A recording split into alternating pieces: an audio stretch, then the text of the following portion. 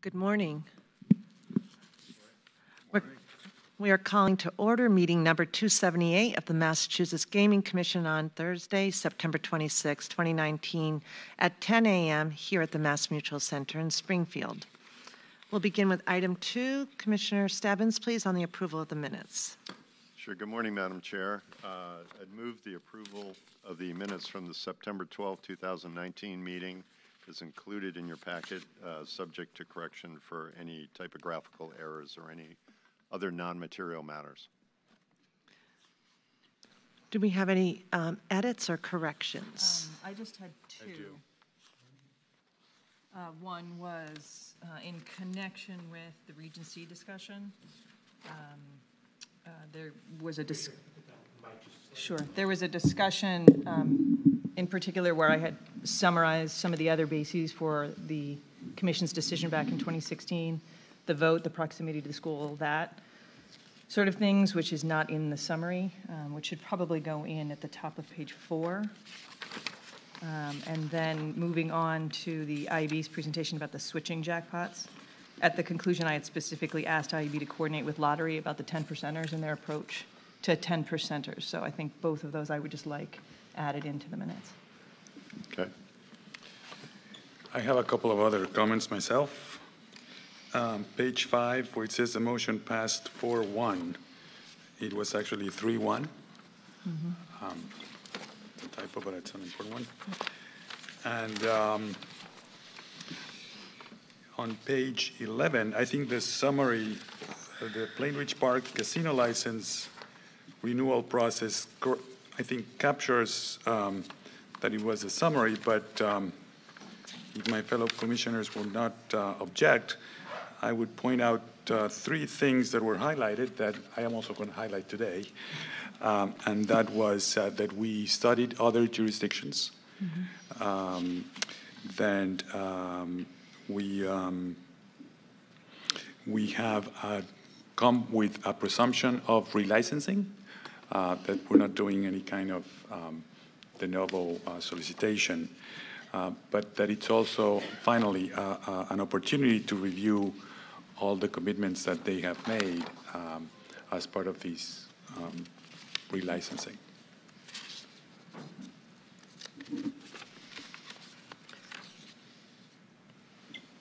Any other edits or suggested changes?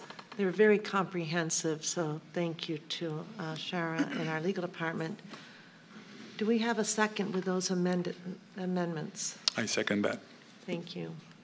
All those in favor? Aye. Aye. Opposed? Abstain? I was not present. May the record reflect that Commissioner Cameron was not present, so it would be 4-0 with one abstention. Thank you. Moving on to our item number three, our administrative update. Ed? Good morning. Good Morning. Good morning. Good morning. uh, Commissioners. Um, So on item A, I actually don't have that much. Last uh, week, I, uh, last meeting, I'm sorry, two weeks ago, I told you about some open positions. Um, We are working to fill those and do background checks, so hiring is going along at the appropriate tempo. Um, I do, on item B, have some rather large shoes to fill. Mr. Curtis couldn't make it out here today, so I will be substituting for him um, on an amendment to MGM's gaming beverage license. Um, And here with me to answer any questions you might have after I give a brief rundown are Seth Stratton, Vice President and Legal Counsel, and Anthony Caratazzolo, Vice President of Hospitality. Um, So, uh, and uh, Chair, I think you and I actually saw the proposed area last week when we were out here in Springfield. Uh, Commissioners, you may know um, that uh, MGM has decided to use the former Starbucks space as a VIP lounge. And as part of that, they are asking today to have permission to um, serve alcohol beverages to their VIP customers. Um, As I understand it, they're not going to have a separate bar in that location. It will actually be bar service from a service bar that goes into that location but it's closed off, and there'll be separate beverage service there. So that's the reason for the amendment to the gaming beverage license, identifying the VIP lounge as a separate service area, which seems appropriate to me. Because if If there were issues there, we then could take action on that portion of the license. And again, I'm not anticipating that, but I think that is part of the rationale. Um, So I don't know, Seth or Anthony, if there's anything you want to add to that. You fairly summarized it, um, Ed, but uh, Anthony and I are happy to answer any questions. I- I just have one uh, out of curiosity. Um, if- Is it, uh, um, would would would the area be restricted to only certain number of people? Um, Do you have to present some kind of um, card or or status rewards card to be able to get in that Correct. that The- area? The, the door will be locked at all times, 24 hours a day. You, it's restricted access only to our high-end guests who will be issued a separate RFID card um, into the space. So Okay. i- it's highly restricted. And um, are minors uh, allowed in that area if somebody comes with their family? No, they're Uh, not. I'm just- Okay. Thank you. And so the drinks will be brought in by uh, your uh, cocktail staff? wait, Correct. serving We- staff? We'll have three VIP attendants that will be servicing the food and also servicing the alcohol service. During the week when there's, when it's not attended, um, a cocktail server from the lobby bar will be serving the beverages. And which- the hou- the hours will be restricted to, there won't be service between two and four, correct? That is correct. And, and those VIP attendants who will be serving uh, the alcohol will be licensed at the appropriate level and sufficiently trained. Uh, We haven't, we haven't hired those folks or assigned them yet, correct? But if they're not already um, trained and licensed at the appropriate level, then we would ensure that they are um, from a tips and a, and a gaming license standpoint. So this is something we would need a vote on. And this is a, um, a need that's been requested by your patrons, correct? Anthony? That, that is correct. The, the, our, our, we did some surveys right in the beginning, and this came up quite a bit because our competitors in Connecticut offer these services. These so. services. Any further questions? You do need a vote on this. I do, please. Um, Any further questions for Anthony or Seth? Great. Do I have a motion? Uh, Madam Chair, I'd move the commission approve the amendment to the gaming beverage license issued to Blue Tarp reDevelopment LLC, DBA MGM Springfield, as described in the memorandum from Bill Curtis, our licensing manager dated September 30, uh, sorry, September 23rd, 2019, and the amended gaming beverage license application, both included in the September 26, 2019 commission packet. I second that. Any further discussion? All those in favor? Aye. Opposed? Five zero. Thank you.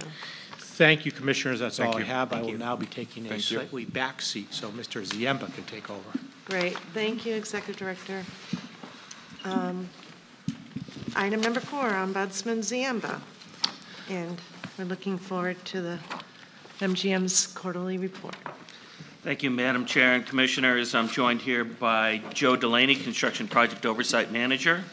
Uh, We have a number of items on today's agenda. First, MGM Springfield is here to present its quarterly report for the second quarter of this year, ending on June 30th. MGM Springfield will also provide the Commission with the review of the one-year anniversary of its opening. Following MGM Springfield's presentation, we'll hear a brief status update of Springfield's economic development activities and successes from Tim Sheehan, Springfield's Chief Development Officer. And then later on today, we will begin the Commission's preparations for next year's Community Mitigation Fund. Uh, Now, I turn back to MGM Springfield's quarterly report. Uh, In addition to a discussion of MGM Springfield's second quarter activities and upcoming plans, we have asked MGM Springfield to give the commission as much detail as it can regarding the status of its residential requirement. As you're aware, the commission has regularly reviewed the status of this commitment to provide 54 units of market rate housing within one half mile of the casino at its commission meetings. Earlier this year, the commission authorized an extension to comply with this residential requirement provided that MGM Springfield shall continue to inform the commission of any material event that would significantly alter the potential of MGM Springfield proceeding with the city's plan to rehabilitate 31 Elm Street in Springfield with the assistance provided by MGM Springfield.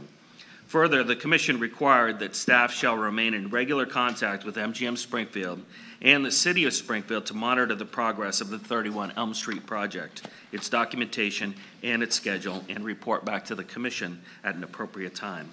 I can report that staff has continued to monitor the progress of this project and that MGM has not reported any material event that would significantly impact its commitment to moving forward.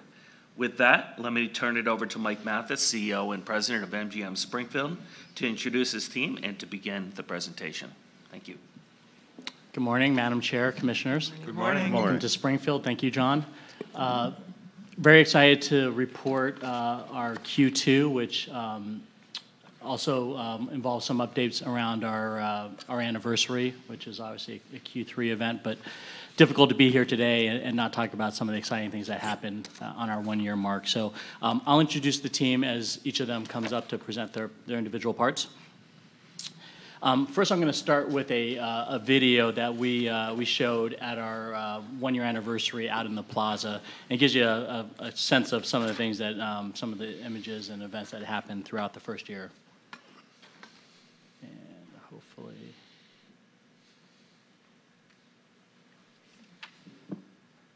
I think this has audio, right?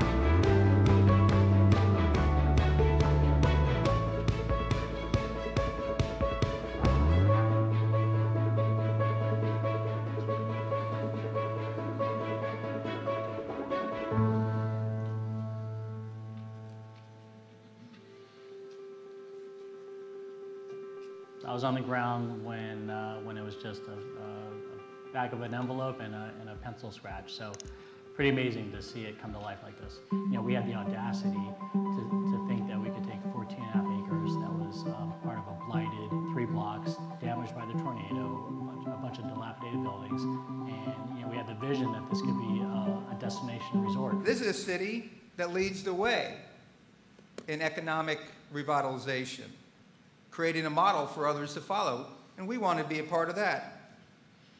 And as we have been a part of this history and the milestones that we've admired, we wanted to create a few new traditions for Springfield.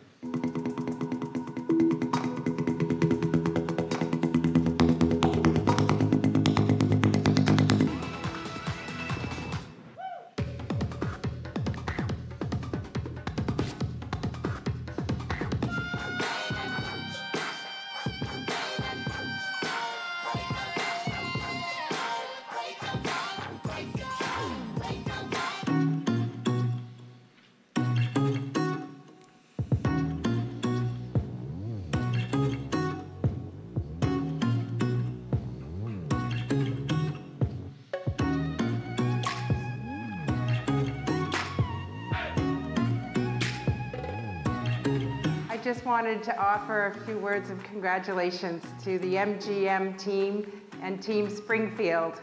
I cannot believe a whole year has gone by, four seasons of uh, great uh, offerings, uh, not only to the people of Springfield and this Commonwealth, but to so many that have come to really appreciate and see all the great opportunities at MGM Springfield. How you doing, everybody? Ken Casey here, Murphy's Boxing, Dropkick Murphys. I want to wish MGM Springfield a happy one-year anniversary. Thanks for being so good to us. We'll be back September 20th. Dropkick Murphys playing across the street at the Mass Mutual, downtown Springfield. We love you guys. We'll see you soon. Happy anniversary. Hey, I'm Jim Springfield. Aaron Lewis here. Congratulations on a first successful year and happy birthday. Happy anniversary, MGM Springfield. I played you. This is Sean. Man, happy anniversary, MGM Springfield. We'll see all of you September 22nd. What's up, y'all? It's Low Cash here, and we are live at MGM Live. MGM Springfield, it's their one year anniversary. Congratulations. We've had a blast here all day. We started drinking early because it's your one year anniversary. Hey, Come four on. tequila strong. this is amazing. Thank you, MGM Springfield, for such a great year. We're glad to be a part of it, and happy birthday. Hey, cheers. Come on. Cheers. To you.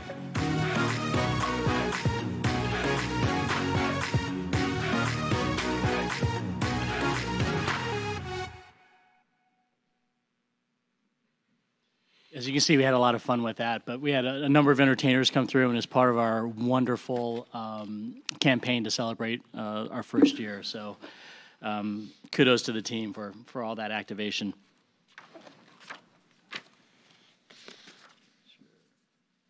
Great. So just a, a few a few highlights. Um, obviously, entertainment is a large part of our commitment to the city, and this is just a sample of um, both headliners as well as our Roar Comedy Show. Is our way to activate uh, the Armory Building, and then um, boxing. And we partner with Ken Casey and, and Murphy Boxing.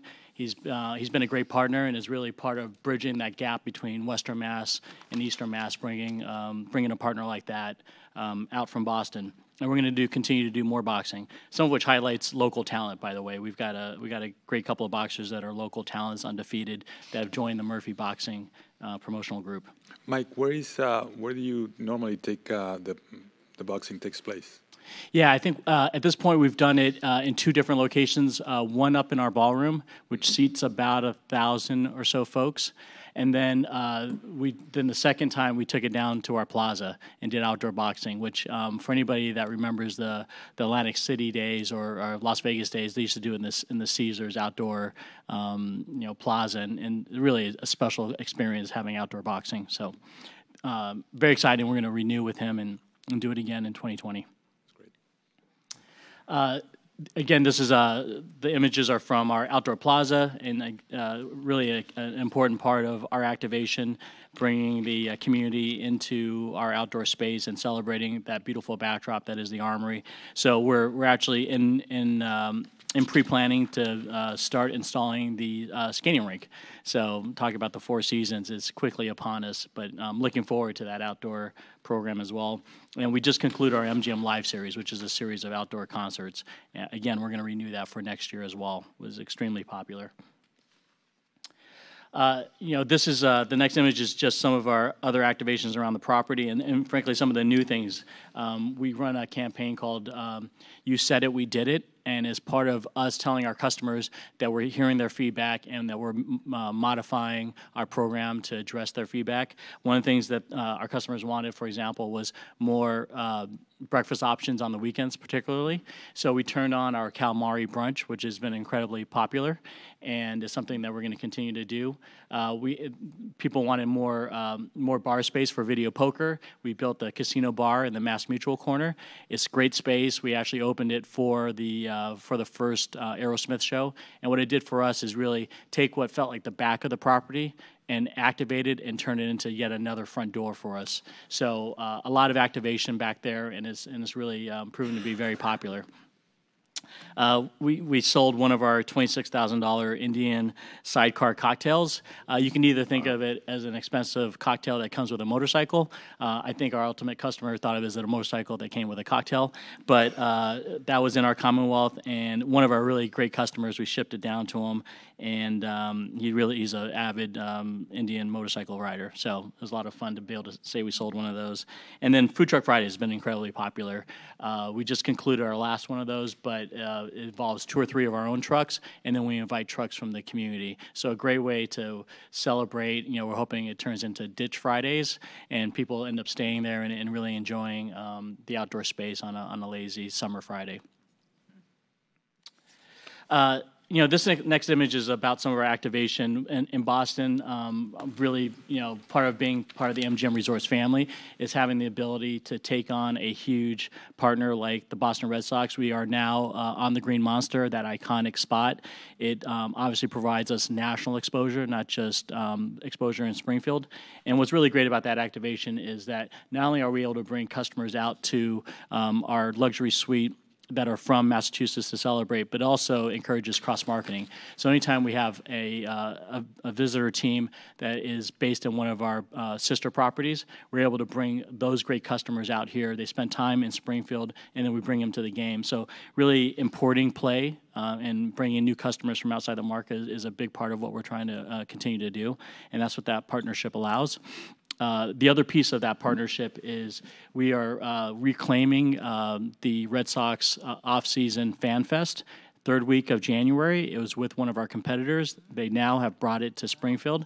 Uh, 6,800, 7,000 rabid um, Red Sox fans are going to descend on downtown Springfield, and we can't wait to welcome them. And it's it's more people than than we can house in our own resort, so they're going to spill out into the downtown, into other venues, and um, very excited to host them and, and see the impact that they'll have uh, on the city, and then to really have people see downtown Springfield that haven't been here um, ever or haven't been here in a while is really a great opportunity.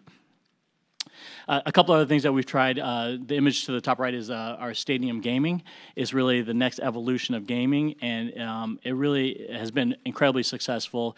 Uh, we're not the first to do it in the industry, but we're certainly one of the first in this in this um, in this region. And one of the aspects of it, and your in the uh, your gaming commission staff have been great because this is, is new technology and made sure that it met all the um, strict standards of the regulations. But essentially, what it is is it's um, dealer assisted electronic gaming. You have live gaming up front, and you can think of it as a 24 seat a roulette table or a 24 seat um, blackjack table. The action is, is projected up on the screens, but individually you can make your bets on on on the on the individual uh, kiosks. So what is what is very good for are people that are new to the to new to gaming and are a little intimidated by a live gaming environment. Um, they don't know how to do the bets necessarily. The computer will um, give you the automatic bets for you, do the payouts. You're able to play multiple games. Um, it's been really well received, and one of the things we're able to do because the labor obviously is more efficient is we're able to give lower table limits. Um, at different periods of the day, and that's something our customers have been asking for is lower table limits so that they some of the entry level players can can have time on the on the device. Does, does the device, I, what I like about the idea is that if I come with my wife or spouse or friends or whatever, and not everybody wants to play blackjack, they can sit next to me while I'm playing blackjack and they play roulette or baccarat or anything else. So you're not moving back and forth between tables. I mean, is that part of the strategy? Yeah, that's exactly right. We, uh, you have the opportunity to play blackjack, baccarat, and roulette on the, on a single kiosk. And to your point, you could be playing next to somebody, whether it's part of your group or, or, or a stranger, playing two different games, all based on the live action that's up uh, up front. So uh, we plan to expand that expand that product. has been extremely popular. And then, uh, you know, our, our line run bus service has uh, been growing, has been very successful, and is something that we'll, continue to, uh, to operate. These are just a few images from our, our, uh, our uh, grand opening celebration. We had the Patriots cheerleaders out. Um, a giant cake, of course. Um, Commissioner Zuniga was with us. Uh, it was a really great day. And um, one of the images I really like is to the bottom right. Um, that gentleman's name between myself and Jim Murray, his name is Mike Davis. He's a um, table games floor supervisor. We were running a promotion the entire year for any of our employees that had perfect attendance were entered into a raffle to win a car and Mike was the lucky winner. I think we had over Mary Kay 200 uh, individuals that were eligible, which is pretty remarkable um, uh, given the the tough hours that a lot of these folks work. The best is we invited, um, we wanted it to be a surprise for Mike. He had just worked a um, Friday night into Saturday morning 4 a.m. shift. Um, we told him that we needed him for volunteer service, and to his credit, you know, it would have been awkward if he would have told us to pound sand. Um, but to his credit, he came out and um, was there to help, you know, uh, support the support the event. And then we called him up to the stage and um, and gave him a, a beautiful uh, Hyundai car. So really great, deserving um, member of the team. But so many of our folks are that are that quality. Can I tell one quick story about Yeah. that uh, program? As part of the program, um, Mike invited me to announce the name of the of the um, employee that was a winner. He was going to whisper his name in my ear, and I would announce it. I didn't know the name of the of the person. Uh, and when he said Mike Davis, for a minute I thought, for a second I thought you meant Mike Mathis. And I said that couldn't be right. I have had perfect was Mike attendance. I, Davis. will, I was eligible. I, I knew you Yeah, would be a perfect record. attendant uh, Right. going to be young. No, that's great. Did you give Uh, him a day off, too? Uh, we did actually. We sent him home. Good. We Actually, sent you him know, home. they announced this. Uh, they also pay the taxes on the That's right. on the car. Yeah, we uh, grossed it so that he does Wow. not have to pay those taxes. So Yeah. it was really a well, well done. And, he, and he's a downtown Springfield resident, which made it made it all the better. So, uh, just some more images from from the anniversary, and, and just a lot of fun engagement, and uh, a lot of the community came out to celebrate with us, which was really um, really quite touching. Uh, uh, this is uh, some some images from the um, Aerosmith uh, uh, concert. We had four shows um, in downtown Springfield, all sold out. So you know, over twenty thousand folks came down downtown. Many of them hadn't been here for quite some time. I think Aerosmith hadn't played downtown Springfield for thirty years. Um, I got a chance to meet the band and meet Steve Tyler, and so gracious, so excited. And he talked about all the all the things that we're doing downtown. Um, at 71, 72 years old, incredibly vibrant, was running around the stage. Um, if you look closely, you might see me in the pit there. I'm not sure what night they took that photo, but he was circling around us, buzzing around, and just a ton of energy. And it was exciting to have him here. And and many of the many of the fans that saw that show said it was as good as any show that they had ever seen of his, of theirs. So. Uh, very exciting.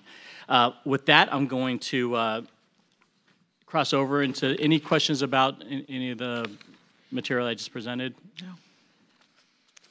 On the show, was it sold out? How did you do on numbers? Uh, Did it drive a lot of business to you? How, how would you rate the, in- the impact of Aerosmith?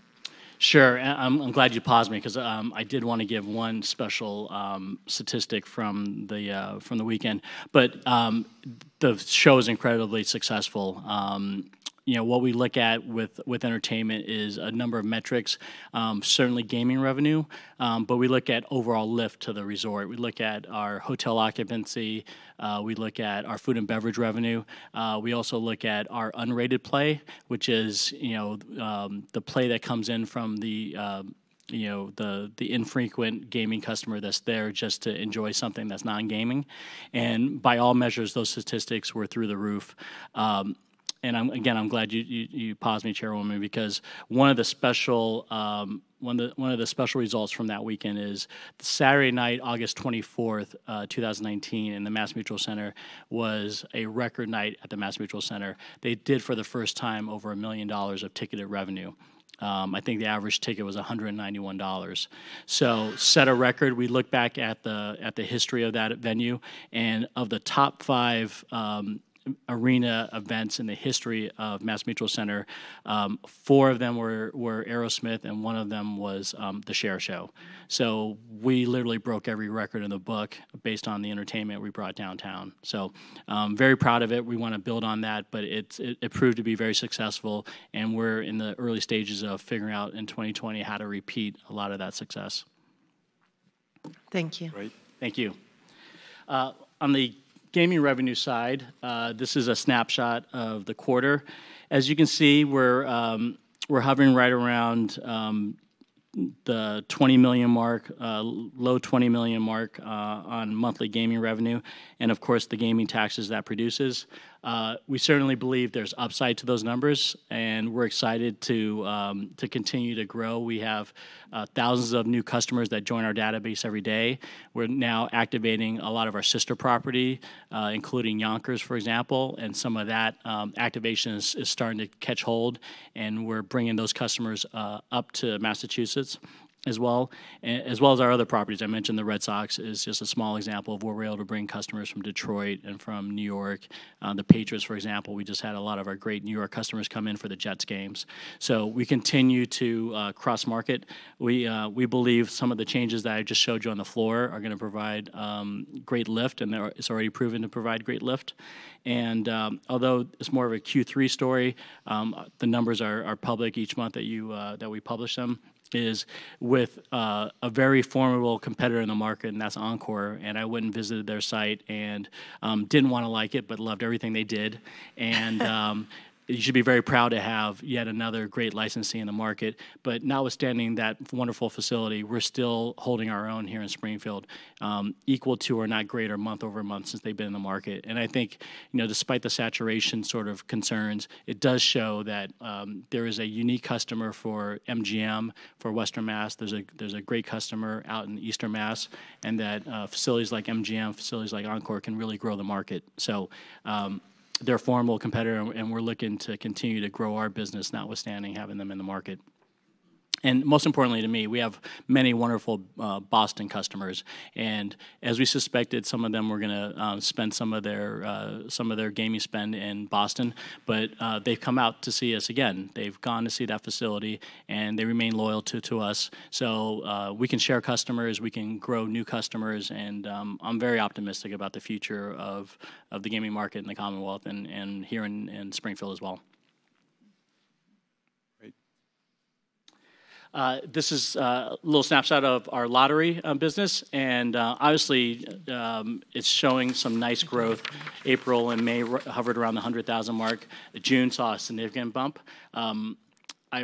I, I uh, wish I could tell you I know why it jumped that much. Um, one of the things we are doing is we're pushing more and more lottery tickets as part of our promotional um, gift giving to our customers. And I do think, in addition to our own sales, that that's causing a little bit more activity on the kiosks themselves. So a lottery continues to be a very popular product, and uh, it, it speaks to the quality of the lottery program. Um, and we're, we're leveraging it more and more in our, our own promotional activities and we'll do we'll do more of it.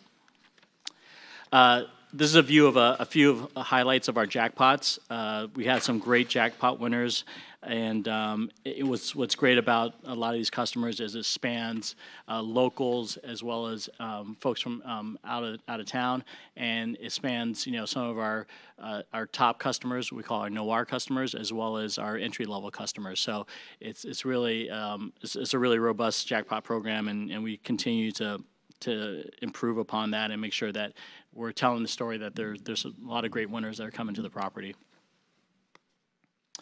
Uh, and with that, I'm going to hand it over to um, our, our newest team member, uh, Daniel Miller. He was uh, in charge of our risk management program. He is now our director of compliance, and we're lucky to have him. And he's going to review our uh, compliance numbers. If I could just interrupt on back on the lottery. I- Sure. I mean, that's a very important slide, uh, Mike. You know, we have a, a commitment by statute to make sure that the lottery is, is not in any way cannibalized. And so to your credit, you've really shown great growth.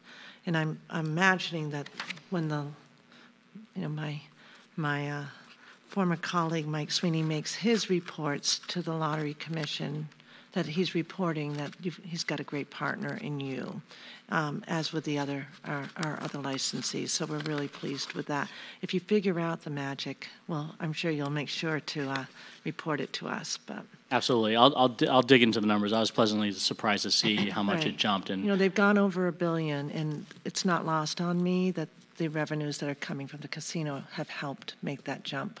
Over a Absolutely. billion. and it goes to local aid, of course. So thank you. Absolutely. And, and I, we've got a great relationship with Executive Yes. Director Sweeney. He's been a great partner um, himself from, I think, Lawrence. And Yeah. he talked about some of the similarities of some of the ops, you know, challenges that Springfield has, and very excited to continue to work with him and his team.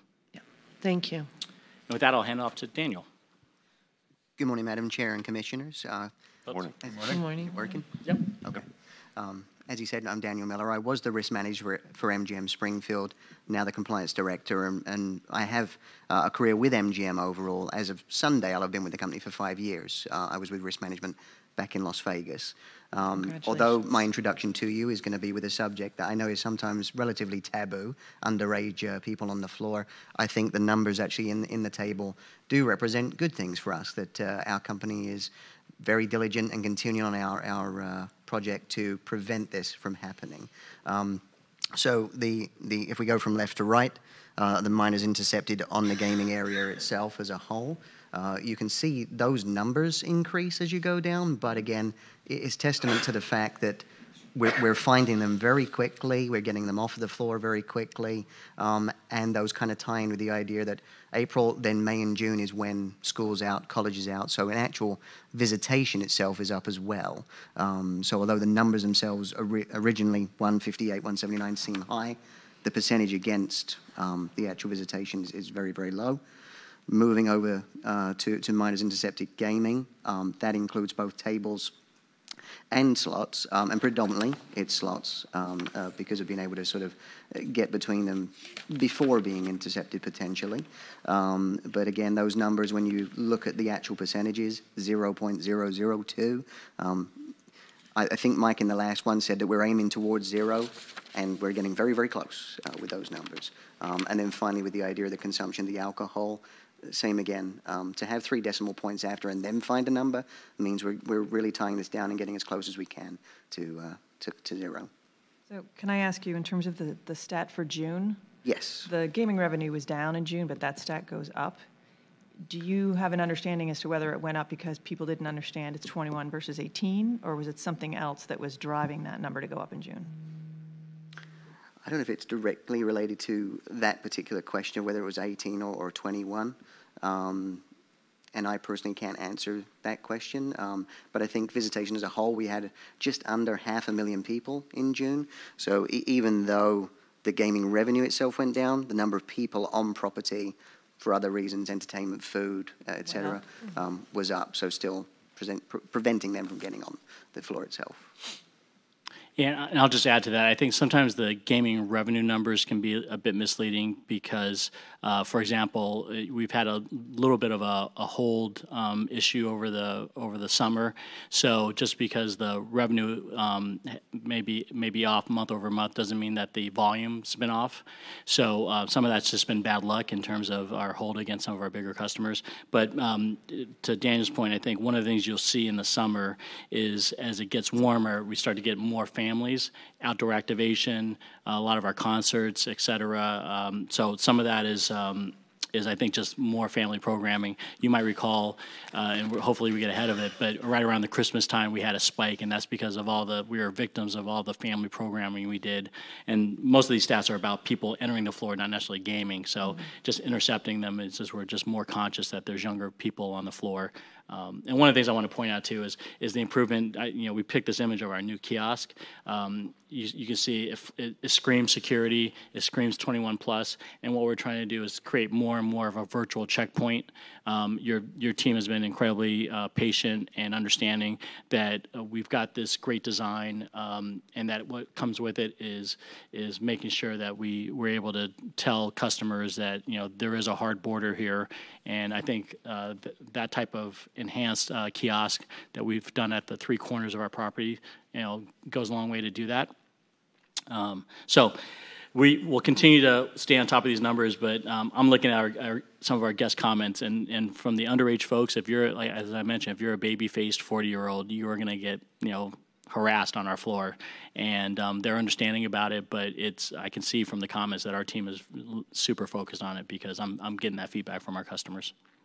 When did you activate the the revised podium, out of curiosity? it was in the last um, month, it was about last 30 days. It, it, had been in production over the last uh, two months before that. Um, we've also installed a Veridoc system, which allows us to check. Um, you know, we're seeing more and more incidents of fake IDs. Um, uh, so it allows us to, to verify through the machine anything that we, we question, whether the person's of age or if it's a out of state license that we're less familiar with. We're able to run it through the machine. So it's a, it's, it remains a major focus of ours, and my personal commitment and that of the team is we meet weekly to go over the reports. We just had ours, right, Daniel? Correct. Yes. Um, so that we're all making sure that we're we're focused on it. And one of the things we're we're most proud proud of is um, you know, uh, since our last table game incident, which we have zero tolerance for, because there you have an employee that uh, should be um, interceding. Um, we've we've run three three plus months without any table game incidents. So the, the incidents you see here, or you're going to see at least in the in the third quarter, are going to be slot machine incidents. And for us, it's all about the amount of time that we get to that customer because someone can sneak on the floor and get on a machine. It's our obligation to make sure we we, we get to them um, as quickly as we can. And those stats are really remarkable. How quickly we're getting to these folks. But uh, to be served alcohol, someone missed an ID check, right? Someone should have ID'd that individual, or did someone of age buy the alcohol for the minor? It's hard to tell. Yeah, as you can see, they're they're really de minimis numbers. Right. A, a single incident is one too many, but it's it's a combination of potentially someone missed an ID, someone um, someone on a shift change. Sometimes we see may have uh, thought the person was overage, and then um, subsequently um, the next shift served them because they already had a drink. You know, it was one of those. Um, w- occasionally, you get a you get a stamp for someone. You know, our our officers. Um, we've had a couple instances where an officer read an ID and just you know saw the saw the the fact that it was a it was a 2000 or 1998 right, which gives you the 21, and just missed the date that they had just were under their birthday. So, you know, with as many customers as we put through, there there is a little bit of you know human error involved, and we try to balance that with, given how much of a priority this is. But I, I'd submit that the the one, two, and three incidents are are, are fairly de minimis considering the volume of people we're putting through, but still serious. I think you were touching on this, and I know it's unfair because this is, you're, this is not covering this time period, but I suspect you're pretty informed on these stats. When we do get our, the next quarterly report, are you trending in the right direction still, or is it continuing to be um, a cha- a challenge? Will we see numbers going in the right direction or in a different direction? Yeah, do you remember wh- where we're at, Daniel? I don't know exact numbers for this quarter, but yes, we are trending in the right direction. Um, and the little point that you made as well, there's been a little bit of surgence of, of some very good fake IDs that, to the degree, um, e- even fooled uh, the state troopers before it ran through a Veridoc system. So the IDs Mm. themselves, um, just specific situations on their own. So those are ones on their own that happened. Um, and so now having the Veridoc system that will hopefully tie that down as well. So it's an improved uh, ID verification system? Yes, than it was before. Okay. Previously, it was the human that just looking at it, making sure that it looked good and that the dates were correct. Um, now we will, you know, run it to see does the system prove it is correct and, and a, an official document. So I asked only because the summer months probably are a bigger challenge for this than, than uh, the school year, so thank you. Yeah, and- and I think when you look at this, there's always a combination of, you know, intercepts may be up, but where are the incidents of actual um, gaming or, or, and so I think, um, I think you always have to be, you know, it's one of those stats where the, the more enforcement there is, it may look like there's more of a problem, but really understand. is a result of just more enforcement. And then, to your point, the summer months are going to continue to create more visitation from that underage customer. But we'll, we'll, we'll stay transparent with your team and continue to update you. Thank you. Thank you. Thank you. Uh, Thanks, Daniel. You- You'll notice, one of the great things about Daniel, in addition to his competence and expertise, is his English accent has a very calming effect on, uh, on your staff, and uh, something we, we continue to leverage in our discussions with them. Good Thank you, strategic, good strategic hire there, That's Mike. right. Yeah. Uh, So uh, we're going to move on to our spend update uh, with Ryan Gary, our Director of Finance Operations. Ryan's been with us throughout the entire project, helped us with our early procurement plan, and it's great that he's been um, elevated to Head of Finance and continues to monitor our- our spend efforts. Thanks, Mike. Good morning, Madam Chair and Commissioners. Good morning. Good to see you morning. again. So um, today I'm going to go over a, an overview of our diversity spend as I normally do. Um, as you are all aware, MGM has continued uh, to commit to a robust uh, supplier diversity program. Um, we commit to prioritizing, uh, you know, local and diverse uh, spend for anything, any goods and services that we need to procure. Um, so this slide represents um, that performance over Q2. A couple things to note uh, before you look at the numbers. Uh, overall biddable spend for Q2 is slightly down. Um, but that being said, um, you know, one of the highlights we have is a is an uptick in in women-owned spend. Um, we still do have a lot of work to do in minority-owned businesses. Uh, we we continue to support and sponsor the uh, GNE MSDC. We actually just hosted their annual expo at the property this month, and um, you know, working with Jill's team um, and with our local certification partners, we are continuing to uh, really try and identify uh, more minority-owned businesses. Um, and uh, although you know we have a lot of work to do, uh, we are really proud with, of the work we've done thus far. Um, and especially in the veteran-owned category, we continue to exceed. Um, we do um, we do want to continue to expand the number of businesses, veteran-owned businesses we have. Um, but that being said, we are still able to exceed that goal uh, quarter over quarter. Um, another, I think, note, I, believe I mentioned this last time.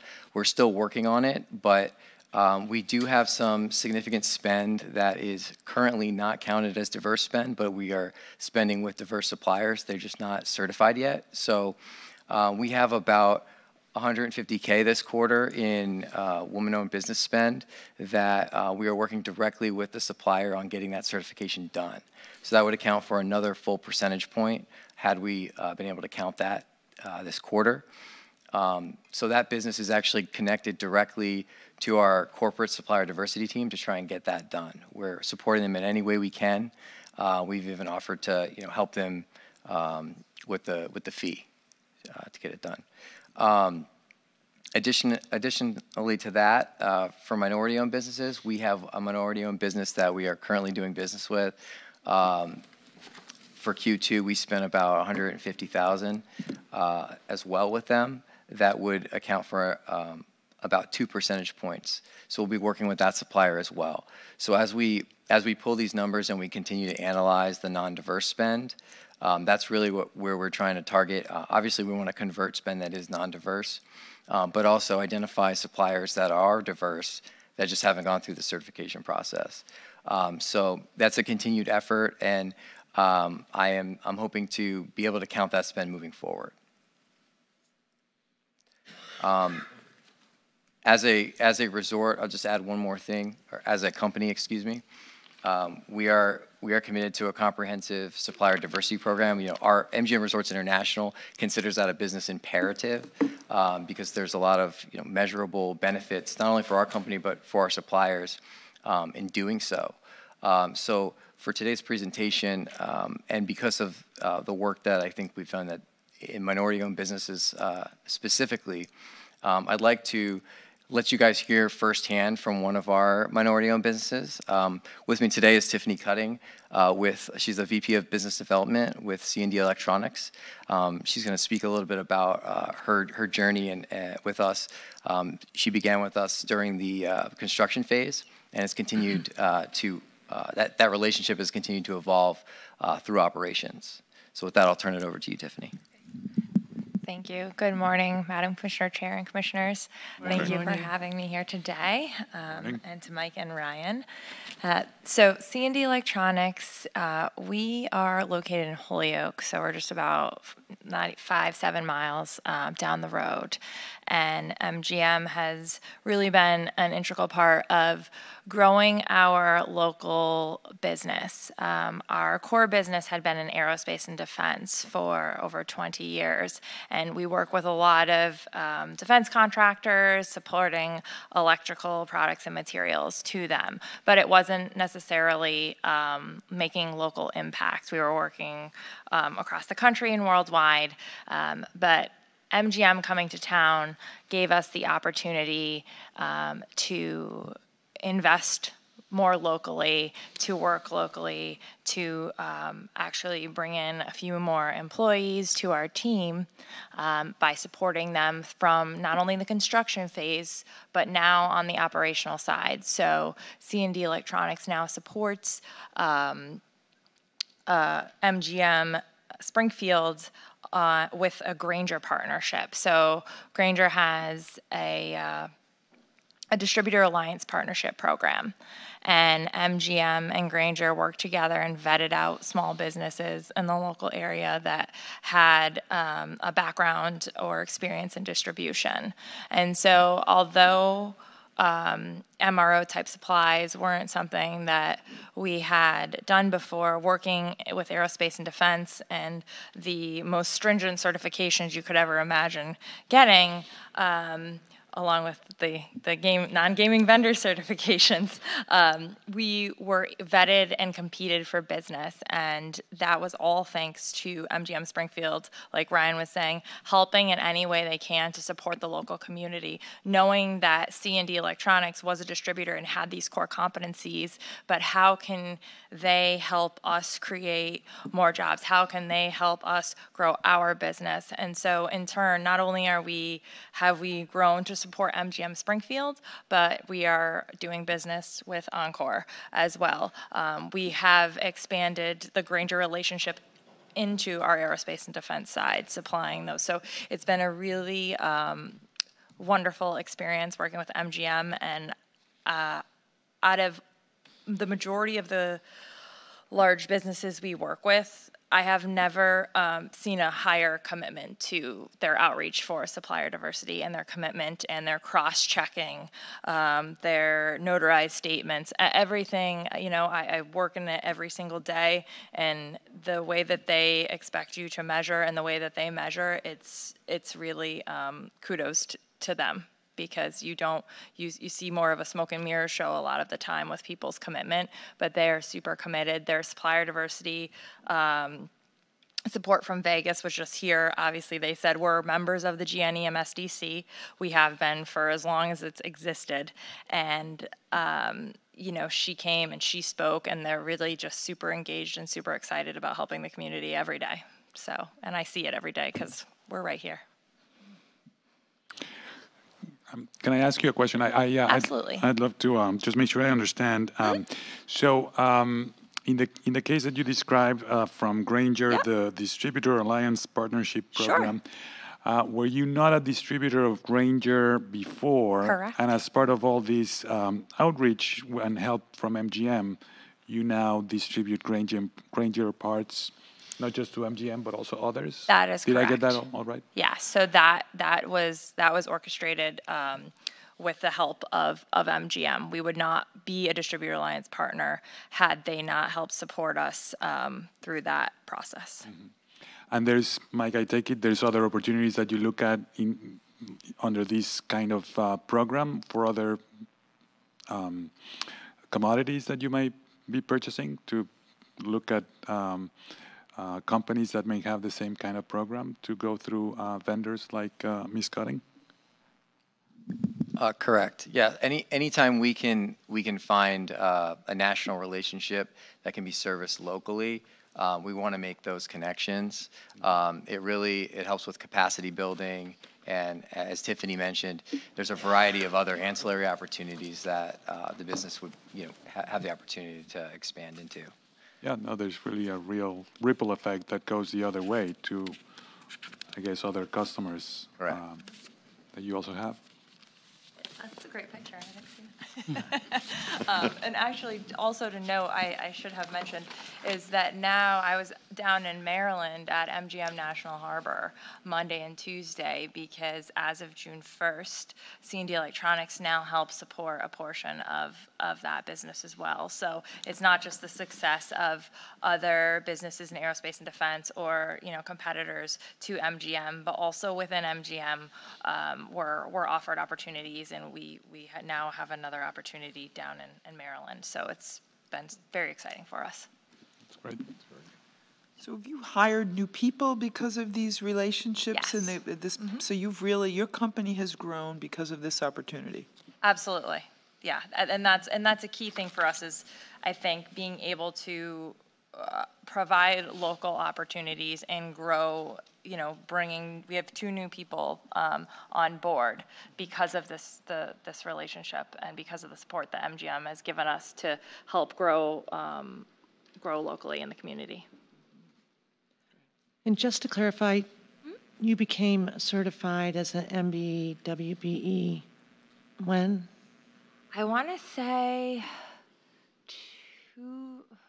Well, we've been my so um, the c- company's always been an MBE uh, since like my dad started the business in 1982. Um, so I think the maybe women came in 2013 or 15 ish. I want to say right around the time of um, when MGM actually came to town. Uh, but we've Okay. always been a mi- we've always been a minority uh, company. My father started the business in 1982. And were you always certified? Because I, I had a similar um, question. I'm, I'm, I'm wondering, were you always uh, certified since that time? Have you had had the MBE certification? Yes. Oh yeah. Yeah. Okay. Yeah. No. Right. Not Yeah. just b- being one and being certified are, are Oh, no, unfortunately been- different things. So, um, because of our um, business with the government, we do a ton of work with um, the DoD and other con- defense contractors. Okay. So they require you to ha- be certified with the GNMSDC. So we've been, and, and even greater than that, it's like the nat, you know, the national, the NMSDC. So uh, C&D Electronics been certified by the NMSDC for, I mean, over 20, well over 20, 25 years. However And- long and- it's on. And just to clarify too, I- and and maybe you address this, do you work closely with the um, OSD? uh, We do, yes. Yeah, so they're helpful, because, you know, you really are an example of, of why certification, it really does create opportunity. And I know that there's been a lot of work done to make it more seamless. So uh, we encourage you to continue working with OSD because I think you're create, if they get certified, the, uh, the work will follow, you know, as, as it has with your, with your company. It's a great example.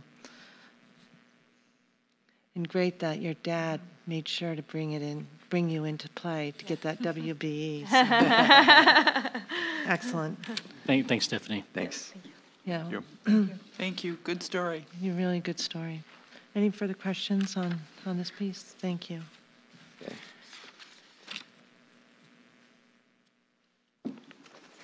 All right, next I'll briefly touch on the, uh, the local spend update. So, um, spend overall, um, again, is, is slightly down quarter over quarter, and that, again, that's indicative of, um, our continual efforts to, you know, manage expenses coming out of opening in our first, you know, quarter of operation, uh, or two quarters of operation. Um, a couple of highlights that we do have is, um, definitely the Springfield category. Uh, you can see a, a good uptick in uh, spend in Springfield um, and in Western Mass in general. So, um, a couple of metrics uh, of our 398 uh, suppliers. Um, 158 of those are within Massachusetts, while another 115 are, are specifically in Western Massachusetts. So that's uh, 40 and 30 percent of our supply base, um, respectively. Um, so we're very proud about that. Um, you know, over 50 percent of our of our spend is is in the the Commonwealth. Just one question. Um, some of these categories could be a sub category of the other. You know, you could be local and um, I'm sorry, Commonwealth and Springfield. Yeah. Are the figures here? They're uh, not cumulative, so those segments stand alone. Yep, So- good question. Yep. Um, One other update, uh, Madam Chair, I think you, you had asked the last meeting for some more detail regarding local, or, uh, excuse me, non-local spend. So um, just generally, um, I didn't, I didn't add it to the presentation today, but, um, so there's a a deeper understanding as to what goes into that uh, non-local number.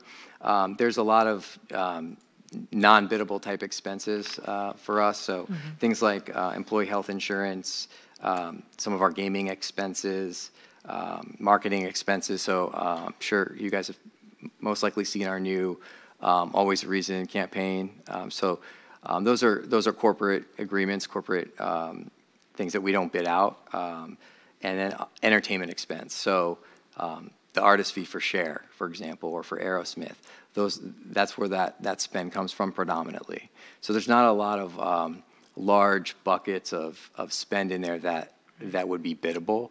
Um, The few that there are, we, we continually work on, as I said, to try and, and prioritize those for, for local and diverse businesses. Thanks for that update. Um, The fi- Aerosmith are from Hanover, so I don't know how um, That doesn't count as local. Yeah. you get registered. Um, so our, my last slide here is just a, a snapshot of our, our outreach that we did in, in Q2. Again, we try and do at least one event a month, if not more. Um, uh, one thing to note here is, you know, just the, the geography we covered. So um, we, we, we have a, you know, big focus obviously in Western Massachusetts, but we are still going out, making our way out to Boston um, when we can to, to attend events out there um, especially uh, to support uh, minority businesses and, and, find new minority businesses and build that supply chain. Any questions? Yeah, Ryan. Um, comment and a question, or a couple of comments and a question. First of all, you know, I uh, I continue to be impressed by the great job that you and Eddie and your whole team do. Thank you. Uh, you're aggressively reaching out, trying to find connections. Um, and uh, I was glad to hear you talk about the certification piece because we just went through our regulatory certification right. update, which says unless you're certified by one of these agencies, you don't count, or we want you to count, but you got to go out and get the certification. Um, obviously, any feedback that you get from folks that you have to work with, you know, that would be helpful to Jill and our licensing team, you know, please feel free to share that. Certainly, certainly. Um, so far, n- not a lot of feedback, and I think it's predominantly uh, just because this really isn't going to impact us. Uh, it's only going to impact one supplier, uh, one uh, woman-owned business, local Okay. woman-owned business, Okay. and we're working with her to um, to get the the new certification. So, and and it's free. So, I mean, there's there's really no there's not a lot of roadblocks there, um, and and in terms of an impact, there's it's it's minimal. So we're going to be um, fully prepared to, um, you know, comply with the new, the new reg. Okay. Um, I just got made aware of uh, uh, Center for Women in Enterprise, which is one of our certifi- you know, recognized certification agencies, is having a big summit or forum down in Framingham next week. Next I'm week, not yep. sure if that's on your guys' calendar, but It, it sure is, yes. that's great. That's great. Um, yeah, you know, the only thing, obviously, and you highlighted it, was um, you know, working hard to get the WBE and the MBE numbers up. So I'll offer up Jill and her team to do whatever they can to help you out with that. Thank you, and we're, we're always happy to leverage them. They're, they're great partners. Do you have anything either after June or coming up for the Worcester area? Uh, as far as outreach, um, I don't believe so, um, but I'll have to, I'll have to see what, what the team has on the calendar. I don't know off the top of my head, I'm sorry. Yeah, we remain um, active members of the chamber, so um, and we want to stay connected to Worcester. As you know, that's that's an area that we think we can penetrate um, further on the on the customer side. Uh, we're we are we're going to be founding partners of the Worcester um, Sox team, uh, and what they're doing in the stadium. So um, I just made a note, but we'll make sure that we stay engaged with their business community. Great. Thank you, commissioners. Thanks, Ryan. Thanks, Stephanie. Thank you. Uh, With that, I'm going to ask uh, Mary Kate Murren to come up and give an update on employment.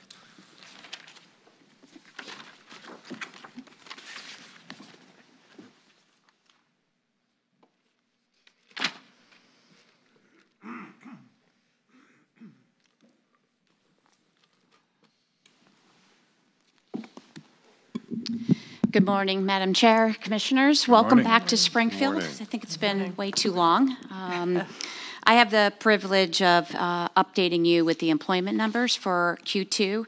And let me just get this slide. Um, We have a little bit of a video I'd like to show you first, and then I'll jump into the presentation.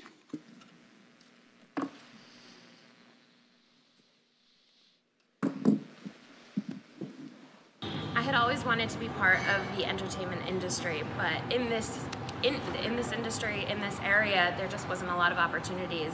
I was looking at either having to move to New York City or Boston or even LA, and then I heard rumors about MGM Springfield coming to my community, and I knew I had to be a part of it because I knew it would be an incredible opportunity for not only myself but for the city. I chose a career at MGM Springfield because of the people. Uh, everybody here has the same goal, has wants to succeed the same way, and it's kind of cool to know that everybody wants to do the same thing as you. Uh, it's a really great place here, and just being around the environment is a great place to work. mainly for a change in scenery since I did come from Mississippi where everything's basically just swamp and everyone's set in like very traditional ways. I'd like to experiment with different traditions and different, um, I guess, taste buds and experience different things so I can broaden my own horizons. Working at MGM Springfield made a positive impact on my life, um, for my family as well. Family, they're nothing more but happier uh, for me. Over here, I, I'm like I like to see the community. Uh, the community sees me from an outside point and makes me feel good. So I feel like that positive impact, it just feels all good together. So It's definitely made me have a lot more experience and a lot more culture in what I'm doing, so I've gotten a lot more confidence in what I'm creating for people. Working for MGM Springfield has changed my life completely. Um, what MGM has offered me is more than just a job, but it's a career path with a company in, in, in an industry that I can grow with and just excel in my area here in Massachusetts. And something that I never thought I would say is that I'm now a homeowner in Springfield, and without MGM, I don't think that would have ever been something that would have happened. Um, just a, a, a few notes. Um, every individual and every employee you saw there has already been promoted. Um, and Amanda Gagnon, I, I think you'll recognize her. She was one of the original five. Uh, who were part of the campaign back in the in way back in around 2012. So really a privilege to have her, and I think she's been promoted a couple of times, and now reports directly uh, to Tally Spira in, in entertainment. And she's very proud of the house. So it's just, it shows to our commitment that we've been saying to you and all for years of really keeping the, the great talent here in Springfield, keeping them in Western Mass. And we're really proud to have those, those three employees. So just wanted to, to share that little video before we get into the presentation. You know, and Mary Kay, if I can, one of the one of the other individuals you saw is Luis Rivera, front desk manager. His um, father is a shift manager in um, table games as well, so it's a bit of a family affair. But uh, what's special about Luis is he started as a security officer, and we highlight him at our veterans. Um, Hometown Heroes a breakfast that, which we hosted uh, about six months ago. Uh, Lewis um, delivered when he was a security officer life-saving CPR to an individual, and he stayed very close to that customer. That customer is local and has come back and visited Lewis and visited us. Um, and then he got promoted uh, into the hotel department where he's he's really shined. So um, I am confident Lewis um, will, will continue to get promoted through the ranks because he's one of those special people that delivers great customer service and um, really really special to have him. And, and there's many many more. We could we could have a two hour long video of the great employees that we've had that have grown throughout this um, this property in the last year. Great. So, Thank you. Did he have that training, or was that part of your training? It, he came, he had um, but training, but we also provide that, and with our security officers are part of the academy that they go through. Excellent, thank you. So I wanted to bring to your attention slide 29 uh, to speak to the progress in our hiring goals. Uh, this is just a graphic, and the next slide will go into a little bit more detail. But from a high level, as you, as you recall, our host community agreement uh, best effort goals for Springfield residents, 35%. Uh, we are currently at 41% for uh, during the end of the second quarter. Women uh, goal, if you recall, 50%, 44.5, and we'll go into a little bit more depth on that in the next slide, commissioners. Minorities, 50%. We're at 53.6%. And then at veteran, our uh, HCA goal was 2%. If you recall, we had um, a lot of cross collaborations with the veterans in the area. We committed to four, um, and now we're at six. So I just wanted to remind the commissioners of that. Very, um, very encouraged by that. The next slide on 30 really will go into detail of the employees. On the top bar, you'll see the full-time versus the part-time breakout. Um, we had, and you can see within below in the other chart, it is not a not a HCA goal, but we have really talked about how important it was being here in Western Mass that we were going to concentrate with that pipeline with our master, uh, Western Mass counties of Hampden, Berkshire, Franklin, and Hampshire.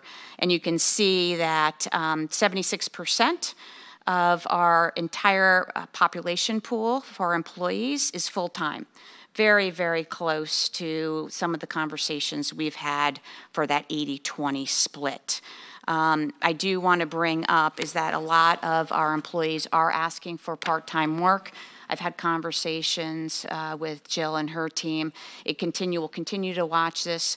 It is most important that we hear our employees, as Mike has mentioned earlier, and to be able to give them what their family and what they need individually. So that is something that the employment team continues to look at as we look at filling our positions, which will go into a, another slide and let you know where we are um, with positions that are open and what we're doing with the pipeline. Mary Kate, Yes, can I, sir. can I go back um, just to the slide about uh, the categories? Uh, I think it's great that you're uh, exceeding your Springfield resident um, goal or um, HCA. Uh, I'm just curious, how, when do you um, um, ascertain their residency? Um, I, I don't know that this will be an issue. I hope it's not. But if somebody gets a job as a resident and then moves away, I guess it, it works the other way as well. Um, is there wh- what in your process um, can you tell us, at least in keeping track going forward, to see if there is a trend? Sure. So we do pull this data from our Workday system, um, and that, as you recall, is also the system in which a, uh, can, a candidate applies. It's a piece of the talent acquisition. Once they become an active employee, we pull what the employee puts into Workday, and that is we are very diligent in communicating with our employees to update those addresses, really from a tax perspective every year, so we can get that information out. We do have uh, commissioner people moving in, moving out, and changing addresses. It's not something that we've done a very, very deep dive to audit, um, but we do stay in touch with our employees to make sure that uh, information is the most up to date that they provide to us. And that, um, excuse me, and that report is pulled for the, the quarter ending for this report. Right. So as we continue to see these reports in the future, you know, this Mhm. number will be as up to date as you can have it in your records. That's correct. Not, not necessarily a date of hire, if you will. That's right. Uh, It really would be good to know if um, local residents are choosing to stay in the city. Um, You know, that was an issue in Atlantic City where many, many people got jobs and left the city. But it doesn't look like you're seeing that so far. We haven't seen that, and I think the last meeting we did discuss of all the wonderful um, additional development from a housing perspective that is in happening in Springfield. Um, and as people do get promoted and move on and start to form families, there is this occasional I want more room, I want more family space, I want to go into a different school system. So I think it is important that we continue to work cross collaboratively with the mayor um, and uh, Mr. Kennedy to ensure that the economic development does happen in Springfield to provide the housing. But there is going to be that as we people progress and become and move up to be directors and so on, they will move on. Um, but we can definitely look at that, Commissioner, for you and try to gather those numbers for you. Thank you.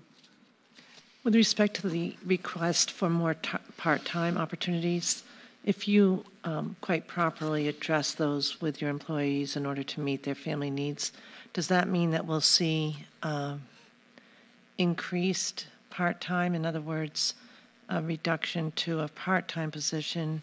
Does that create an opportunity for a second employee, or would it simply be a reduction from full-time to part-time?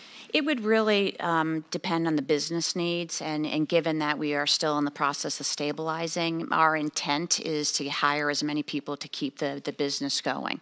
Um, we really look at and have had really individual conversations with our employees, and they come, they speak to their manager first, Madam Chair, and then will come to us. Um, we try first to see what we can do and give them support outside of the of work first. Is there a way we can put them in char in touch with additional daycare providers? So if that becomes a challenge, if that's what's brought to us, we'll work with our partners out um, outside the property first. An education uh, opportunity that someone might want to go. Are we able to maybe switch a schedule and keep them full time? So until we really exhausted all of our support systems for for an employee. Um, we don't start talking about lowering because we want to make sure that we want someone to have education, um, of course, and be also be full time. But if the need is there part time, the intent is not to lower the headcount, but to give the opportunity for the employee to work to their needs, and then we would need to backfill um, to cover the hours that might be missing if they were to drop from from full time to part time. Can if, you? If I answered your question. Yeah, you did. Can, can you remind me of your last quarterly report numbers with respect to full employees, uh, the, the, the total, then the full-time and the part-time? Do you have those? Yes, um, we were slightly higher. I believe we are at 77.2%. Um, Madam Chair, if my memory serves me, the for the total, full, do you for the have- full time. Do you have the total number of employees? Yes, it's in, it's in this report, ma'am. It Oh, sorry, I missed it. uh, There's a quarterly breakdown. Yes, breakdown. it's 2303, ma'am. So it was 20, sorry about that, Mike, if I missed 2303. um, And And we're at- now we're at 2,054, and then it was, it went from, s- maybe it's right here. Maybe it's just a slight percentage. I see. Um, It's not included, and I will make sure that we include that for you, ma'am, moving forward. Um, But I, it- my recollection, I think it's in the 77.2%. 77, so for full-time. Right. So not a, so about a a 10% drop. Correct. Okay. Well, I'm all for making family adjustments, but I'm also Oh, all no, for I I don't think it's a hiring. ten percent drop, right? You went from, we went from 77, seventy oh, point two. 1%, so sorry. It's one, yes. I wasn't It's a a math 10 major. No, Mike. it's all right. Right. The 10%, Yeah. ma'am, is the overall. If it went in our favor, I would have let the mistake go by, but, um,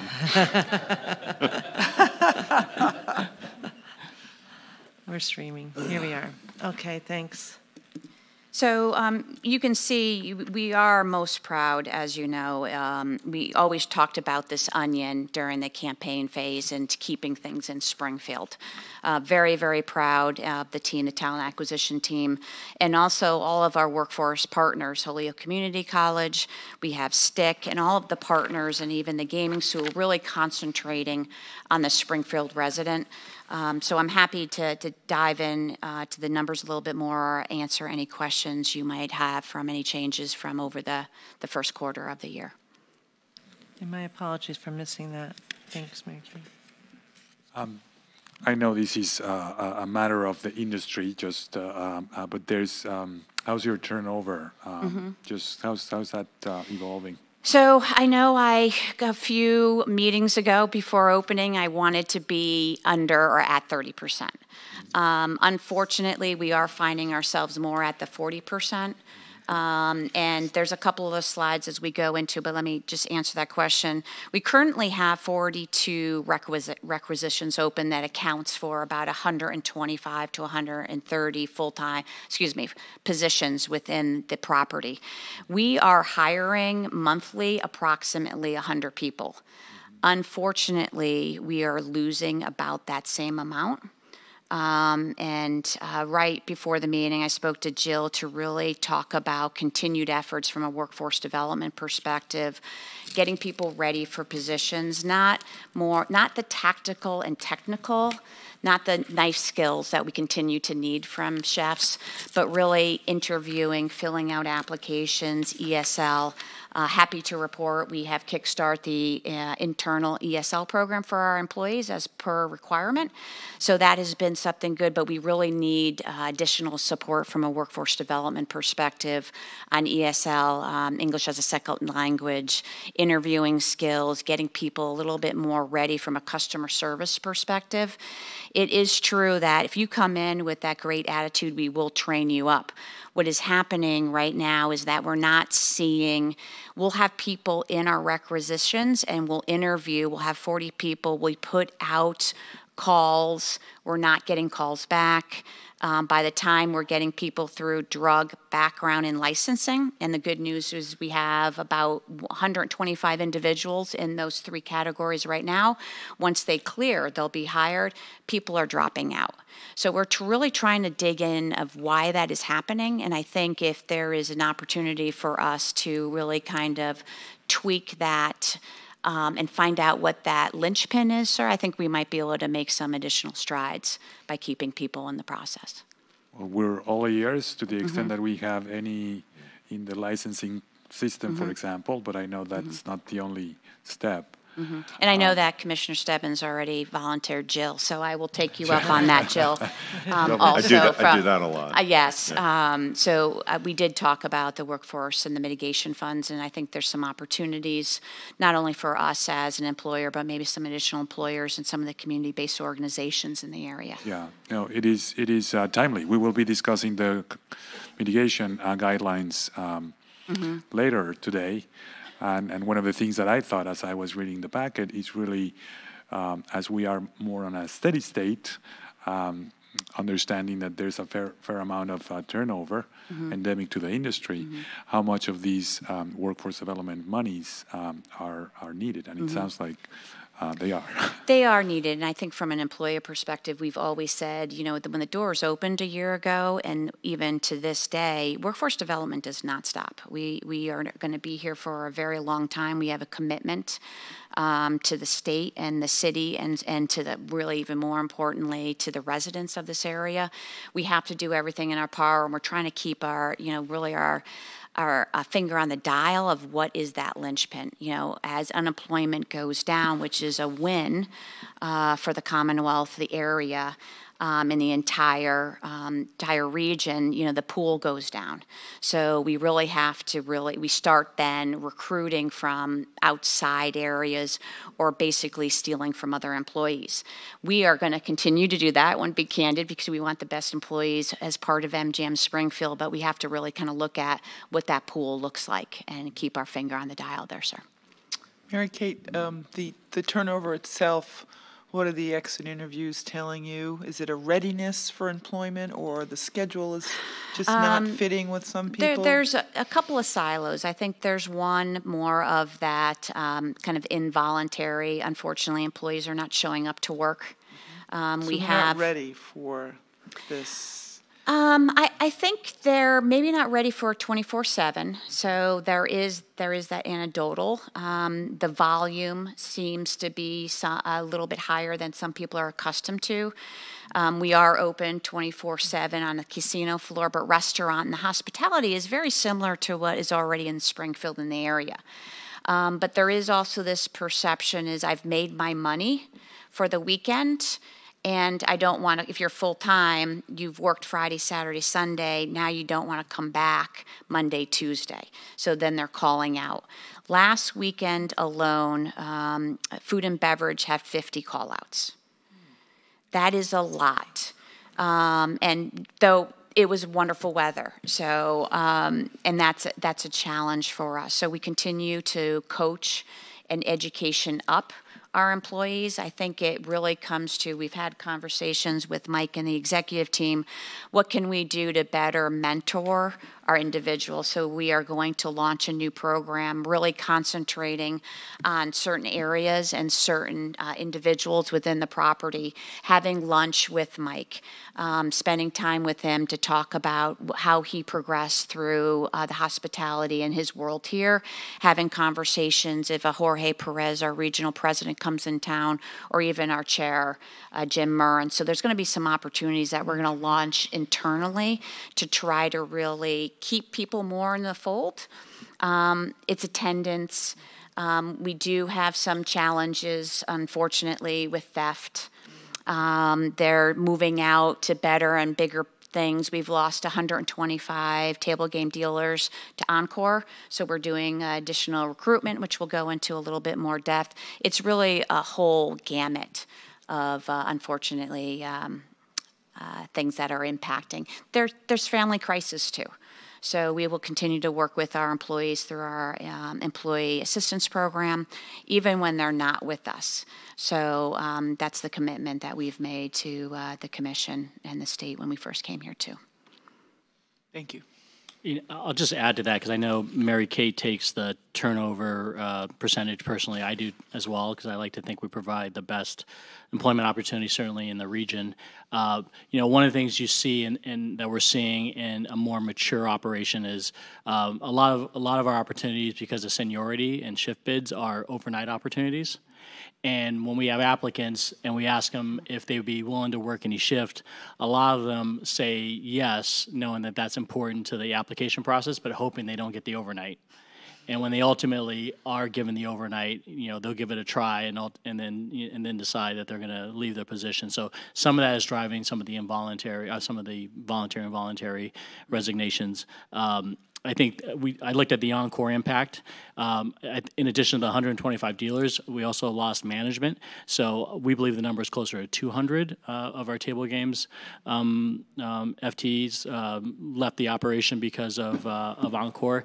You know, we felt that particularly in in um, May and June um, as they got closer to their opening. Uh, I don't certainly don't fault them. You had great trained employees that were already licensed, license being key to some of the pre-opening um, timeline, and they got more aggressive with offering our folks opportunities. So some of this I feel like is a one-time hit because of Encore that we're trying to recover from, and we are. We're bringing more people through the school and and um, some of our other competitors that are that have lost business and are shedding some uh, jobs but it's really a, a, number of factors. And one of the things that's more of a public policy issues, uh, Mary Kay and I have had the conversation. We have a lot of folks that are going to part time because full time will cause them to lose their public assistance, and you actually get people in this trap of not wanting to work because they would be net upside down, losing um, the public assistance that's available. And that's something that we probably all should figure out how to tackle. And it's not a new issue, but it's something we feel all the time. And it's, um, it's, um, it's an unfortunate situation, sort of being punished in that sense for, for working. I mean, I think we've talked about that too, about a tiered um, benefit system, right? And there were conversations a year or two ago, um, but that that takes a, a heavy lift um, from Boston. So, you know, we would be willing to be working with you and to volunteer Springfield and maybe Western Mass for any type of pilot program if some of our representatives are listening. It's, it's really, really needed from an employee, employer perspective. So um, just to, to move on uh, with our continued recruitment efforts, you can see as we continue to partner with UMass Amherst, the universities um, and colleges and uh, community colleges is in the area. Um, you can see we are trying for work for readiness with doing mock interviews uh, for, with Dress for Success. Um, and some of you can see some of the career fairs and workshops that we do and continue to work with ROCA. So the, the same things we did during our ramp up, we continue to do. Uh, we believe it's important continue to model uh, what the surrounding community looks like. Um, so our customers are um, welcomed by everyone. Uh, so that is slide um, 31. And if you transition into, I just want to, you see some of these employee stories that we really have already talked about. Sarah Jones on the left is our exec, executive uh, pastry chef. And I can tell you from experience, I have a muffin top myself because of the way she is able to bake. Um, so I think a, a, wellness program might, might be much needed, yeah. At least for myself. Um, and maybe some others might, might say that. So this was recently ran in the Republican. It was also on Mass Live um, as we really talked about women in unconventional roles. Um, as you can see, we have one of our uh, canine officers with her dog. They are inseparable. Um, and they start to mirror each other, which is pretty amazing because they've been together just for so long. Um, and you continue through the slides. Janae Mays is a, a locksmith and from her and from I and from Jason Rosewell's uh, perspective, we would need two or three or four people to replace her um, if she was ever to leave. So we would just wanted to share some of these additional special stories with you um, that have been in the news in the last few weeks and months.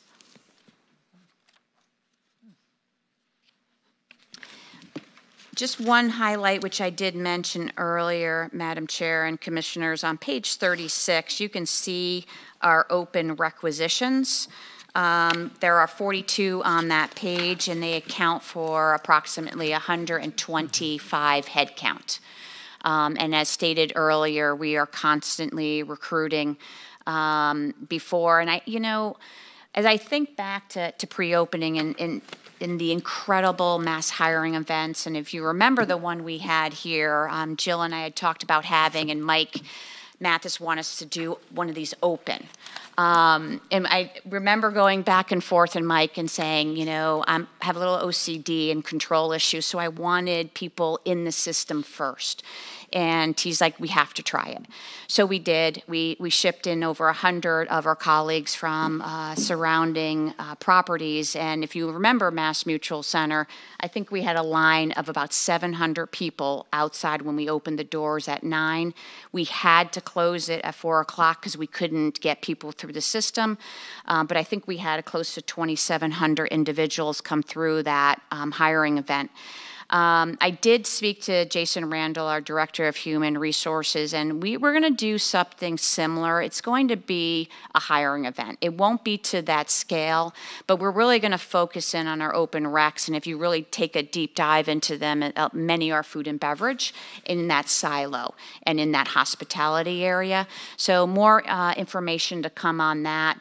Um, I think that that type of excitement restarts, I think, with our individuals who might be looking for a position. I think we need to recreate that excitement that we had 14 or 16 months ago. So uh, that's going to come very shortly, and we'll make sure that we keep you up to date on that opportunity and would welcome uh, for you to welcome you back to that excitement for Springfield with another hiring event. Mary Kate, what seemed to be the, the most difficult positions you're struggling to find people for? Um, we continue to need cooks. Um, it's a it's a very hard and rigorous, and I think our Vice President Anthony would tell you it's a very rigorous, rigorous position. Um, we continue to work with Holyoke Community College and the Culinary School to turn out cooks um, more quickly. Um, that's a big one. Frontline position, uh, utility porter uh, stewarding, any of those really frontline uh, commissioner frontline positions continue, unfortunately, to have the higher attrition rate. And as Mike mentioned, it's definitely grave. Um, when typically when you come in after the bid uh, process, individuals who've been here longer want the, more of the traditional hours, kind of that you know, beginning day shift and swing is okay, right. but gets right. you to 11. Um, overnight or sunrise really becomes that one that the new employees come into, to Mike's point, and then staying long enough they're able to bid in. So we continue to look at that, and it would be a nice breakdown, and I'll provide that next quarter is what's the attrition by shift. So if I'm able to rate, kind of pull that information for you, it'd be a nice um, kind of a little nugget for us to all look at and see where that is and see if we can break it down by division. It'd be something nice to dig into. So I appreciate the, the feedback. If I can just go back to the number, and thank you for your uh, patience with me as I struggle with my site here. I just want to make sure that, so you're at 2,054 now, and the opportunities, if you, if you could fill them all tomorrow, Mary Kate, what would the number be? So, yes, I have um, approximately 120 individuals in drug background and licensing. So all three. So they have been offered a position. So that would be, so 2,054 plus 120. That's correct. And that number would hold if we had no attrition and we No had attrition. no headcount loss. And so the, on page 32, our page 32, opportunities, those are not, you have not identified candidates for those. Those are open requisitions and those are additional positions and opportunities. So to mm. your point, Madam Chair, if we So were to add our current number, what's in the pipeline, and add our numbers of the open requisitions with the approximate head count and not lose anyone, we would be closer to almost 2,350 or 2,400. Well, that's an important fact. It is, Right. Yeah. And so, It's about, uh, yeah, so these opportunities reflect another 100 or so. that's correct, ma'am.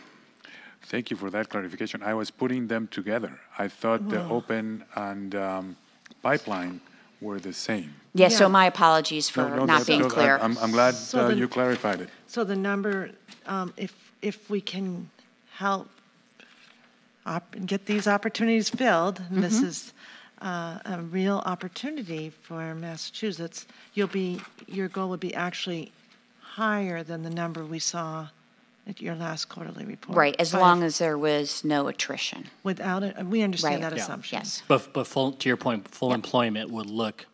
Yes. Would be a bigger number than last quarter. Like, okay. Correct. And, you know, one of the, st- one of the stats that doesn't come through here too is, um, is the overtime opportunities, which, you know, when we're understaffed, you know, it's a little bit of quality over quantity. We have a lot of great employees that look forward to the overtime hours, and that's always the flip side. Um, I'm always happy to see those folks really take advantage of those while we're in this stage of trying to recover from the losses of folks that we had to Encore, for example, or, um, and, and your staff has been great, but, you know, I think we all recognize there's a little bit of a slowdown in licensing processing time because you're trying to get Encore open, and that's a little bit of the, of the delay in trying to turn the drug and background into start dates. Um, your staff has recovered from that, but we certainly felt that in, in Q2. So, uh, so the employment stories is always a little complex, but to your point, we need more employees, and we, we continue to go out in the market and try to get them. And the, the success of the economy, frankly, is, is something that's hurting those efforts, and that's a good problem to have for all of us.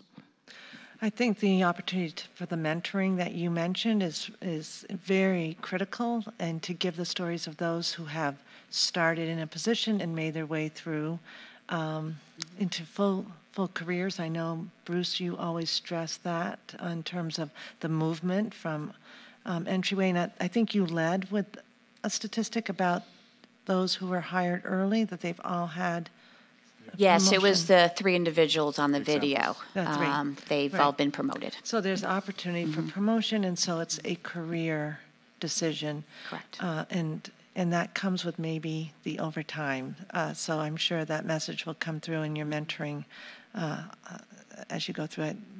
Yeah, that's, that's part of piece. that's part of our new hire orientation. We, we continue to bring new classes of people in. I tell them my story. I tell them the story of Bill Hornbuckle, uh, the the president of a Fortune 500 company, Yeah. and he started uh, at the ground level. Um, he famously tells the story. He was changing light bulbs on the flamingo sign.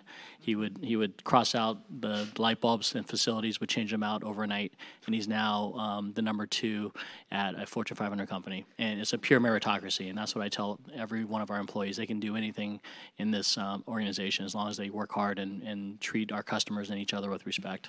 Yeah, as uh, an example for a woman, Karen Kaplan at Hill Holliday started as receptionist. There's many, many uh, opportunities to, to share those stories for growth. So thank you. I'm glad we got that number clarified. Yeah, thanks for clarifying that. Okay, Appreciate it. I, just one uh, other item before you guys go. We've obviously done some changes to our uh, licensing and registration form, trying to dig down and help applicants understand some of the security questions or the criminal background questions, Mhm. which can kick somebody out further down the line after you've kind of gone through the process. So, um, you know, the conversations that we can have with your team, the conversations we hope you can have with your employees, the conversations maybe we should revisit with some of the community-based organizations you're working with Mhm. might be helpful. Um, I would also just put a shout out to one of your team members who's the receptionist in 95 State Street. Uh, Miley. I'm Yes. Drawing a blank on her name. Miley. but Miley. She is uh, fantastic, you know, puts a smile on a grumpy gaming regulator's face when we go into the building. So uh, even though she's not front of house on Yeah. the floor, there's still that, um, you know, that training mindset which resonates with people around the property. So Thank you for the feedback. We appreciate it. That's great. And uh, where some of uh, s- uh, Bruce, you, uh, Commissioner Stebbins, you were at the uh, Wahlburgers groundbreaking. You know, that's a that's a uh, facility that um, should bring about 100 employees to uh, to the campus. So there is an upward trajectory. Um, that that's uh, occurring on the employment side, especially as we ramp the business up. So um, we all want the business um, to be more, more robust and the employment opportunities to be more and more robust, and we're working every day to make sure that happens.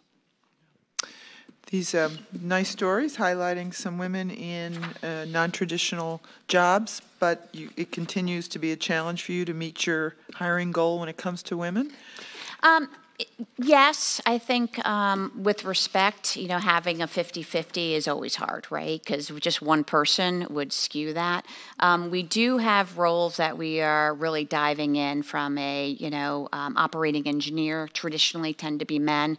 So uh, Jason Rosewell, our VP of facilities, having conversations with the unions, you know, if there's not a lot of work, is that, will they be willing to, to bring women to us. So he's been he- heading up that type of effort.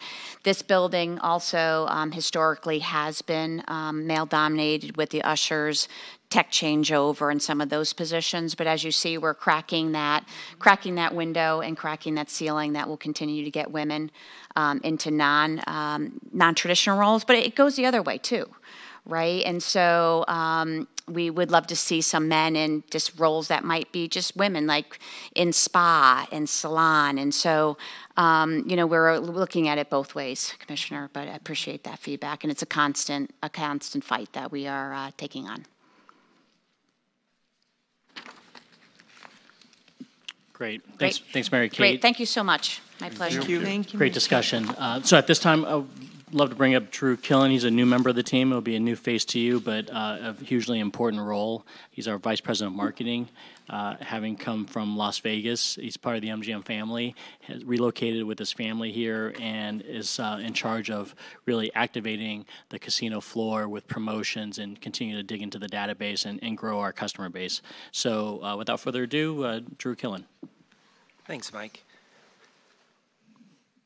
Thank you. It's an honor to be here today. I really appreciate you having me.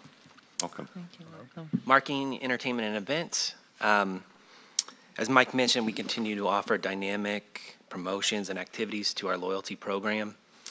Um, the April promotions, we started with ATV, uh, and then we moved right up into two motorcycles, and then right into June, we had the million MGM Millions. it's really just a snapshot of the quarter, but um, ramping up our promotion seems to be a, a, a theme for us.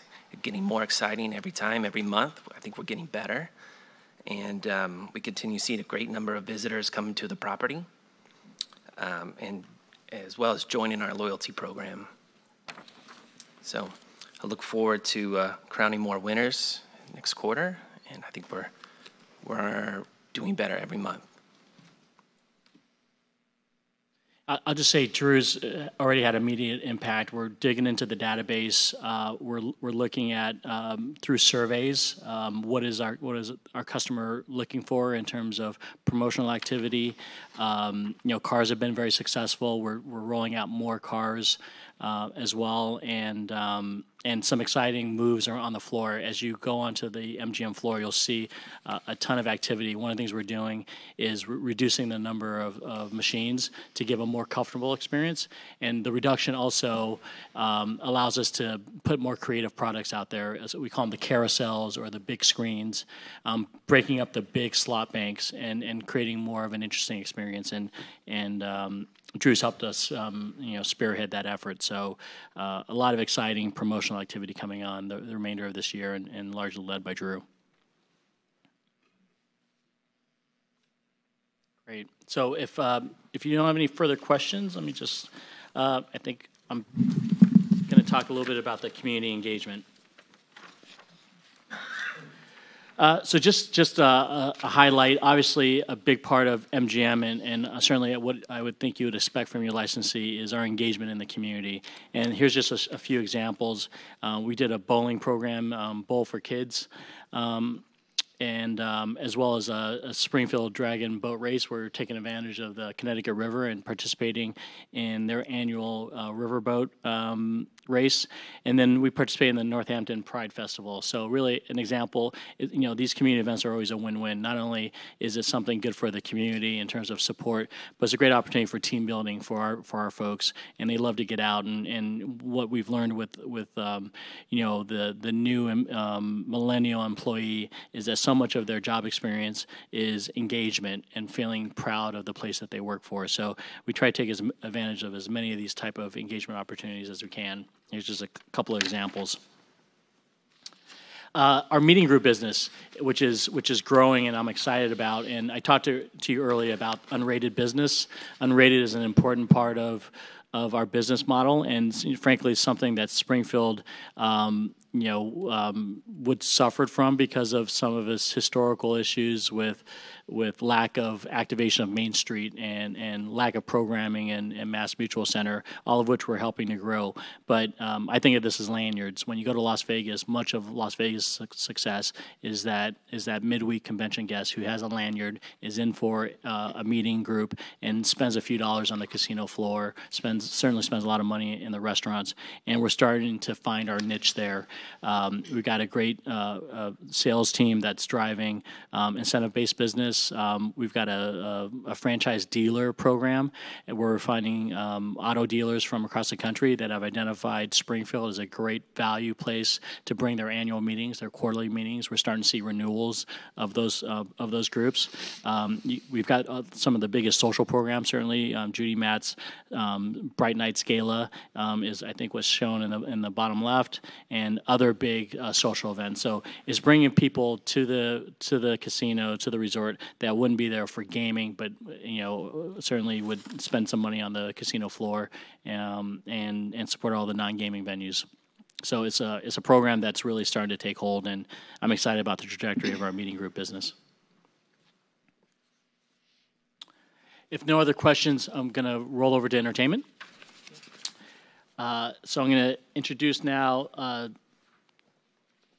Talia Spera. Uh, she's our director of entertainment, and she single-handedly is responsible for bringing Aerosmith uh, to downtown, uh, four sold-out shows, and all the other great programming, MGM uh, live series. Um, tireless effort. She's Amanda's boss. And um, is helping to really create some great, uh, great careers in entertainment. So one of the funnest and frankly um, toughest jobs on the property is, is Talia's. Thank you. Thanks, Mike. Good morning, Commissioners. Can Good morning. Okay. Good Morning. Yep. Alrighty. So um, today we'll share with you a little bit about what we've been doing on the plaza and the armory specific to Q2. Um, so we had about 121 total activations in Q2, April through June, um, and that's large and small events. That's across all of the venues that we program: Mass Mutual Center, Symphony Hall, um, Plaza Armory, and the ballroom space. And so, highlight just a couple: uh, MGM Live, which is our summer concert series. We had 31 shows, um, six of which were ticketed, 25 of which were free and open to the public. Uh, we had about 12 um, morning workouts with yoga in our Da Vinci Park. We had 37 comedy shows, and we had 13 food truck Fridays during that time, um, just to highlight a couple of the events that we did. And then moving on to our entertainment and nightlife portion, um, a couple images here. Of course, um, we did welcome Cher in April, a very successful event, a sold out arena here at Mass Mutual Center, and the second highest grossing uh, entertainment show the Mass Mutual Center um, has seen in its history. So, very proud to have welcomed her. You saw a little snippet of her saying happy anniversary on our video. Um, so, she's uh, an artist um, that really shows sort of the brand power and leverage that we can pull from Vegas to pull artists over here to um, to Western Massachusetts. So, and then of course we had Rob Gronkowski from the Patriots come celebrate his birthday with us. Terry Fator, Air Supply, um, and Murphy's boxing partnership that Mike touched on. Uh, and then our upcoming entertainment calendar is through the end of the year. Um, I won't go line by line, but just a couple highlights that we're really excited about. Um, in October, we're going to welcome Smokey Robinson to Symphony Hall. We do have Family Feud live um, with celebrity guests coming in October as well to the Symphony Hall. We have um, Slayer and Primus coming to the Mass Mutual Center in November. We're right under 5,000 tickets sold for that, so another sort of hero event that we're looking forward to for the downtown. Uh, we've got Michael Carbonaro live coming to Symphony Hall in November as well. And then um, some really great holiday programming. Brian Setzer Orchestra, if you've ever seen that show, it's a real treat. Um, they will be coming to Symphony Hall. And then, of course, we will have um, the opening of our ice rink and the um, holiday tree lighting as well towards the end of November. Um, that is in support of Parade of Big Balloons that we see downtown. Um, so I think those are sort of my biggest highlights. Are there any questions on the programming coming up? I, I had a quick question, and uh, Mike, you've touched, touched on it, is you're, you're finding the opportunities to bring in patrons, players from New York, Detroit, you know, connecting them to a Sox game or what have you. Um, you know, can you give me an idea of, you know, how well you're also trying to get them to go out into the region, you know, especially as fall approaches or ski season or something like that? You know, what work you continue to do to, you know, you're great about go out and explore the area. Um, how does that tie into some of the marketing and events and promotions that, that you've not only done, but you got lined up for kind of the rest of the year? Yeah, it's a great question and something we continue to um, to work on. I think uh, you know a few examples are um, we've got a, a leaf peeping um, sort of program that we're trying to you know things that are uniquely uh, New England that we can offer a customer in another market that justifies a flight to come see us and then an extended stay. So uh, that a skiing program is, is, is right on. We've talked about um, incorporating our you know our steakhouse and our spa into a, a, package so that if someone enjoys a weekend, they can come back for a spa treatment and have a great steak dinner. And our host would, would try to try to um, host that program. So uh, you know, golf is a big is a big part of the program seasonally.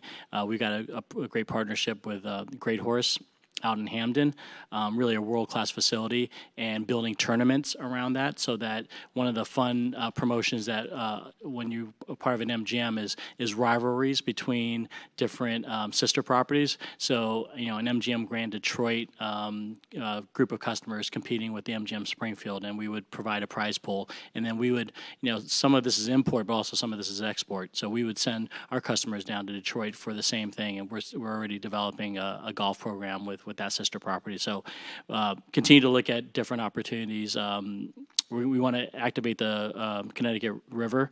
Um, one of our uh, one of our uh, one of our executive team members, Jason Rucker, um, who's head up head up of uh, security, he was working our um, our Fourth of July program, looked down on the Connecticut River because we hosted it from our, our uh, garage rooftop and saw you know people that had taken out personal boats to watch the fireworks and came up with the idea of doing something um, customer based with with a boat out on the on the river and that's something that would be a special um, uh, opportunity that we think we could import some business for. So, you know, we're always open to new ideas to to get people to come here, stay longer, and really drive that cross cross property activation. So uh, more to come on that, but the sports partnerships are, are obviously really compelling, and those are probably our main focus um, out of the gate.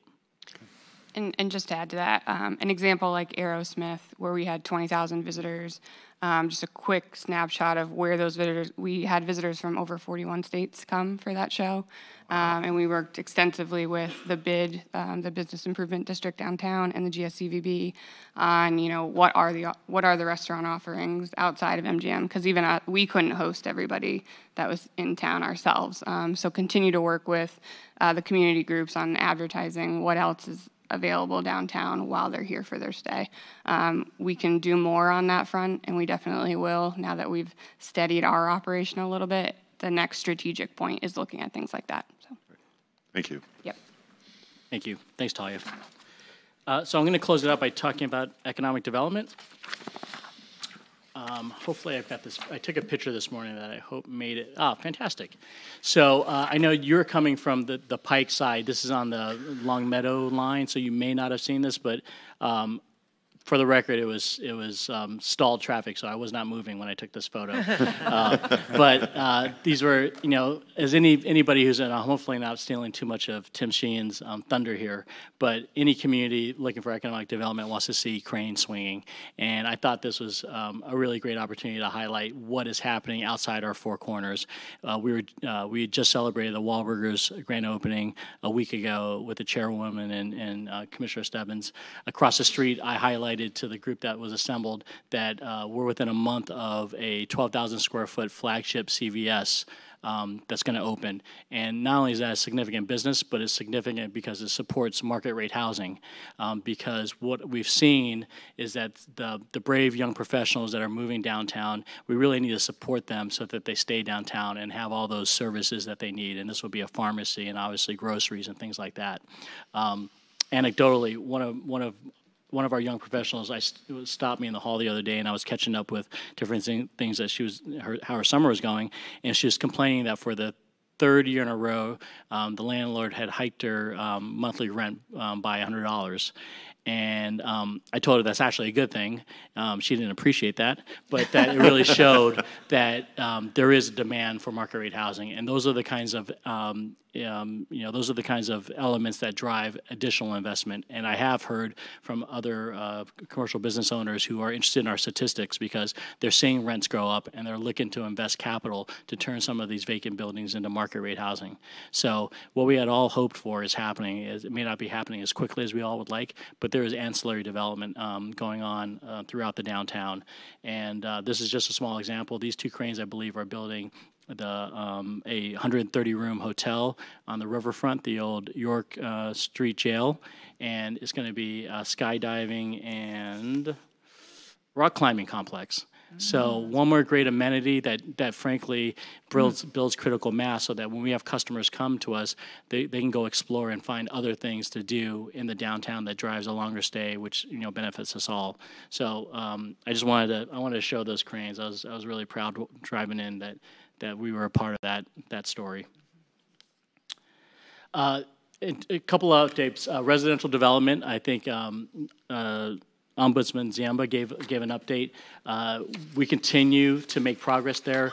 Uh, I think the most tangible step is uh, Mass Housing, who is helping us to manage this project and bring the different parties together, both public dollars and private dollars, has distributed a um, a um, inter inter party agreement that all the parties are, are looking at to mark up. They would be essentially the project manager of the 31 Elm Street project. So we're still firming up a few sources and uses of the funds, but uh, a meaningful step to have an agreement that we can all react to and start working on and, and driving. So once that agreement is signed, I, I, don't want to give you a projection on when that will happen, um, but it's something that we continue to work on month to month. Um, I think that'll drive deadlines um, and the initial sort of groundbreaking and feasibility and you know sort of pre-development work.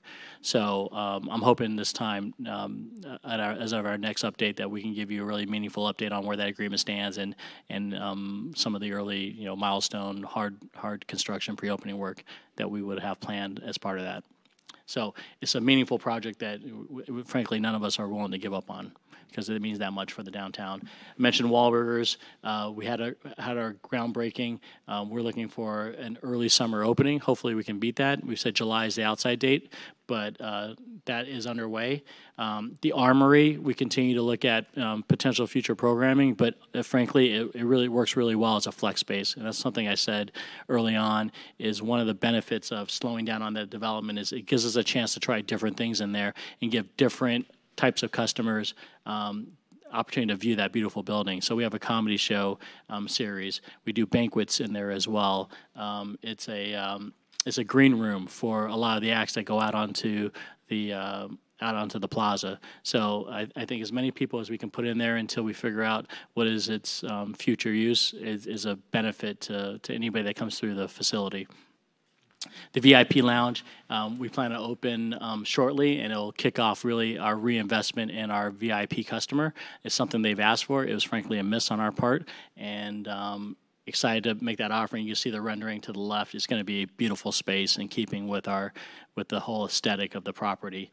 Um, and then I, will just close with uh, sports wagering. Um, it, it's it's critically important, and I want to keep it on the radar.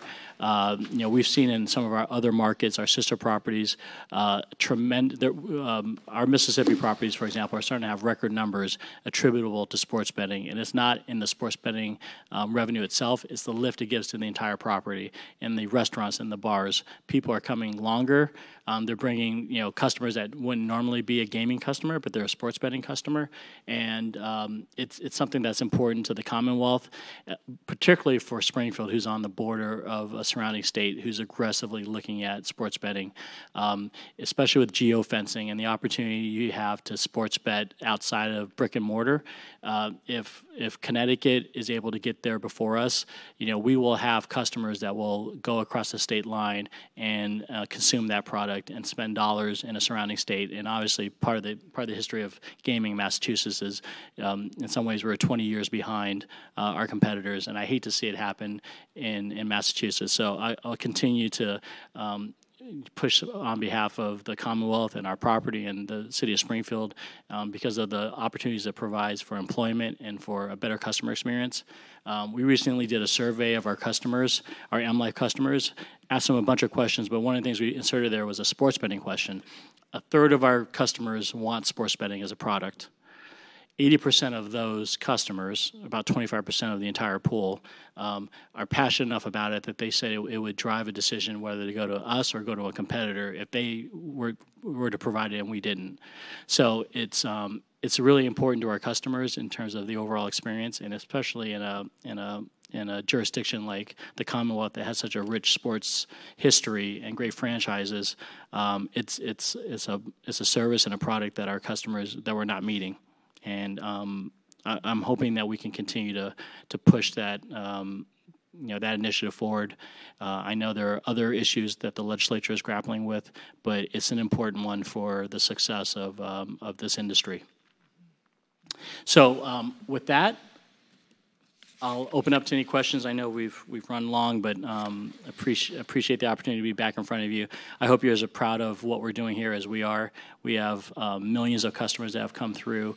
We have thousands of employees that uh, we've launched in careers. They're they're buying their first homes. They're putting they're buying their first cars. They're putting their kids through school, and um, they're improving themselves with um, with the industry that we've all helped launched here in the Commonwealth. I, I just, thanks, Mike. I just want to take a moment. Um, on that last slide, you know, the residential development update, I know, I know John reminded us that uh, as a commission, anything that would pop up in the course of, you know, the time we've been, we've all been working and waiting on this, you know, anything that would come up that would say, this is a no-go, has not seemed to come up, which is good news. That's right. Um, Obviously, though, you know, it continues to, to be a project, and it's not an easy project. I think we all acknowledge that.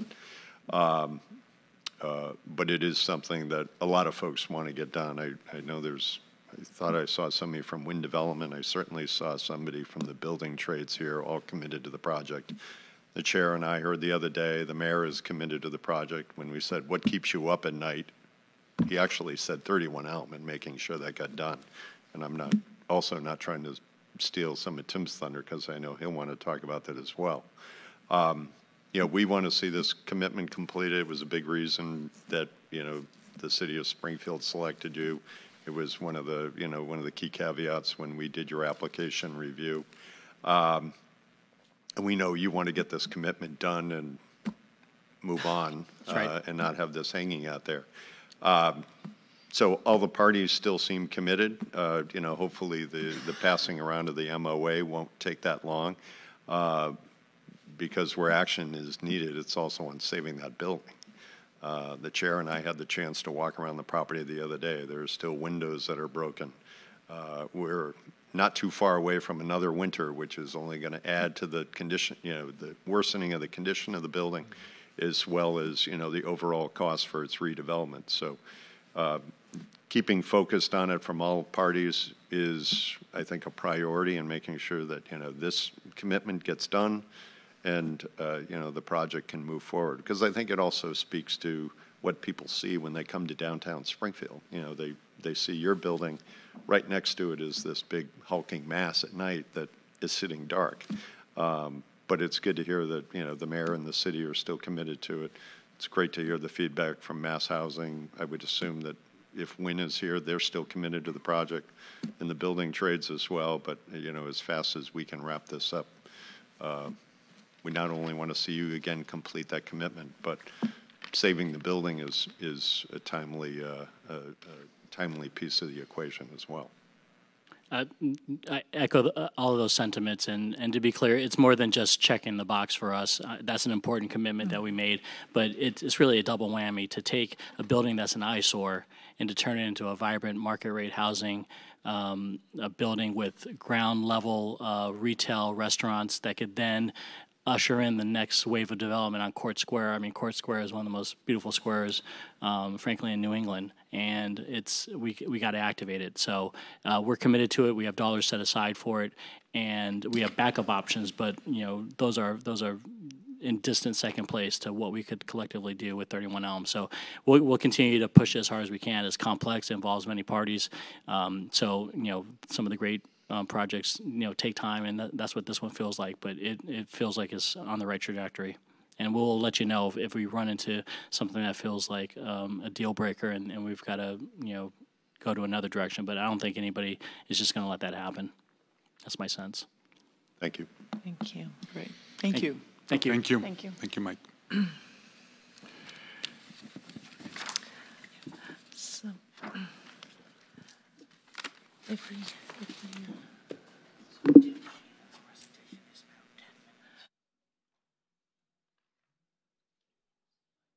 then,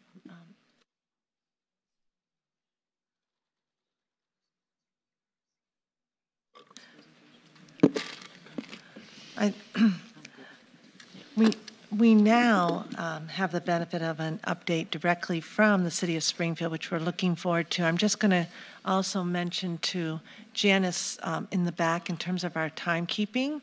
We're thinking that it might be a natural break after um, Springfield's presentation from Mr. Sheehan uh, to have lunch rather than a break. Is that an, a good idea, or should we just break, Janice? Okay, Well, that's, it's about, no. We, we have guests after I know we do. Um, I'm just trying to monitor Yes. I- our timing. Okay, thank you. Tim, thank you. It was nice to have the opportunity to meet with you along with Commissioner Stebbins, and congratulations. It's not such a new position, but relatively new position. so Relatively thank- new, yes. Uh, Obviously, I have a great deal of history with the city of Springfield. I worked for the city of Springfield for a number of years. Um, I, I've also worked with Commissioner Stebbins, and I've also worked with John. Um, So it's kind of, uh, it- uh, there's familiar faces, and uh, at some points, it's Old Home Week, and at some points, there, there's a lot of new activity that's happening in the city, which is great. So I thank you for the opportunity to allow me to introduce myself to the commission. Um, I, I'm going to be uh, fairly uh, casual with, my presentation to you the, uh, this morning. Um, I think one of the issues that when you look at the MGM casino, just from its design, it made a statement that it was not just going to be a gaming center that was located in Western Mass.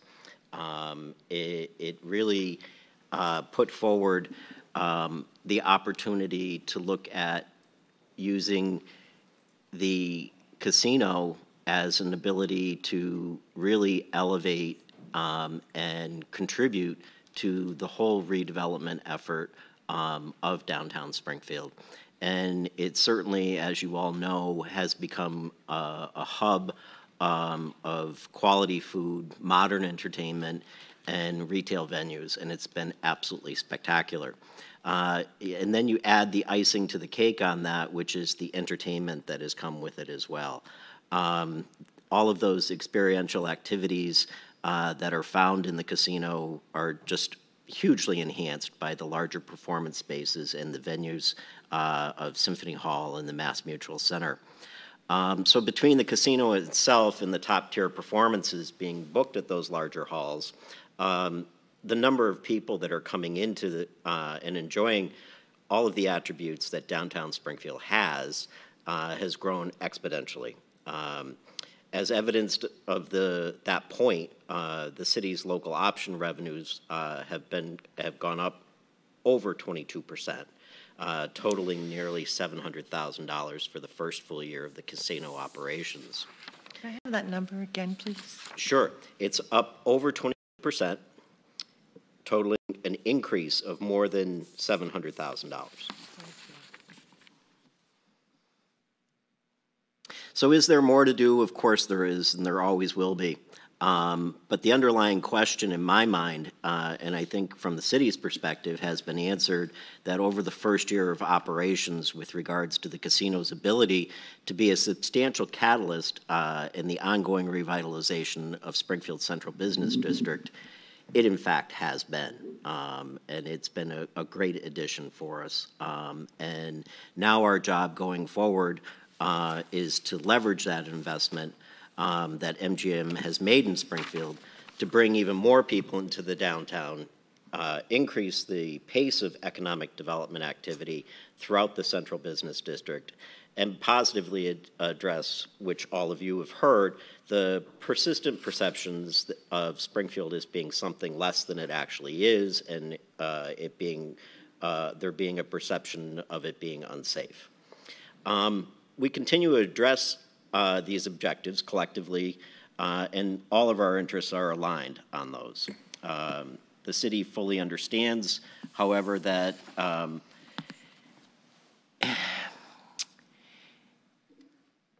what we need to do is actually work in bringing new development forward that isn't necessarily directly related to MGM.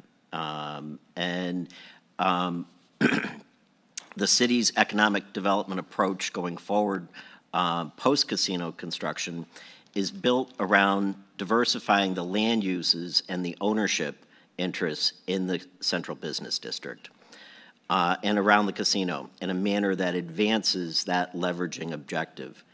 Um, because if the architectural objectives of the casino development are to be fully realized, in my mind, um, the key, the area around the casino must be equally engaging as the casino itself.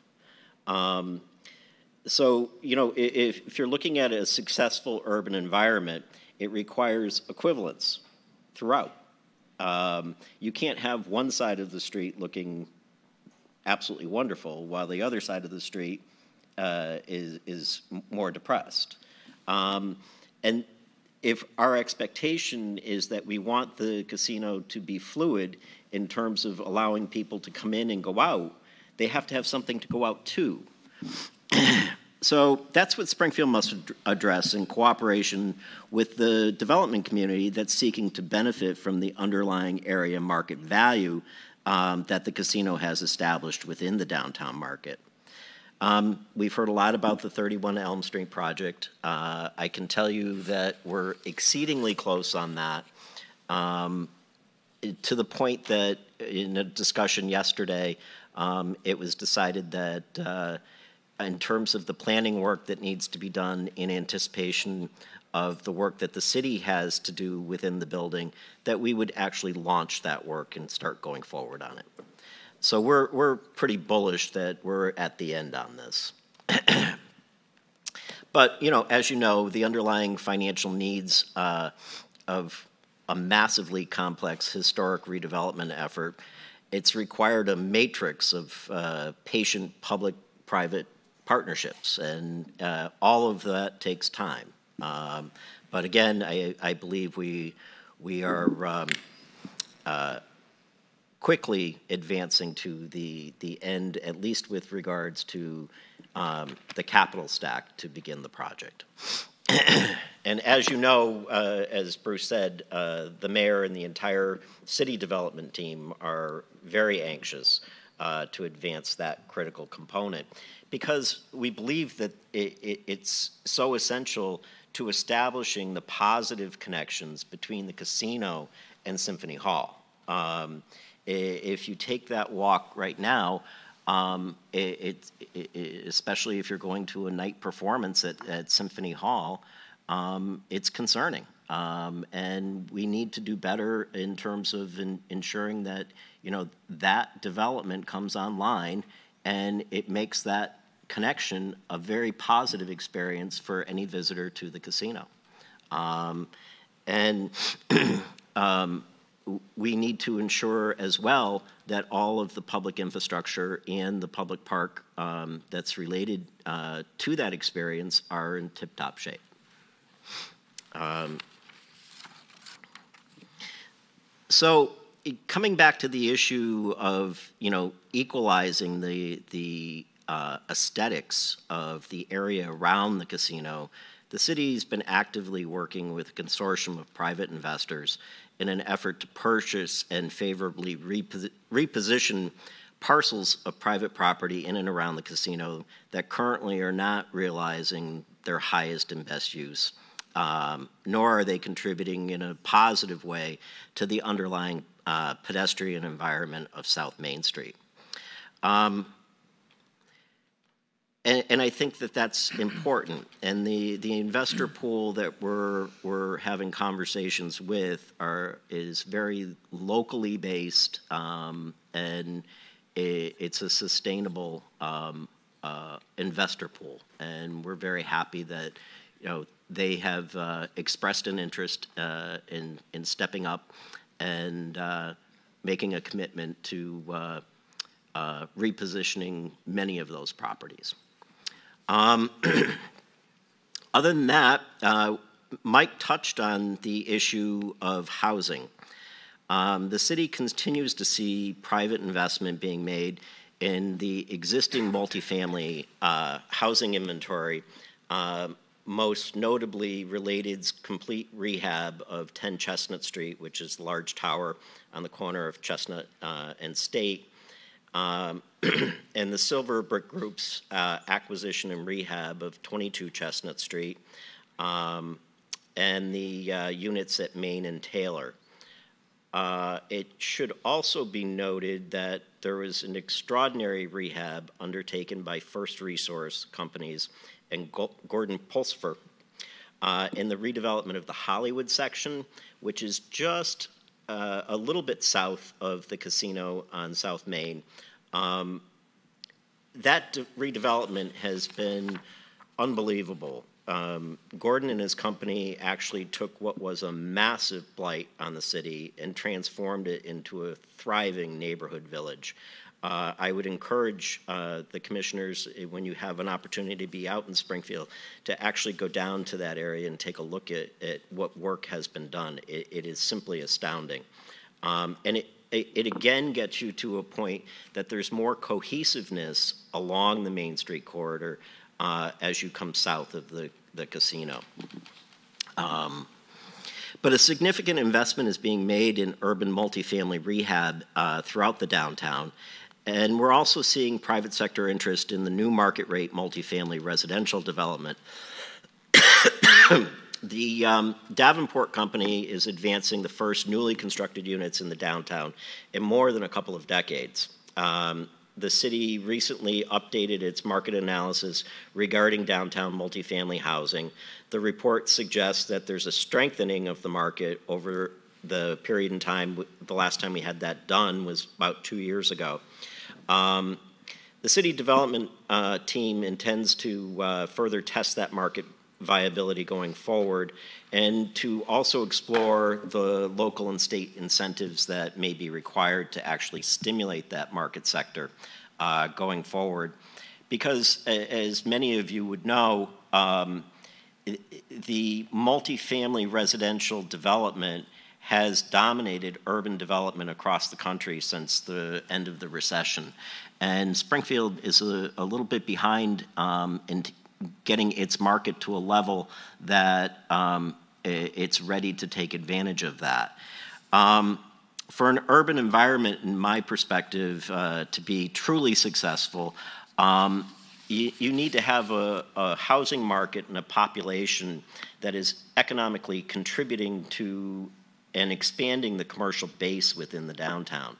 Um, it's one thing to rely on the visitor population, but in order to sustain the commercial activity that's actually happening in the downtown on an ongoing basis, uh, especially on the, the weeknights, you need to have an activated uh, uh, population within the downtown.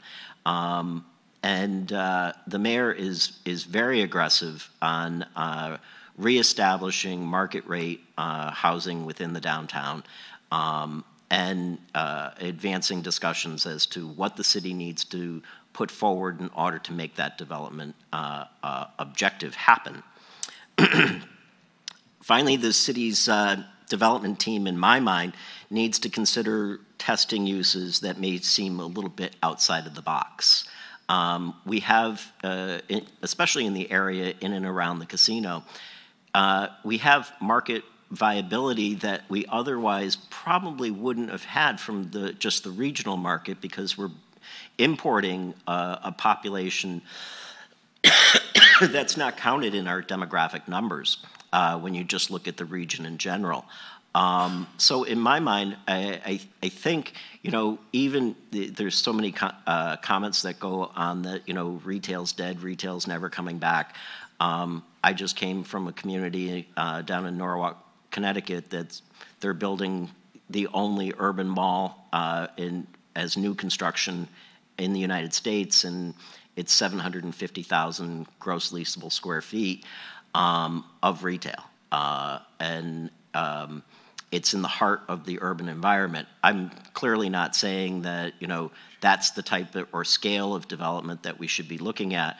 But I, I do think that there is a demand uh, relative to retail that might be going unmet, and I think we need to drill down to try and figure out at what um, uh, what is the niche of that particular market? What's the scale of it that we can support? Um, and I think there's been proven evidence that uh, um, both retail and gaming um, go well together uh, within the marketplace. And uh, but I, I, also think you know uh, uh, there's support issues that you know we could be providing as well in terms of um, uh, more just workspace um, ideas that you know provide the visitor to the, the casino the opportunity to, to, check in and do you know a couple of hours worth of work uh, while they're here. Um, and um, I, I, think we need to to also you know drill down on what the region wants out of its you know primary city uh, in Western Mass uh, in the downtown and try and figure out, you know, what the, the market realities are associated with that and how both the casino and the city can help to realize those.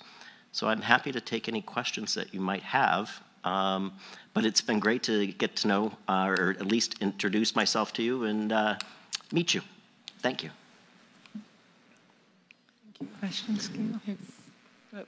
Thank you. That was really informative.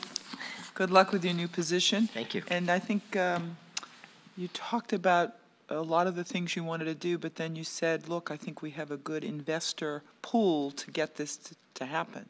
So that was encouraging because typically that's the hard part, right? That is usually the hard part is finding the, the, the, the folks that are willing to invest and providing the resources uh, uh, to actually acquire. But as I said, the the pool that we're looking at uh, or we're discussing this with, I mean, they're they're very local and they're very committed. So that that's also encouraging. That's great. Uh, we will be hearing about uh, in the research in the real estate report later on today um, some of what you what I think you're alluding to. Uh, I'm glad to hear that the city is aggressive relative to that investment in, in and around the casino. Mm -hmm. Um, some of the things that I took away from that report is that there appears to be some increase in asking rents right around, but not necessarily a decrease in vacancy rates. So clearly there's an opportunity there that I believe the city has a big role in trying to address, and I, I, um, I wish you to uh, you can the, continue to do that. The well-managed units that are in the downtown now, um, it, the top tier are going about $1,700 a month. Um, and it, it kind of ranges between 15 and 17. Um, so, I mean, the, the, for, for Springfield, those are, are, and when you look at, you know, what the average uh, asking price is for a home in Springfield, those are, those are pretty big numbers in terms of rental numbers.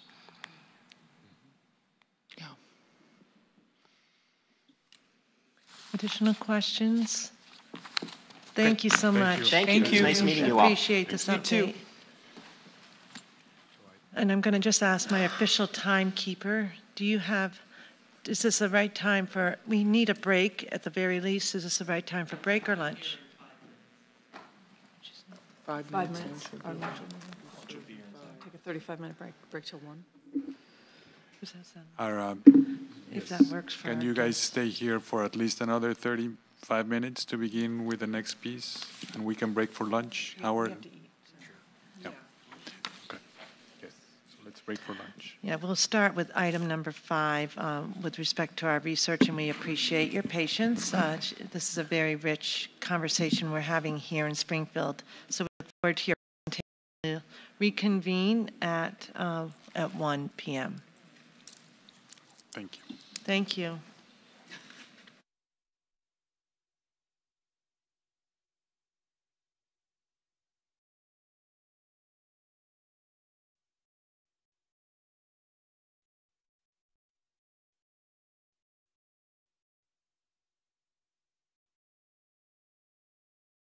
We convening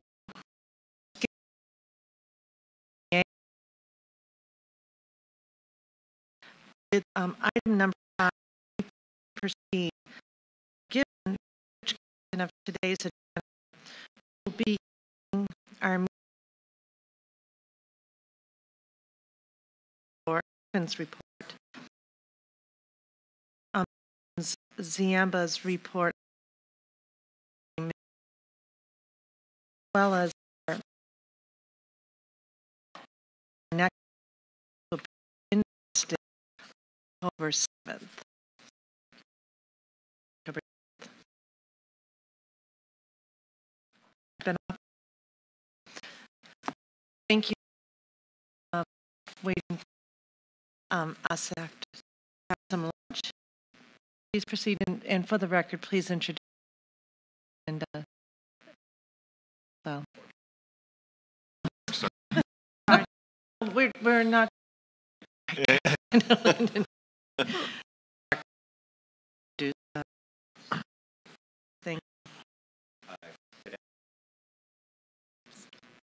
I think that.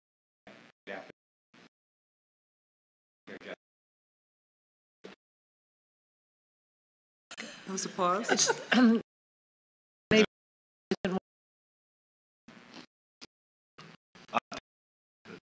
Janice is.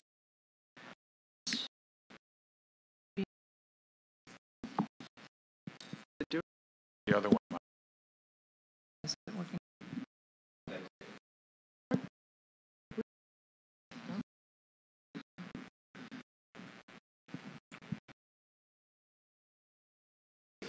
Um, Before we get started, uh, I want to add fantastic MGM gave uh, Awareness Week. Um, as you know, group of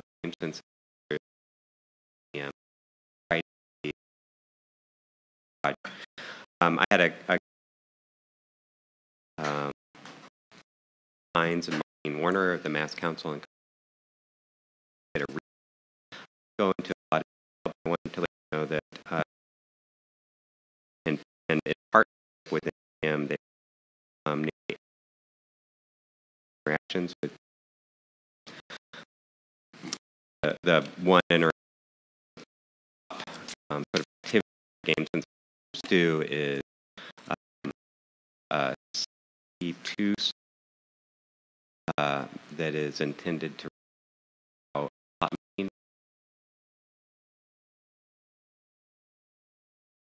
the game actually work.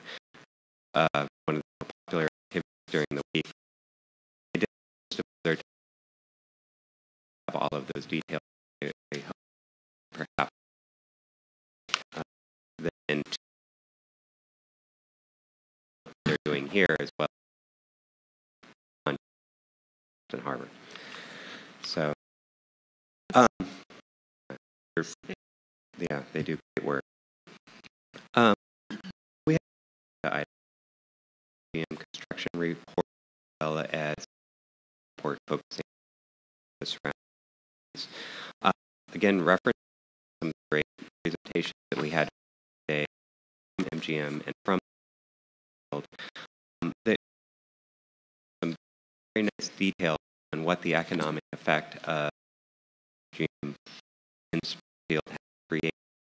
Uh, uh, is very good and believe for the commission. Um, I also believe that it's that we have um, uh, objective uh, the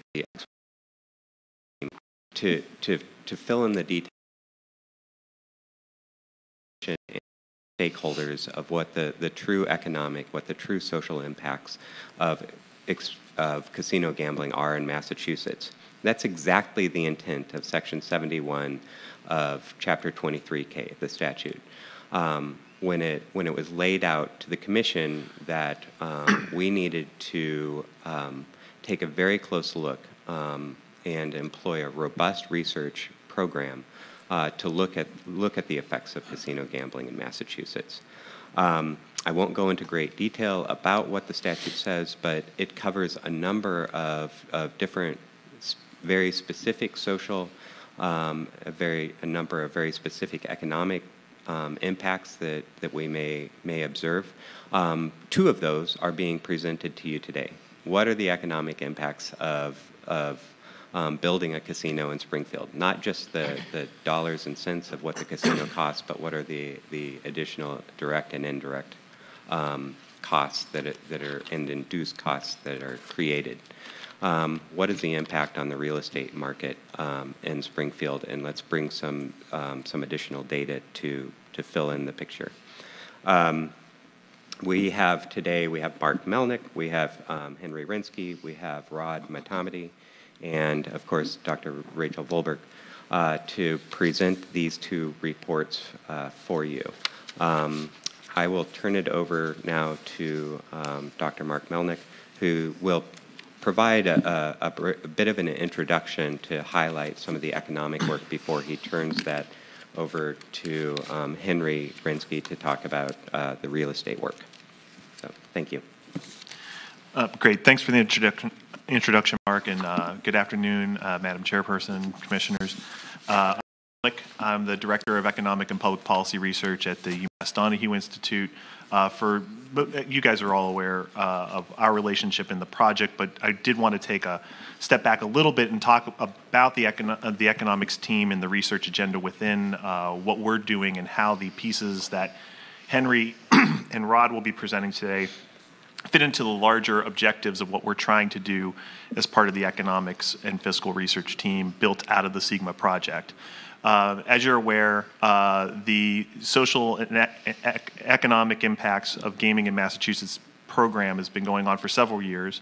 As a partnership that we've been, uh, that us at the Donahue Institute have been working uh, under the direction of folks at the uh, School of Public Health at UMass Amherst, led by Rachel, uh, to, uh, again, objectively and academically study the uh, actual impacts as we see them in uh, casino gaming uh, in the state in this really unique opportunity that's presented to us in the sense of there's a new a new industry is introduced into the economy. This is rare that something like this would ever happen. Uh, and to be able to pause while you're in this process and see ongoing what are the impacts of that casino being introduced into uh, your economy. Uh, all politics aside of what different opinions might be of the casino industry in general, but it's a very unique thing to say here's an industry that did not exist here before. And now it is here. What does it mean? Both in terms of what it does to communities and public health, but then what it also does to other elements of the economy at large. Uh, so it's a very unique opportunity for us to be a part of something that, that's that holistic.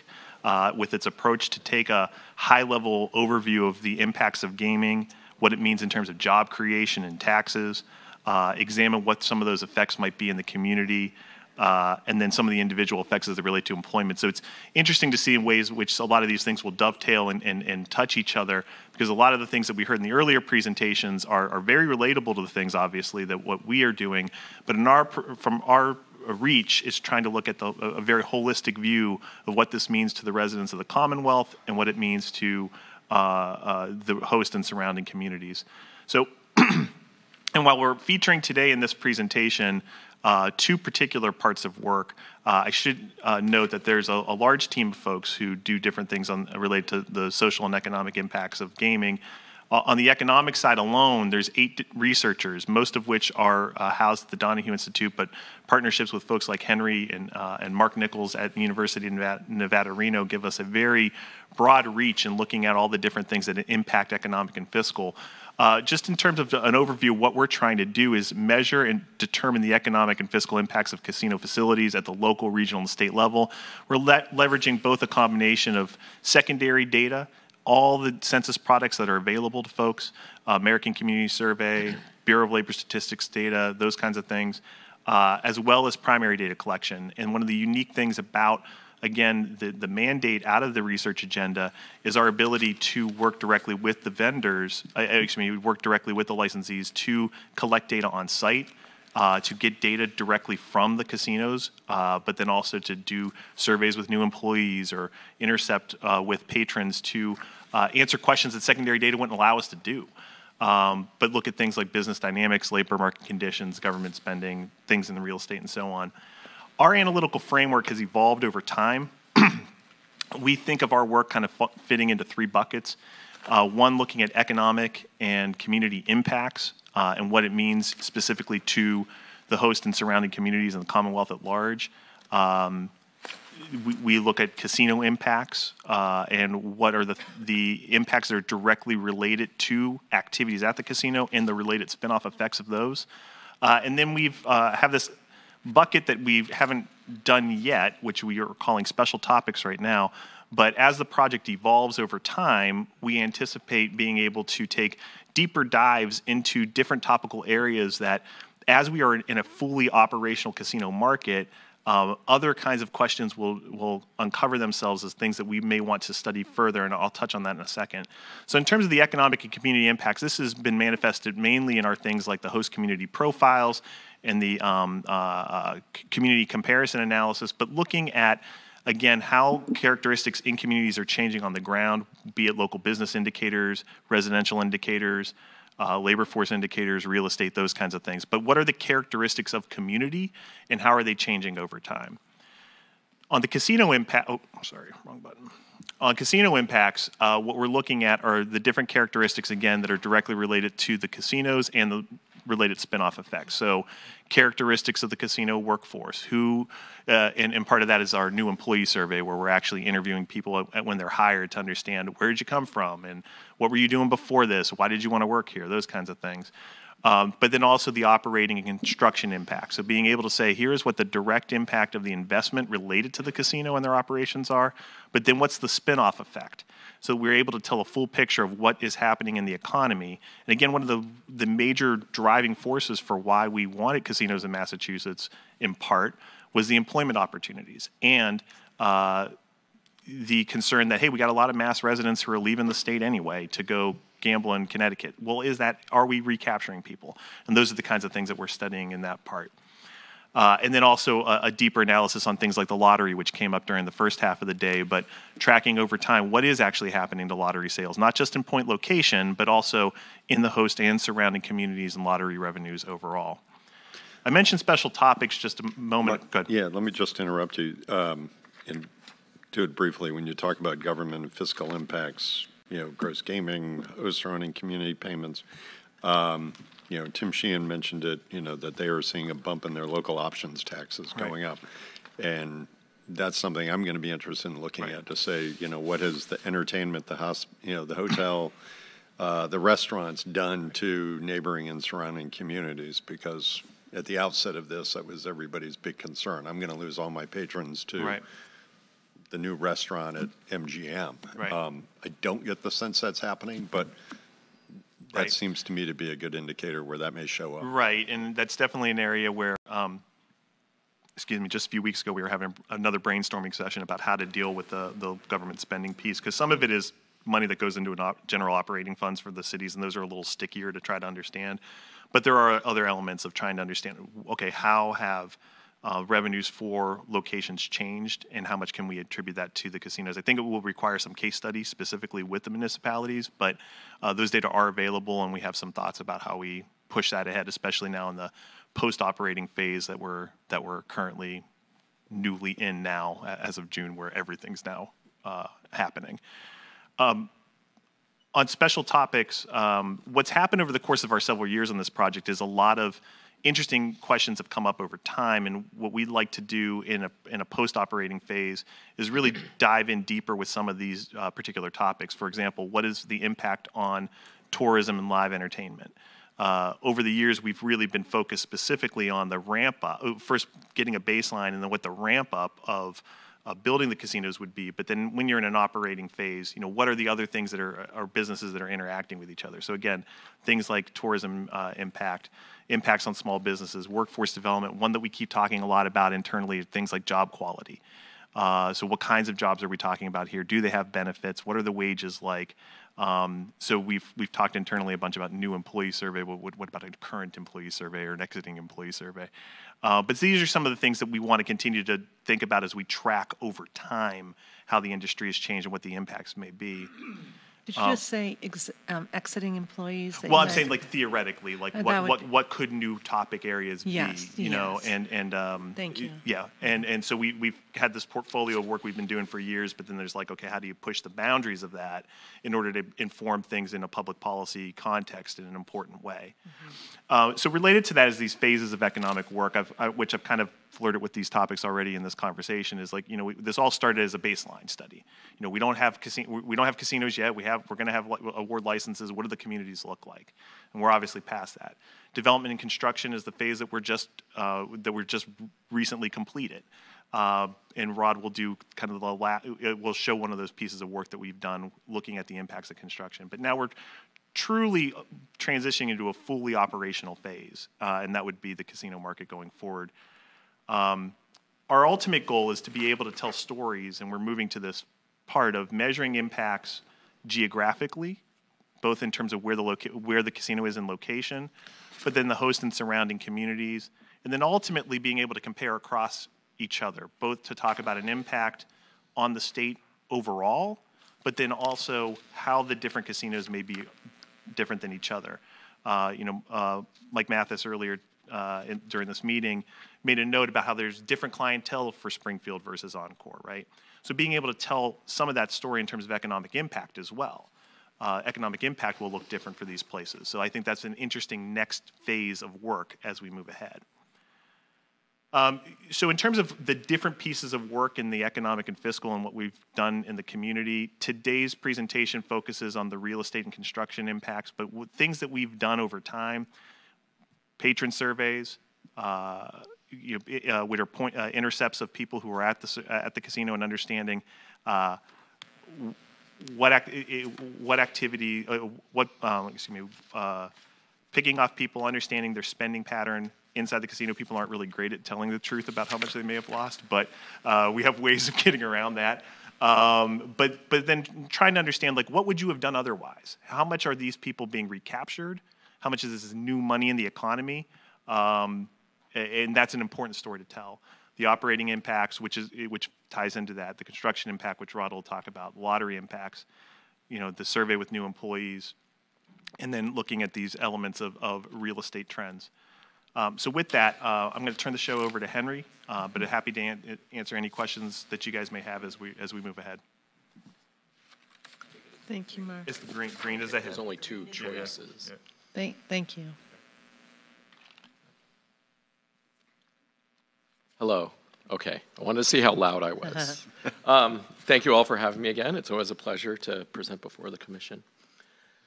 Um, my name is Henry Renski. As others have told you, I'm an associate professor in the Department of Landscape Architecture and Regional Planning at UMass Amherst. Um, my specialization is state and local economic development. Today, I'm going to kind of report a summary of what we found in the, the really covering primarily the construction phase, as, as Mark was saying, but the real estate impacts of the casino, um, MGM Springfield Casino. Um, and part of the reason why, you know, this study really covers the construction phase is that, you know, it, it starts with, you know, kind of examining trends from about 2014 through 2018. Um, there's a lot of differences in this study compared to the baseline report in that we've introduced a lot of new data um, a lot of new data sources, as well as, you know, kind of increased our ability to track things much more quickly. But we are still, because we're very dependent upon secondary data, there's still, you know, um, somewhat of a lag in our ability to, to, to measure things, you know, so, but a year lag in, in secondary data is actually not that bad in the big scheme of things. But just keep that in mind, that a lot of, like, for instance, our um, colleague from the city of Springfield that was talking earlier was talking about conversations that they're currently having with developers. This kind of thing would not show up in our data yet, right? I just want to make sure you're completely aware of the time frame that our study really covers. Um, you know, we're, you know, this study is really not getting into post-opening um, types of impacts, with the exception of there's a couple measures that dip into the post-opening time period, but even then they would be not really enough of a trend. Um, you know, our study covers residential and it covers commercial industrial. I think the bulk of what I'll be talking about today is residential, but you know, you have the report and you'll see that it's really divided into those two pieces. Um, and it, with the addition of the analysis of secondary data, you know, we do do some primary data collection, primarily in the um, through stakeholder interviews as opposed to surveys. So, so um, you'll see us at at times I'll be talking about secondary data, and at other times I'll be talking about you know, what is really anecdotal data that we've gleaned from talking to people. And because, you know, when, when uh, the evaluation structure was set up in advance of the actual licensing of the casinos, um, gives us a really unique opportunity to do something that we can never really do in planning or economic development studies, which is kind of look and draw baselines before and then see what happens as they happen and then kind of continue tracking after. So we leverage that we leverage our ability to study things before and after and look at trends over time. And we also try to do a comparison between areas where we think that the impacts, if there are any, are going to be the most salient, and areas that are generally similar markets, but um, but uh, will not be as affected directly. And so for us, because it's hard to find similar markets that aren't, you know, we're really talking about looking at the impacts on, in this case, Springfield and its immediate and its surrounding communities, and then kind of contrasting that with what's going on in the larger region as well as what's going on statewide. At least somewhat try to give us an indicator of what the conditions might have been, you know, but for the MGM um, I already talked about timing lags and key data sources, kind of the bane of our existence as academics. Um, and, you know, coupled with the fact that, you know, we're talking about, you know, the casino's opening is still relatively recent. Um, and just, it's important to keep in mind that nothing happens in a vacuum and we don't have the luxury of being able to conduct, you know, laboratory experiments where we can really isolate, you know, the casino from the broader economic and real estate market. And there's been a lot going on in the broader real estate market um, you know, since the Great Recession, which is really the context of what's going on here. You know, Greater Springfield's real estate market has been getting better. It's been strengthening. You see that in the number of sales that are occurring. You see that in the prices of homes. You see that in the rental values. Not all of these increases can be attributed to the casino, though. And so what we try to do is contrast what's going on in Springfield, the greater Springfield area, and then outline areas. You know, and again, if we see those same trends going, going on in all these different areas, then it kind of suggests to us that at least we, we can't purely attribute it to the casino. And as, as you know, academic, I'm very cautious in attributing causality. It's something that you will not really ever hear me do because um, the, the standard of evidence that we require for that is very, very high. But having said that, um, that the context is also that, you know, as a real estate market picks up and you see rising rents, rising prices, you know, um, that kind of growth also creates a lot of challenges. As you all know, and some of the discussion that we had earlier, is that, you know, rents might be great, you know, rising real estate values might be great from the perspective of you know, um, the economic developer might not be so great from the perspective of the person in the um, rental unit in the city that, you know, is trying to figure out how to pay their rent. And we're cognizant of that. And that's part of the reason why we tried to, to, to broaden our strategy, include a few more inner informants um, in, into, the, into the research design. Um, and and continually, as, as Mark was alluding to earlier, trying to think of ways where we can get at some of these other real estate impacts that are a little bit harder to detect just by looking at the, the data. Um, so that's a continued thing that we work on. Um, so again, to kind of set context, uh, you know, we're really looking before and after the licensing of the casino. And one of the things we do is just kind of look at broad regional trends and where things like home sales are happening to the extent that we can find the data. And these maps just really, they, they really just kind of show for single family homes, you know, where are single family homes being sold? And that's a measure of kind of the volume of activity in a market. Uh, up market, there's a lot more transactions. Uh, a recessed market, usually things slow down a bit. Um, but one of the other things that we're seeing is that generally speaking, you know, the areas that were hot markets for sales kind of pre-awarding the license still remain to be the hot areas. And this is for home sales, right? So we haven't seen like a massive shift, but that would be hard to detect, um, you know, at this kind of level of aggregation anyways. Similar Do you things know going how on for casino sales and similar things, what? Excuse Oh, I'm I sorry. just, um, this is just a question. Yeah. In terms of the sales, do you know the average, um, time it takes to sell a single-family home, um, in the course? Did you look at that? I haven't looked at it in conjunction with this study. You know what I'm getting at, the- I, I know that it's been going down. Yeah, uh, I, I really shouldn't comment on that because I haven't looked at it in conjunction specifically with this study, but I have been listening to a lot of different kind of, you know, other experts talking about the local real estate market, not specifically Springfield.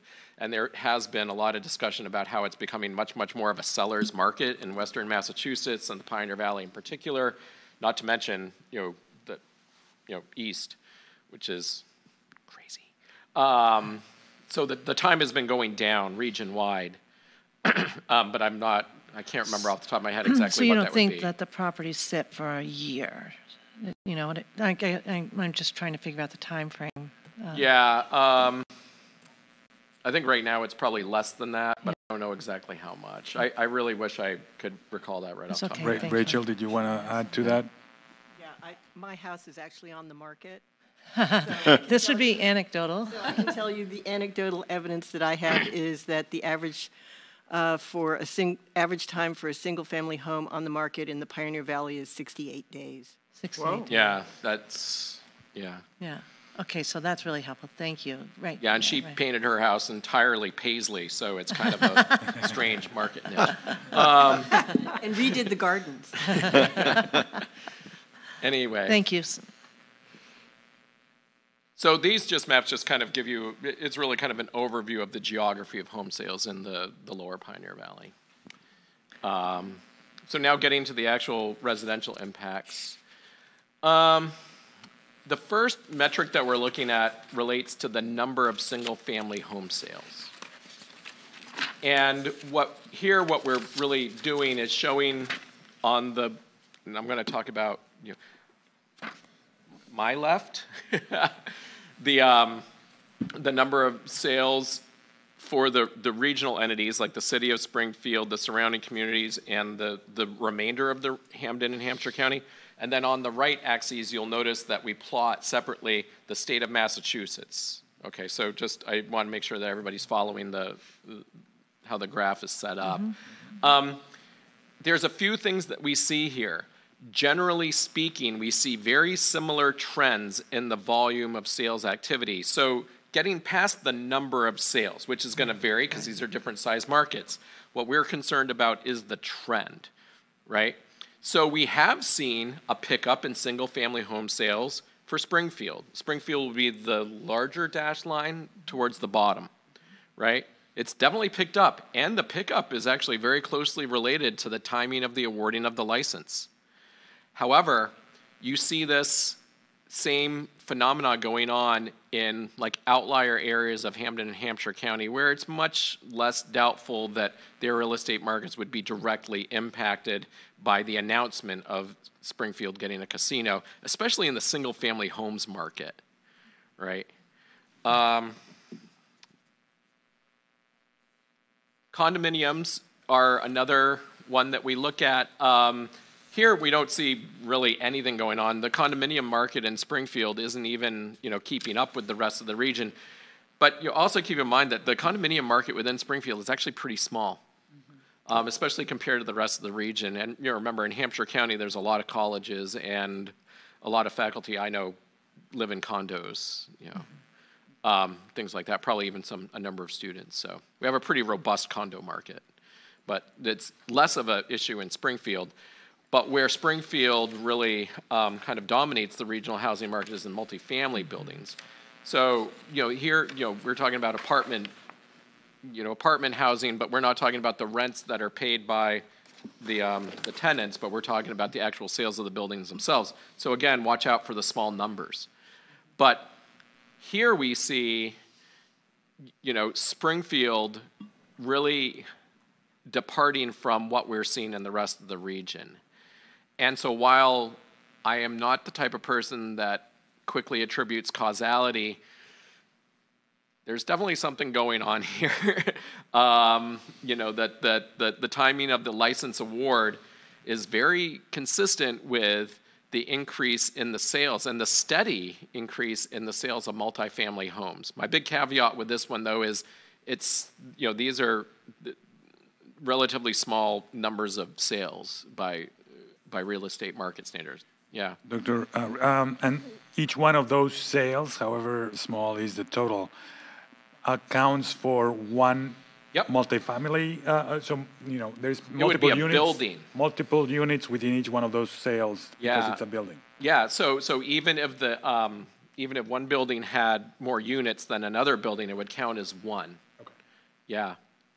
Um, So this is real numbers, 150, right? Is that, Yep. And this data we get from the multiple listing service. Right. And so what that does is it's basically the posting of things that are for sale, right? On the on the market. So not the renters, but this building is for sale. right? and- Yeah. And so to, Or this building sold is actually another thing that the multiple listing service. so to Commissioner Zuniga's uh, point, we don't know how many units, it's just built. Not from this data. um, Is MLS there are some gonna- other data. Oh, I'm sorry. No, I'm sorry. I thought you were done answering. Sorry. No, I. She's going to ask you the question you're about to answer. so- Okay. Ask me the Yeah, question, Let, and us I'll see. Let's do a try to test. answer You it. answer, and then I'll see if it's a question. um, does the MLS capture things that were maybe not arm's length transactions, so private sales that aren't going to go into MLS? Not to my knowledge, but Becky's taking notes. We'll definitely look into that. Okay. I don't, my, not the version of the MLS that I had access to, um, but I'm just thinking about the it's- project yeah, that they've I- described earlier south of here. Were a lot of those done non-arm's length, such that they're not going to hit MLS or your stats? Right, right. Um, 200. it's definitely more than worth looking into. So hopefully, I'll be in a better, better position to tell you whether or not we can get that kind of data before next time, or even before the next, you know, sequence of reports that we do.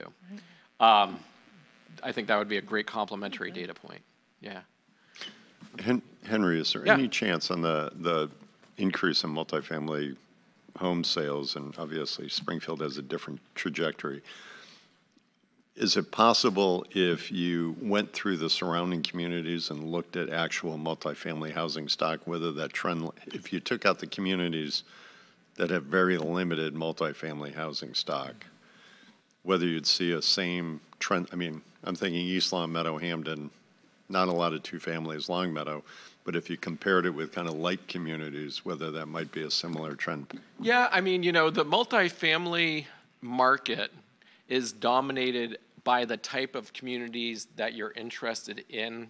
I mean, we could certainly put Chicopee and Holyoke, which have generally similar type housing stock as Springfield, you know. Um, we could kind of look at them somewhat separately, but I'll tell you that the surrounding communities that you see up there, any multifamily housing that exists is probably in similar communities uh, that what you're interested in.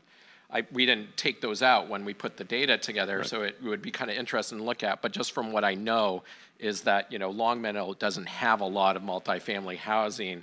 West Springfield has some, but not hardly as much. But Chicopee has a lot. Holyoke has a lot. Um, and and so you know their market has been rising, you know as you're seeing here. But there's there's kind of this uh, much more. It's like the steepness of the slope of that line. Um, but I, you know, again, I think we're taking notes. So. um, so now on to sales and and um, that, so sorry sales prices. So kind of you know are are people asking and the selling price, Right. right? So these would actually be the, the, the price sold, not the price a- price asked. Sorry. Um, we're not seeing a lot going on in single family. Um, prices are rising, you know, kind of slow but steady in Springfield, and maybe at a slightly higher pace than kind of um, you know the the surrounding communities, but not not completely. It, it's it's not a huge departure. There's a very similar trend kind of going on regionally in the the the incremental increase in housing prices. So it'd be really hard to attribute that to you know to the the announcement of the award. And these Condo- are oh, median, sorry. these are median sales prices, not the average. Yep, and usually we use the median because it helps protect things from, like the you know they sold the castle, which Well, really yeah you know the it. Downton Abbey House had Abbey House sold and Yeah, messed up the whole market. You know, great. yeah. Um, not that I'm plugging downtown. Just what came in my brain. Um, so we're not seeing a lot with single family. Um, we're not seeing a lot with condominium as far as prices. And, you know, but, you know, what are we seeing with the sales price of multifamily? And again, we're seeing, you know, kind of an increase. This one is, uh, is a little bit more difficult though, because the increase actually preceded, the trend precedes, the, um, the start of the trend really precedes the casino. And it's, what we're seeing is kind of a continuation of that trend. So it's a little bit more ambiguous. But it came, that trend upwards came after the award? The trend begins closer to 2012 for the city of Springfield. When, and when did you make the entry? Oh, that's the actual award. Yeah. And, and, you know, that would coincide with, you know, the fact that we came out That's of, you know, a very depressed housing market, especially for, you know, the type of investor properties that, that multifamily homes really, really are, right? Um, and so, you know, 2012, we're recovering from that, and so the, the, you know, we start to see it. So, so, um, while, while we do see an increase in the volume of sales, it, we haven't seen it really reflect as much on the price of the sales for the multifamily unit, or at least not to the extent where it's clearly distinguishable. Okay. So, Eastern Mass, the prices have gone up considerably. Western Mass at a much slower rate. Prices are rising. Yep. Yep. And consistent with the economic recovery that has been pretty universal. Henry, on, the- on that graph, the, the Hampden uh, and Hampshire counties, right before, right before and after the license is awarded, It has an interesting bump Yeah, yeah. back and forth. Is that, what do you make of that? I don't know what that's from, to be perfectly honest with you all. But that would be, you know, the rest of Hampshire and Hampden counties, um, that's, that's pretty far out. You know, as far as you're really talking about, you know, like Amherst and South Hadley and, and the areas that, Yeah. that get outside of Holyoke. There could be, um, you know, a few high value sales that, that affected that because we're still talking relatively small numbers. Well, it comes Um, back right up. Uh, it comes back uh, down. It comes anyway. right back It's, uh, down. it's It could like be a just. bend. it- it- It's almost a s- It might be a data anomaly, but the, the, you know, the, the. Yeah, I mean, Yeah. to Henry's point, though, if you're talking about a small number of transactions and two of which are way high on the right side of the scale, medians are protected from skewing, but they're still right. the middlemost score in a range of scores. If there's only 13, Right. right? Ah. Then, They then will it's like, skew then it. you could still see, because what happens is 14 is the weirdo, right? 13 and 15 look like the same number, Right. and then the, and then the trend line as you move Yeah. forward still looks kind of similar. So I, I would I would guess it's something like that. Yeah, and I try to focus on more the general thing. And but when we do see spikes like that, when we have the ability to dig down, we usually try to figure out what's going on. Um, we have, a, you know, that, that's a little bit easier to do when you're the one that's putting the data together than than you know when you're looking at secondary data. But So unlike the earlier one on sales, it just looks as though the market here just reflects the overall trend. That Yes. You might be able to draw a conclusion on the other one with respect to sales, that it was perhaps connected. Yeah, because the timing is much more consistent, right? That the announcement of the award. And that's not always a perfect indicator because there was a lot of people that probably would have thought, oh yeah, Springfield will, will get the Western Massachusetts license. But, you know, here, you know, you're talking about major investments and, sorry, that single family I wanted, oops, oh no, multifamily. But, but, you know, again, it's, it's, it's pretty dramatic and it very much coincides with, um, you know, the announcement of the ward and we're not seeing it in other areas. So it's, it's much more strongly suggestive. And the other thing is that it coincides with what our, um, our anecdotal conversations with, you know, um, people that, that have a much more kind of intimate knowledge of the local real estate market kind of told us uh, as what was going on, which I'll get to in a minute. That, maybe, and that's, you're, you're going to address that, but I wondered if prices, the sale, prices could be lagging behind sales, in other words, Speculators could be saying, well, the prices are lagging, but I think that this is an opportunity because the, you know, I see the, the price of this building below what I think its ultimate market yeah. potential would be. That's what speculation is. Yeah. But eventually, if there's enough Right. demand, well, they will go up, you'll see, yeah, right? yeah.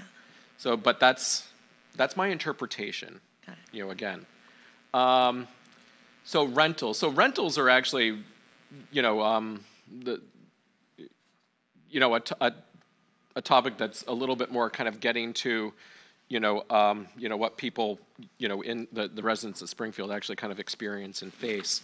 Um, especially because this market, there's not a lot of, I mean, Springfield is the city of homes, but most of the single family housing units are really concentrated in other areas of Springfield, not just in the immediate jurisdiction of the casino, but there is a good multifamily housing and rental market in the downtown part of Springfield. So we, um, so what do we see?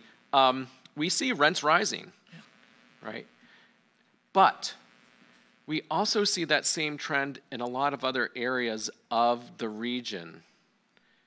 Um, so that doesn't mean that somebody's rent, you know, in the immediate area, we can't definitively say that th- their, their rent didn't rise, had nothing to do with the casino, but there are broader real estate trends that explain rising rents that really are independent of the casino. Um, you know, and again, we're mainly looking at the um, the, the pre, you know, the pre-opening kind of time period. We have a little bit of data on this post-opening, but not enough that I really want to interpret it because I want to wait until I start seeing a trend to know whether something's really going on. Um, so, you know, so we do see rents rising in Springfield, you know, which is consistent with the anecdotal data that we had collected. But again, you know, we see that in, you know, Chicopee, Holyoke, Longmeadow, further areas in the rental market um, as well. And so now getting into, you know, a lot of the discussions that, uh, that we had with folks, you know, about the market really kind of focused on this rising rent issue. And there's been a lot of people that have kind of, the, the anecdotal data largely is consistent with the, what the secondary data is telling us. Um, that there's some, you know, we've seen upward pressure on the housing market, but it's hard for, you know, you know, the housing director to say whether or not even that's attributed to the casino. But they also know that there's a lot of development projects that are kind of going on and in the works, right? And so on the one hand, you know, they may be related to the casino, but it also makes it difficult to attribute it purely to the casino, I think is my interpretation of that quote, right? Um, in 2013, you know, this is just kind of a document of the, the rate of rental increase that a lot of people have seen. Um, in the second quotation, you know, bed, two to three bedrooms went for under a thousand. Now they're looking at, you know, 1,400. One thing that I'll say about our data, and I should have mentioned this before, that our rental data comes from um, Zillow, and Zillow tracks rental prices of listed properties. So if you're a resident that's in a rental unit, um, your price might be different than what a new unit that's not not a new it's not new in the sense that it's recently built, but something that's on the market, right? You you could be locked into a rental rate for a while just because you're a good tenant and your landlord doesn't want to raise your rate, even though a new that that same unit that goes onto the market, they might the asking rent might be higher, but Zillow only looks at asking rents, so we think that it's a little bit biased on the upside as far as like the actual dollar values. Um, Unless there was a lot of turnover, right? unless there was a lot of turnover. Yeah, and then they would get, they would get closer together, but I still think it would be You still biased think on the it's a bias, okay. That's that's a great observation. Um, and and this this last one that I have on there because I because it really kind of coincides with what we're seeing in the difference between the single family home and the rental markets is that we're not seeing a lot going on in single family home price wise. Um, you know, but the rentals will be more sensitive. There was a lot of discussion about the prospect of speculation, especially in the multifamily market, which kind of kind of coincides with what we're seeing in the sales. That during this award period, there was a lot of outside investors coming into the region, buying multifamily housing, and raising rents. Um, you know, and you know, the, the feeling is that that speculation is related to the casino, and and this comes out in a few of the different um, quotations that we put on there from different people. Um,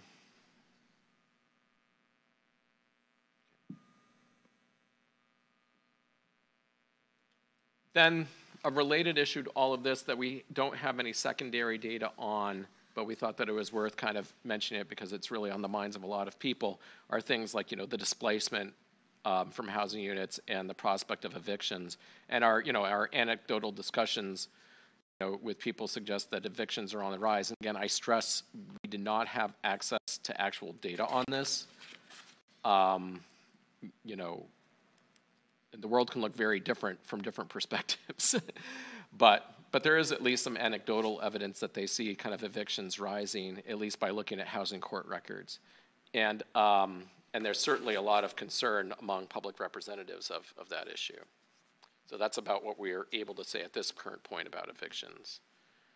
Um, the, the lag in that data is really fast. I'm going to go through And- and- commercial impacts a little bit more Then have to quickly. Oh, you have have to question? know whether the eviction, what the causation of the evictions were, but they're suggesting that it is gentrification. I But think didn't that that's, that would, it, they, it doesn't say, but that would be my assumption. Maybe, I don't know if. Is that fair? Good. Is- Dr. Volberg was actually involved in a lot of these interviews, and maybe she has a little bit of And insight. I understand you Yeah. don't have enough data, but. Yeah, the, uh, so the, the comments from both um, Liz Bewsee uh, from uh, Arise for Social Justice and from uh, Catherine Ratte, who's the principal planner for the uh, Planning Commission, um, their assumption is that this is a, um, a, a speculative um, effort to um, basically move people out of downtown who have been there for a long time and then, you know, sort of upgrade the properties and then rent them out at market rates. There was, there was quite a bit of discussion in both of those uh, interviews that we did um, and, and in the others as well about, you know, this feeling that, um, you know, the city of Springfield understandably wants to um, have, you know, market rate um, housing downtown to revitalize the area. Um, but the challenge for the city, I think, is that in the in the process of, um, you know, encouraging economic development, um, there is this sense that people are being pushed out who have been downtown for a long time, but who can no longer afford those rents. And if I can offer something here, I think that's one of the really powerful things about the totality of this research going forward is to continue to track this. There is a um, temperature within real estate markets in Massachusetts, particularly urban ones, that there is a deep feeling that this is happening. Now, whether or not it actually is, statistically, is another question.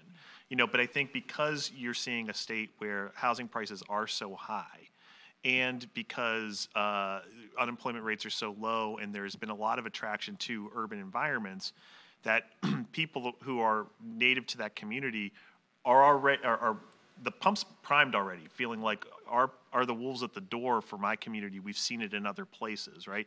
So I think it's an important thing to get that sense of talking to folks, you, using the secondary data to see the trends, but then talking to folks and supplementing it, which is a part of our work, but to continue to track it because it's interesting to read these quotes. And then our group also worked on the Greater Boston Housing Report Card with the Boston Foundation, and the degree to which those same conversations you're hearing with folks in Roxbury, right? Right, right, uh, in, very different real estate markets, but then they are urban areas that you know are, are have these elements of up and comingness and this fear of gentrification, right? So, um, so I think in ways we're speculating about the re- about the speculation, About the but uh, but but at the same time, I think it's an important part of. Uh, what, what the power of a, of a multi-year research study brings to you because it allows you to cre- to create data over time that you couldn't otherwise do. And- And, oh, go ahead. I'm, I'm sorry, I, I just want to sort of um, add to that, that, um, you know, there's, um, there's an opportunity here, if this is an early warning sign, um, and, and it, you know, it, it, what I think of key informant interviews as is really the canary in the coal mine. If you'll pardon the analogy, it's, it's really like, oh, did that bird stop chirping? Should I be concerned? Um, it's, uh, it, it, it indicates the possibility of an issue that the city of Springfield and I think the state of, of Massachusetts might have an opportunity here to sort of begin discussions before there's a really huge problem to sort of say, well, what do we as a Commonwealth want to do about this issue if it is up and coming? I interrupted, but thank you. That, I'm that's really here helpful. to answer your questions. so Thank you. It's not an interruption. Thank you. Um, it, yeah, don't, don't feel bad about stopping me. All right.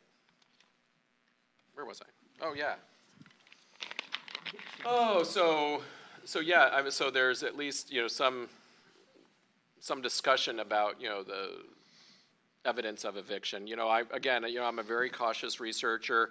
You know, I know as a methodologist that you have to be also, you know, that while anecdotal data can can indicate things before you notice them in the data, that ultimately the two things, you know, can work complementary to one another because, you know, as I think Mark was alluding to, one person's perspective on like, hey, the casino opened up and then my rent went up, it must be the relation, it must be the casino.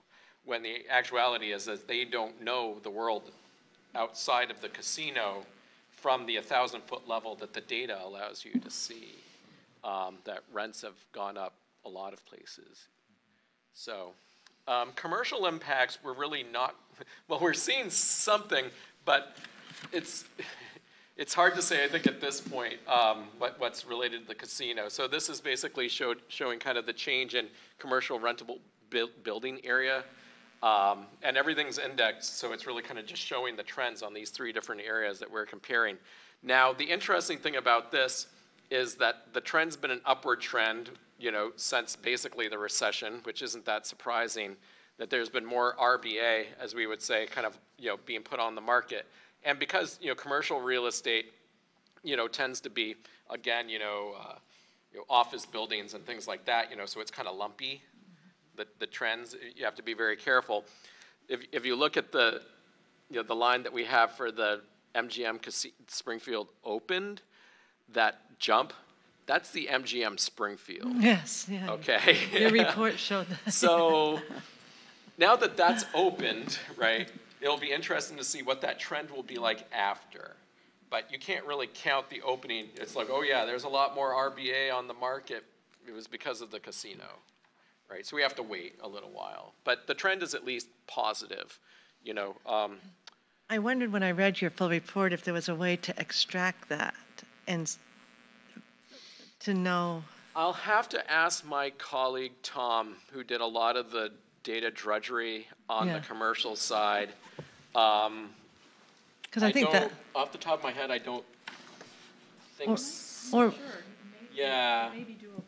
Maybe. or I wondered if, em- you know, it was really the bulk, it probably was the bulk of the, the um, Yeah. construction, yeah. So, but that will, that will be largely a one-time deal. Yeah, too. yes, I understand. Yeah. Um, here's industrial, right? So, so honestly speaking, as an economic development person, I'm not really expecting industrial to be all that directly related to the casino. At least directly related.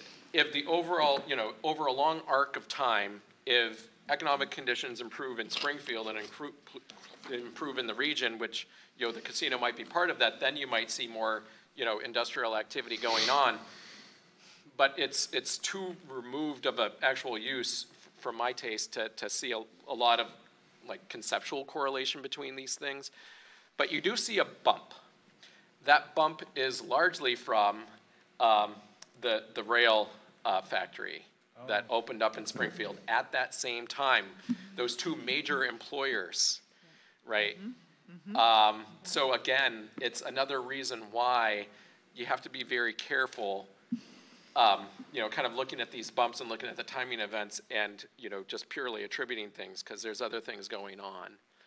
Um, so, commercial vacancy rates. This is, um, you know, again, we kind of see this, this, you know, they're dropping, which is a good sign for recovery, but it's pretty consistent. Um, it seems like a lot of the secondary kind of outside of the casino activity might be coming online. Uh, in conjunction more with the, the post-construction period, so we'll continue monitoring this one, um, you know, and the trends. So the, the trends are favorable, um, but, but, you know, generally consistent with what we're seeing elsewhere, so it's hard to make a very firm association. Um, office lease, lease rates, really pretty stable. Um, non-office commercial lease rates, um, this, this one's a little bit jumpy, but, you know, we, we're kind of seeing, you know, a match between Springfield and the surrounding communities, um, you know, in, in terms of the timing of this in, in 2018. So, anyway.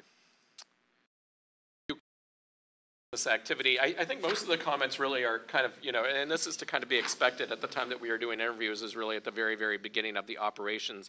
And so people are starting to notice, like, you know, the construction is done, the streetscaping is in, they're noticing more pedestrian activity in and around the casino. There's a little bit of discussion about how far that activity is spread from casino and somewhat of a general uncertainty of whether or not it's, spilling over into a lot of businesses that are outside of the immediate kind of casino in the district.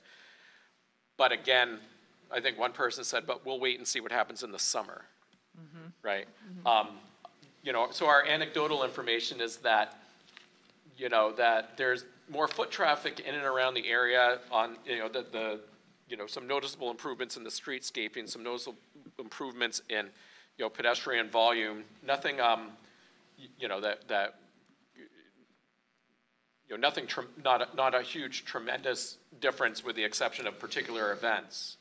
Um, like, you know, I've talked to people that say like, well, you know, the food truck Fridays, there's a lot of people, you know, kind of walking around downtown, and it definitely seems like there's more lines um, at some of the restaurants at lunchtime than there ever used to be before, you know, at some of the, the, the, the ancillary businesses. I'm not, I'm not as concerned about the ones within the casino. I'm, in, I'm more concerned about what's going on in the area around as a planner.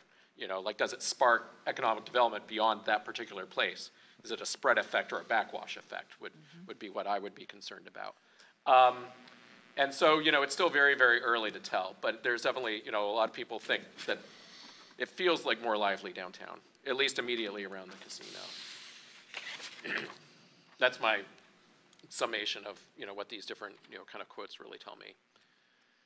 Um, and I, as always, I took up probably more time than I um, wanted to or needed to, but I'll be happy to answer any other questions before I turn over to Rod. Are there any more slides, Henry?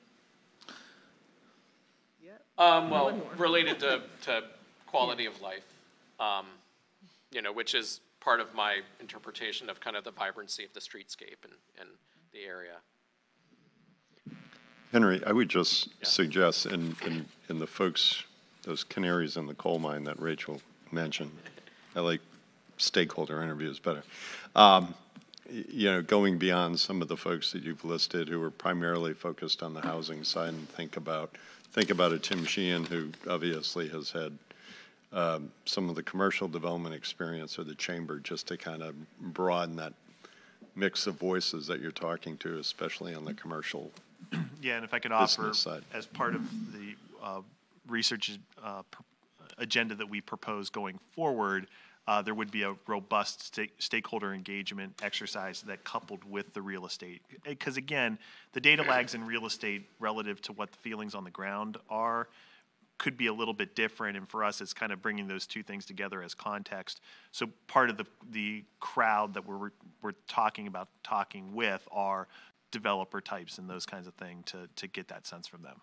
That's great.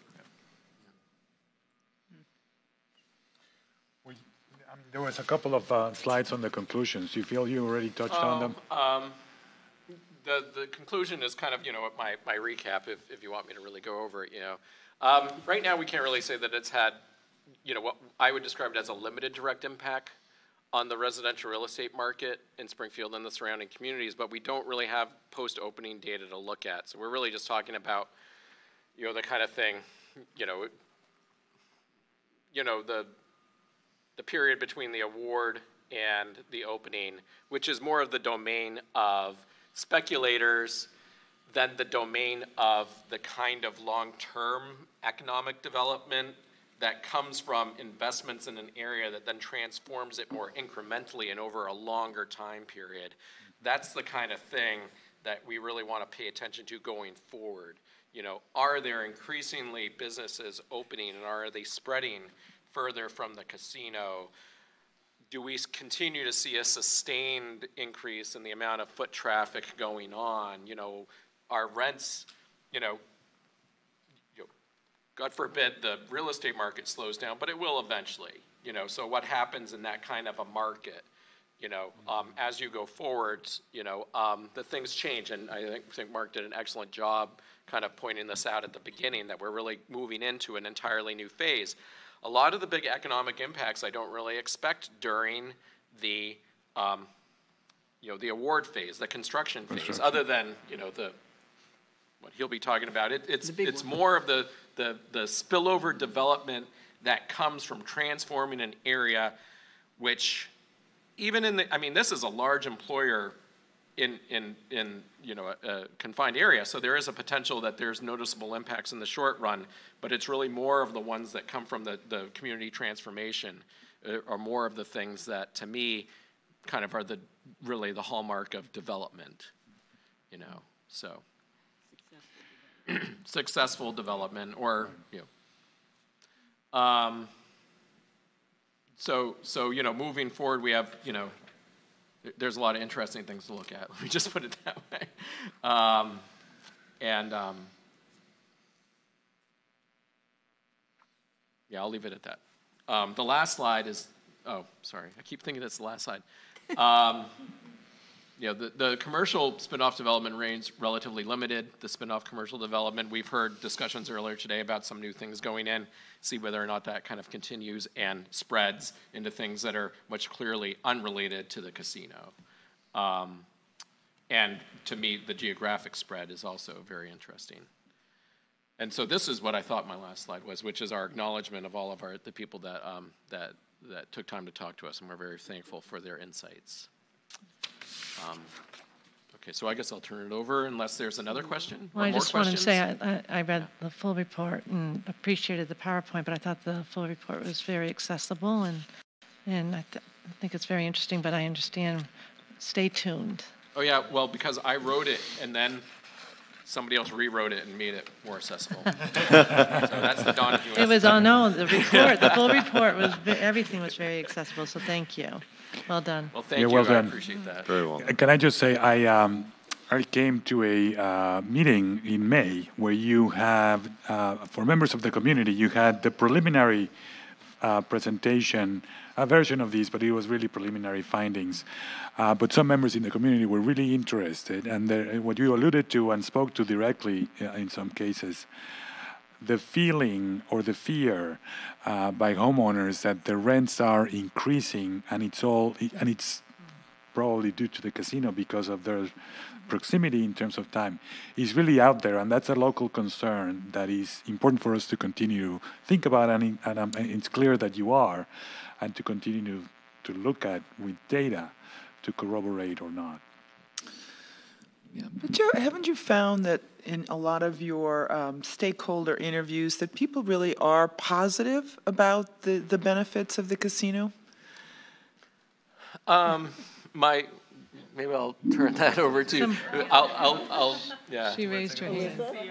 Oh, Dr. Mez? No, no. Yeah. Um, so Rachel and I conducted the interviews in, in Springfield.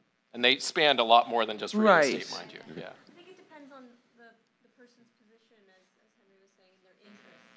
So, Right. um, you know, when we spoke to folks that were, you know, more about the housing and economic justice, right? They were a little bit more critical in terms of economic development and gentrification and what can we do, you know, so economic development doesn't necessarily have to go hand in hand with displacement. What can, what can we do to make sure that this is done justly? Um, uh, from the, the municipal perspective, they were also concerned with that, but a little bit more just generally, a little more positive. But yeah, I think it depends on where the stakeholders sat. That's a pretty universal truism, to be quite honest. You know, as a former economic development official, before I returned back to ac- academia, you know, our expression was always that you shoot at anything that flies and you kind of claim anything that falls. Um, you know, so so uh, you know, if you see a new building going up, yes, it's related to this thing that we wanted to happen. You know, and then there's a, a, a counter to that too. You know. I um uh, about a year ago, I was on a um, just a c- couple of months after this had opened, and I, I had my niece on a college tour at Springfield College, and they were they were they were very uh, obviously they're trying to impress parents and s- prospective students, but they were touting all the benefits of we have more interns walk you know uh, internships for our students now because of this you know go down we want you to go to the city and see what the casino has done. The streets have been repaved the other restaurants. So i was kind of amused at how they were um, touting the benefits to parents and prospective students you know. So i guess the city is has been in a place where you know this is something new and, and it is bringing um, bringing some positives anyway. So I, I just wondered if you were f- hearing that, but it is where you sit, right? There were, there were some, some of the interviews, and I'm not sure if they actually made the reports, um, but there was definitely like a lot of people that mentioned, you know, kind of a positive buzz is maybe Mhm. the best way to describe it. That Mhm. it's like, well, I'm not really sure, but it feels like Springfield's kind of on the rise, you know. And, and I think Mark alluded, to, but we are also entering a period where, um, more broadly, you know, urbanism is you know, seen as generally favorable by larger populations, especially younger people, you know, whereas past generations, you know, it's like, oh, you know, you make it by getting out of the city. Right. Um, you know, so so there's there's a number of different trends that might be confluencing, and the casino, you know, and the streetscaping that's related to the casino, and the related developments that the city is putting forward, you know, that these these things do accumulate and create, you know, um, I think a generally a, a you know a favorable, you know, that oh this you know that we're we're we're moving on and moving out and we're up and coming, you know, kind of things. So that that did I think come across in a few of the interviews, if if I'm not mistaken. Yeah. Okay. Thank you. Thank you. Mark, will you be introducing our next speaker? I- I'll let, uh, go ahead. Henry, okay. Rod? Oh, do I, wait, do I have to click through all the? He's going to go Oh, my straight. gosh. What happened? This is the real estate? Hold on. Yeah. It's not slides, it's a PDF packet. Yeah, Oh, it's, it's the okay. commissioner's packet. All right, we shall, Okay. we shall arrive shortly. Speed through. Okay. Do you want to introduce yourself, Yes, though? I will. Thank you. Um, I am Rod Motamedi. I'm a uh, senior research manager at the UMass Donahue Institute. Uh, My background is in economic impact modeling, uh, and that's what we're going to be talking about. uh, What I'm going to be talking about mostly here today is the economic impacts of the construction of MGM Springfield. Um, Given that I know everyone's favorite thing to do after a Carby lunch is to look at charts and graphs, and anticipating that, I have tw- about a dozen more of them for you. Get ready to sleep. Get ready. But they're colorful. Um, So first, uh, a little background on the property. Um, The construction period was roughly from March 2015 through August 2018. Uh, That construction period is going to differ from the payment schedule that we're going to look at because the payments started a little bit after construction began and they continued uh, past when uh, the property opened. There was also some construction, some punch list items that continued after uh, property opening date, but those are pretty small. Uh, This is the Commonwealth's first integrated resort casino. Um, Subsequently, Encore has opened, um, but uh, we were pretty eager to look at the construction impacts uh, of this property, uh, given that we had only previously looked at uh, Plainridge Park, and we expected to see quite a bit different scenario here. Uh, Another thing that we were curious about, um, I think the more extends to uh, analyzing the operations of MGM Springfield, is that it's an urban casino in the middle of a downtown. And not only is it in the middle of a downtown, it is integrated into that downtown. And that differs from uh, even MGM's other urban casinos. Uh, MGM Detroit um, is a a mono, yeah, a monolithic building um, in the middle of downtown. It doesn't feel integrated into the city, um, whereas this is, as we all know, uh, very kind of open and integrated. So we are curious to see how that pans out uh, in the operation, and uh, we were curious to see what it would look like in the construction as well. The last thing I wanted to point out on the background is we are looking specifically at construction that is different than investment. So the property's total investment far exceeds their construction budget. Uh, the, in addition to construction, they have furniture, fixtures, and equipment, they have contingency, they have design costs, they have permitting fees, they have the cage cash and operating capital and working capital, all that's part of their total investment. We are just looking at the construction. So the, I wanted to clarify um, once we get to the total numbers, uh, you'll see why I wanted to clarify that. So let's talk about the data. We've uh, talked quite a bit um, on our team about how we have worked with the licensees to access their primary data. Uh, This report and this project wouldn't have been possible without that relationship with MGM to get their construction data. Uh, They're the only ones who know what they're spending money on, so we have to, you know, get it from them. Um, And they're very help- helpful in the process.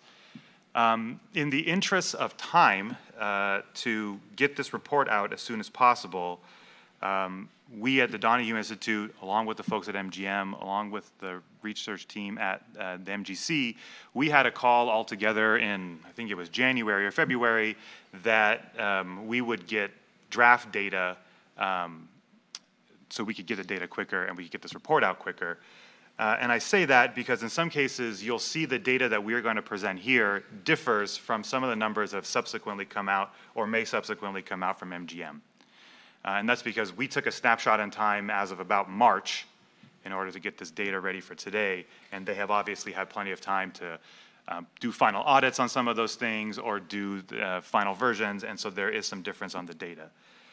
That being said, in preparation for this presentation, we went through with the MGM construction folks and we reconciled all of our data differences. So where there are differences, we know why there are differences. It all reconciles to the final versions. Uh, so um, there isn't, uh, we've resolved any uh, errors or misclassifications of things. So anything that differs between us and them is merely different snapshots in time. Um, that process actually went on until just this Tuesday. Um, and so there's actually a data point here that, that's in your packets um, and in the executive summaries that you have that will differ in our final report that comes out. We found a million more dollars for Springfield, so I didn't think anybody would be upset about that, but uh, there it is.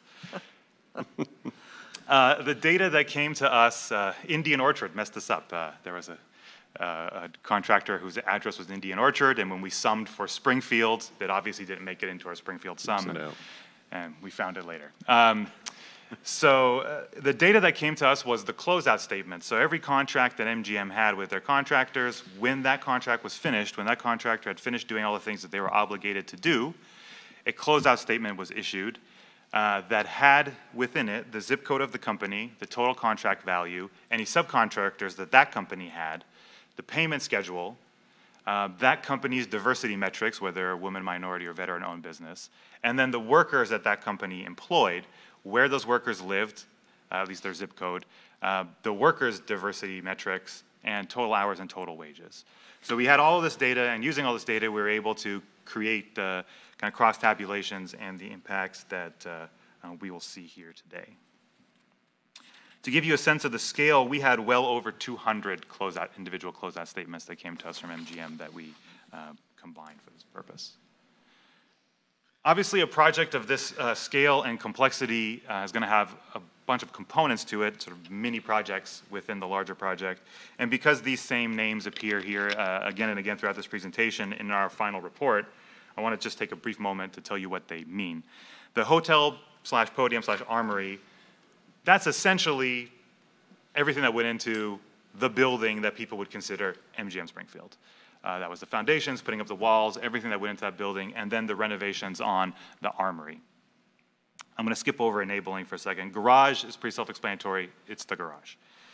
The daycare and the church, again, pretty self-explanatory. MGM Springfield built a daycare. Uh, that's the activity related to that. And the church is moving and renovating the church that was on the, the site.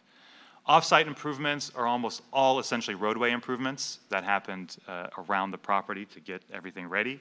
Signage, all interior and exterior signage. Uh, and then the two State Street projects and the Union project, those were existing buildings that were renovated and integrated, retained uh, and integrated into the overall property. Lastly, enabling, that is all of the activities that are required to enable all this other stuff to happen. So that included sur site surveying, uh, site prep, uh, demolition, underground utility work, uh, site security, all of that stuff is rolled up uh, under enabling. So here's a timeline of uh, the project. Total construction budget, or total construction spending rather, was $573 million and some change. Um, that was divided across these categories, and it was spent sort of across this pattern. You can see the bulk of the activity uh, happened in kind of 2017. That's when really the work began on putting up the hotel and associated things.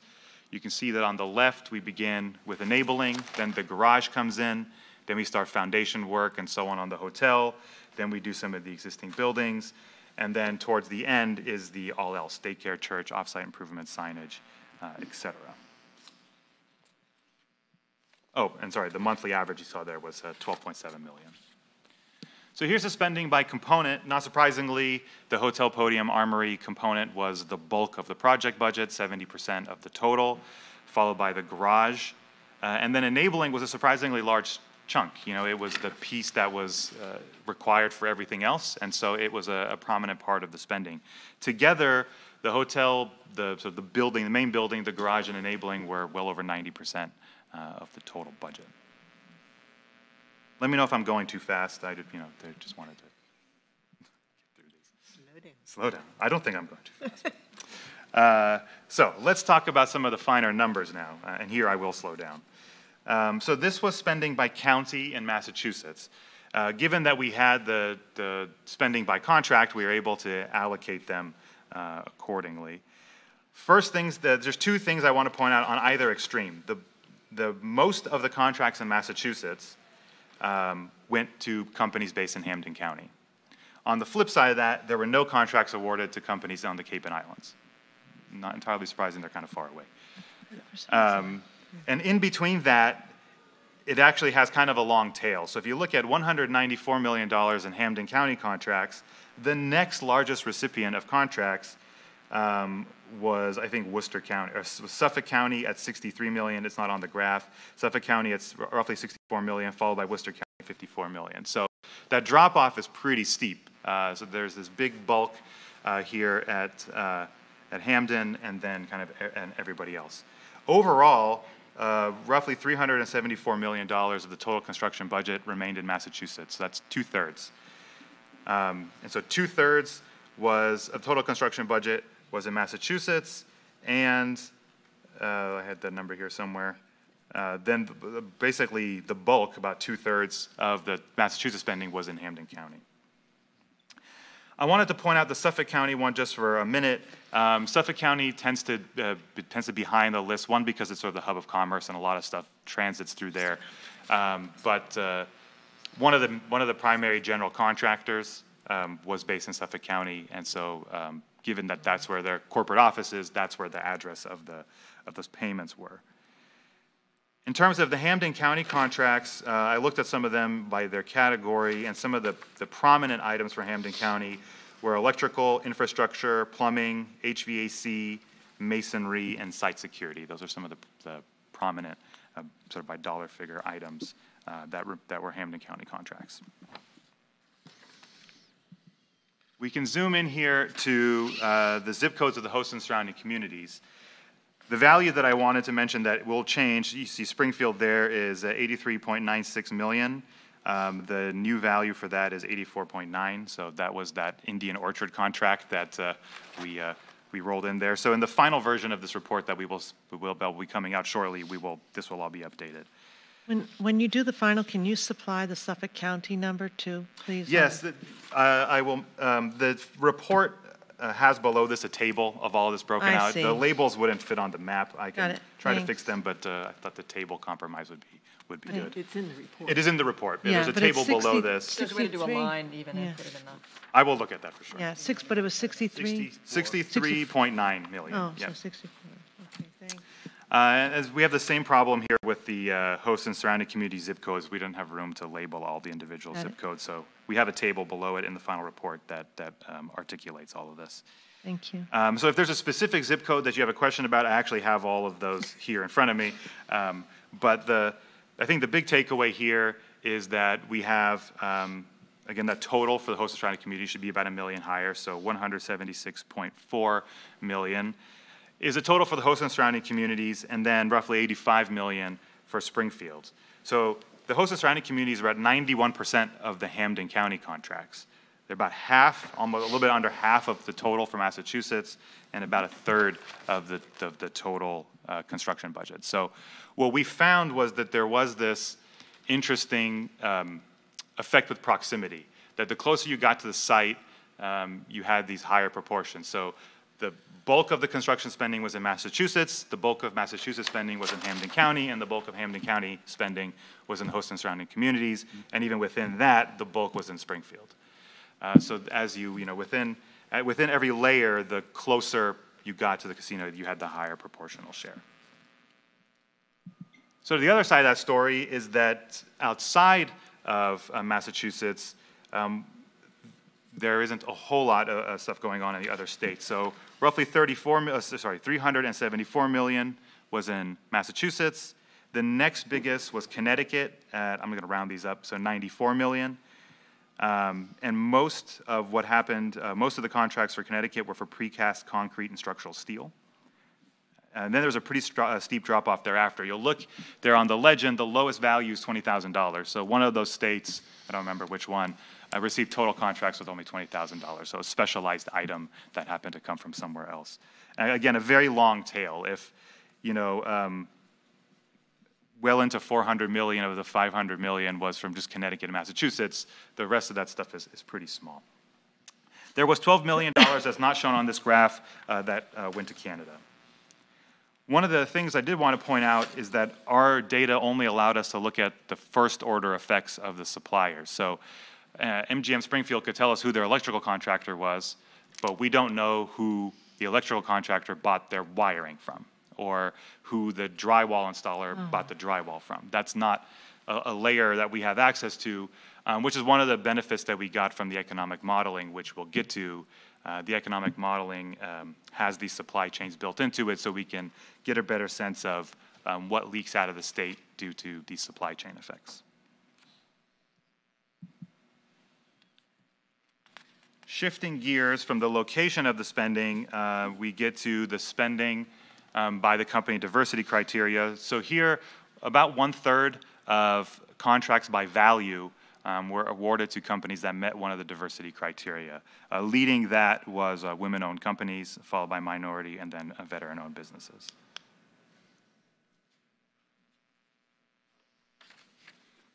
So shifting gears entirely from spending, uh, we get to the workers and wages. Um, I struggled mightily with how to present this stuff, and so I thought, you know, I'll just write it, and then we'll, we'll, we'll go with it that way. Um, so we, uh, in the closeout statements that we had, if you counted each individual worker line, uh, we had 5,686 workers. However, we uh, figured out very early in the process that there's a lot of duplicates in there, in the sense that uh, the same contract, the same company uh, was on multiple contracts. So there would have been multiple contracts for, you know, Rod Motamedi Construction, and they would have hired pretty much the same crew. Rod Motamedi. Right, Rod Motamedi over and over again to, to work on those contracts. So we went through and we deduped um, the workers, uh, assuming that if your name, your race, ethnicity, and your veteran status was the same, you were the same person. Um, so we specifically excluded the zip code because we thought, what if you had moved during this process or something? Um, but we figured if you had the same name, race, uh, and veteran status, you, you were the same. So you and gender, right? And, and so using and gender, um, and so using that logic, um, we uh, found that roughly 1,400 people um, worked on multiple contracts, uh, were duplicated. And so that leaves the 4250 uh, that you see there. So that's our best estimate of the non-duplicative uh, number of workers. Um, we, we found about 2.6 million total hours of work, and these workers were compensated $173 million for that. Looking at this in a couple different ways, if you take the total hours and you divide them by the number of hours in a full-time year, you get the full-time equivalents. Uh, it's about 1,250.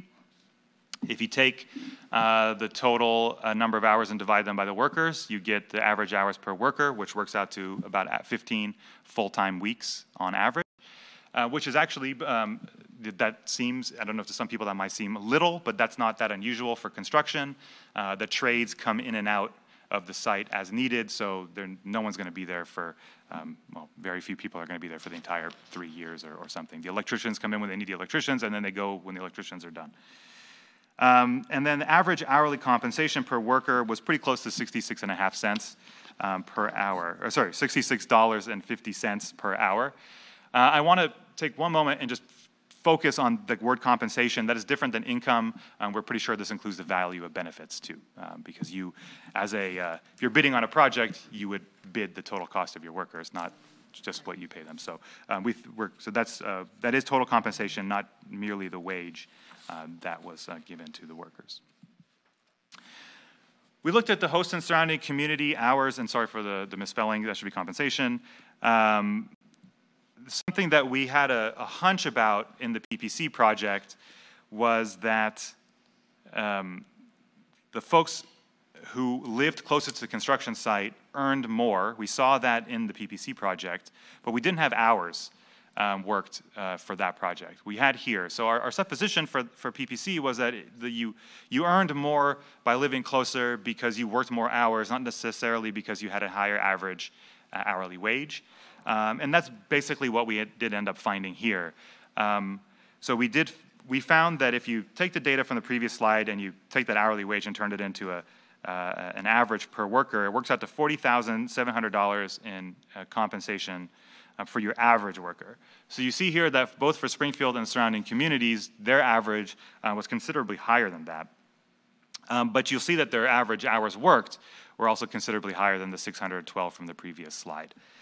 Um, we uh, think this logic actually makes sense uh, in the sense that the construction workforce, the occupational skills of this workforce, is pretty similar across the state. You're not going to import someone from Eastern Mass to come, you know, help you build the foundation or do your wiring or plumbing in Springfield when the construction trades in this area will know how to do that work just fine. But the only re the reason you'd bring someone from far away on a construction site is because they have some kind of specialized skill, and then you would anticipate that they would get paid more. So that was the logic that we went into this with, and, and that's basically what we seem to have found. Rod, how's uh, do you remember how is that different from PPC, given that it's a very different community, or was that uh, mitigated because it was more of a region down there? And so the pat, this pattern of earnings was the same. The closer Yeah. you were to the construction site, the higher earnings. Um, But we think it's because it was more hours, but we didn't have hours in the data set Oh, for that's right, you said that. So um, it was a supposition that we had that we were glad that we could finally test. Mm-hmm. Um, And so we don't have any reason to think that would be otherwise Mm-hmm. uh, for PPC, um, especially because they had not only access to the Southeast Mass um, labor market, but the construction labor market of uh, Rhode Island, which at that time still hadn't come back up to its pre-recession levels of employment. So there was plenty of idle construction labor 20 minutes away in Rhode Island that would have been um, perfectly available to, to work on PPC. Uh, So here are the number of construction workers by county. Um, The same general pattern here holds, that the closer you get to the site, the, the higher the, the, the percentage. So of the 4,250, uh, 4,250 workers that we found, um, 2,960 or so um, were Massachusetts residents, or 70%. Excuse me. Of the Massachusetts total, just about half were Hampden County residents. Uh, and you can see the same kind of long tail here. You go from 5,400 workers to 300 and some odd for your next highest. So again, that, that proximity uh, drop off is pretty, uh, pretty steep. Just having trouble with the graphic of the state. Oh, because the Cape and the Islands aren't there? Oh, yeah, Well, they sorry. are, though, but that's not really the Cape and the Islands. So I'm just curious, what is the bottom part of that graph? Oh, that's the islands. Sorry, that's the confusing part. The, the, or, the, the two is uh, Barnstable. And then the gray on the bottom are like the shape outlines of Dukes and Nantucket. But so, but you, were were you just trying to get it on the slide, which is why they don't look Yeah, that's, it's the, like pr- like it- they would? Excuse me. Doesn't look like Massachusetts. Doesn't look like does it? Massachusetts Yeah. or the Cape. And so what I'm saying is, it- it- the reality is, in some of these, there should be nothing on the Cape, and it's just not Correct. reflected. Yeah, so accurately gray, on that gray is visual nothing. image. Yeah, gray is nothing, and that weird shape at the bottom, uh, those two I don't grays know if there's a are, way to clarify that in the final version in terms of um, I will, making it more visually obvious, I guess. Yeah, Um, I will. Both in the one where they have nothing and then both in the one where they have two. Yeah, I will look into that. This is the shape file that we had, so I'll look into a different, either do a different shape file or better labeling or something like that. Yeah. I see if think what's going running to- interference, though, is that some of the shape files, uh, some of the census tracts actually are in the water, uh, for the ones that are, that border, um, uh, that border of the ocean. So I think that that's probably some of the, what we're seeing there. So we, we can look into that. Yeah, so Dukes County includes like the, what is it, the Elizabeth, the Elizabethan Islands, and so that you have that, that's why you have that weird tail at the bottom, and then, um, and so Gosnold and those things are all in Dukes County, but yeah, we'll, I'll, yes, Yeah, no, so the rest of it is proportionally accurate. Yes. So when it shifts, it just looks a little yeah. odd. We'll try to find a way to make that look better. I agree. Um, Any other questions on this, or should I move, move on? Okay, so here are the workers by host and surrounding communities. Um, So recall that there were 50, uh, 1,524 workers who reside in Hampden County. Of that, uh, 1,120 are host and surrounding communities. So again, about 70, almost 75% of the total uh, Hampden County uh, workers. So here again, the, the majority within the host and surrounding communities uh, are Springfield-based. These worker numbers aren't going to change. Uh, We had a, we were able to deal with these better, uh, different than the the company, so these, these should be right. Um, What did I want to point out here? Oh, one of the things I want to point out was the workers were more widely distributed than the, than the contracts were. So 91% of the Hampden County contracts were awarded to companies based in the host and surrounding communities. But 73% of the Hampden County workers were in the host and surrounding communities. And so that's not entirely surprising. The companies are going to be a single point, and their workers are going to come from all over the place, not necessarily from the same city or town that the, the company is in. So we expected to see a, a wider dispersal um, of workers versus the companies. So you'll see that even on the previous slide, uh, we actually had two workers who lived in Barnstable County, Right. whereas there were no contracts uh, awarded to anything on the Cape and Islands. So now I want to get to uh, race and ethnicity of workers. Our general finding here um, for the various geographies that we looked at, whether we looked at uh, Massachusetts workers, uh, surrounding, com- surrounding community workers, or in this case, what you see on the slide, the host community workers, is that the race, racial and ethnic mix of the construction workers essentially reflected the population that they were drawn from. So statewide, um, 73% or so, roughly three quarters of all the workers were white. That's not terribly different from the, the composition of the state as a whole. If you look here for Springfield, you'll see that uh, 38% of the construction workers um, self, uh, self-selected white or other for their race ethnicity, and you'll see the population as a whole, 35%. That's pretty much the same. Uh, so the share of minority workers and the share of minority population was also essentially the same. What we found uh, was the, that was a major difference was that um, the black population was overrepresented in the construction, construction uh, relative to their share of the population, and Hispanic workers were underrepresented in construction workers versus or compared to their share of the population.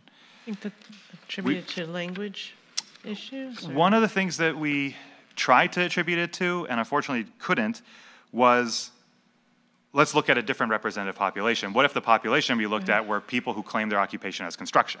Because maybe that population is in fact more black and less Hispanic. Unfortunately, the margins of errors on that in the census data were so large that we didn't think it was it, terribly reasonable to use. Uh, so um, we haven't been able to investigate uh, other areas, whether it might be language barriers, whether it might be um, just training through the trades. If these are mainly union, have they come, you know, have they come up through the trades, or, or whether this is just reflective of whatever the, the, the um, construction population is. I think part of that is this next slide. This is very much reflective of what the occupation, the construction occupations are like. Um, we found a, a, pretty small share of female workers, um, and we know that Springfield is not 87% male, um, but we know obviously that's more representative of what the construction trades look like. Nevertheless, uh, you were actually twice as likely to be female if you were from um, Springfield as if uh, than if an average Massachusetts worker. Unfortunately, twice as likely means you went from 7 to 13 percent, um, but it's still a big improvement. One of the things I did want to point out was this. Um, give you some context. Boston has had a 10 percent target for uh, female representation on uh, construction projects uh, for a long time now. I think Mark can correct me if I'm wrong, but I think they've rarely, if ever, uh, projects rarely, if ever, meet that target. So um, the MGC has had a program of uh, increasing uh, female representation in the trades. I know the trades themselves have. So I think this is far more representative of um, a goal that has not yet been achieved in terms of increasing the number of females in the trades rather than preferential hiring of men. Took a lot of effort, right, Jill? Mm-hmm. More about that later. Yeah. Uh, and so uh, last year we have uh, veterans. So again, the share of, of, of uh, workers who um, identified as veterans, uh, pretty small. But again, uh, you are basically twice as likely to be a veteran if you're a Springfield resident than if you were the average Massachusetts worker. Okay, so now we'll get into the economic impact stuff. I want to take just a brief moment to talk about economic models uh, and sort of what they are. They come off as kind of technical, esoteric, and black boxy to most people. Um, so I wanted to open a small window on that before we get into what we use them for. They work on the basic premise that at a very fundamental level, one person's spending is another person's income. So MGM Corporation spent $573 million building MGM Springfield. That means their suppliers had $573 million worth of income. The suppliers then spent $173 million on, to compensate their employees, who then had $173 million worth of income, who then spent it on other things. A big chunk of that remainder between the 573 and the 173 uh, went to the suppliers of the vendors. They had to buy all of that physical structure from somewhere the concrete, the asphalt, the plumbing, the wires, the carpeting. It all had to come from somewhere. So those suppliers then have their own suppliers and their own employees, who then have their own suppliers and their own employees. So what the economic models do is essentially try to capture all of that, these, this business to business chain of events and then the consumer chain of events. I have now got some money. I go spend it on rent and food services and uh, clothing and whatever. Um, and how do those businesses then benefit? And how do, the, how do they then benefit other businesses? So that's what the economic model tries to do. It is essentially a mathematical representation of all of these of all of these linkages. And the way it works is you introduce some kind of shock, some kind of change, which in this case is what if we built a casino in Springfield? Uh, and then you see how that ripples through. So the key concepts that we're going to be talking about, the first is employment. Economic models consider employment to be kind of a roster count or a head count. It's not a count of employed individuals. Uh, companies say, I have this many jobs. Company B says, I have this many jobs.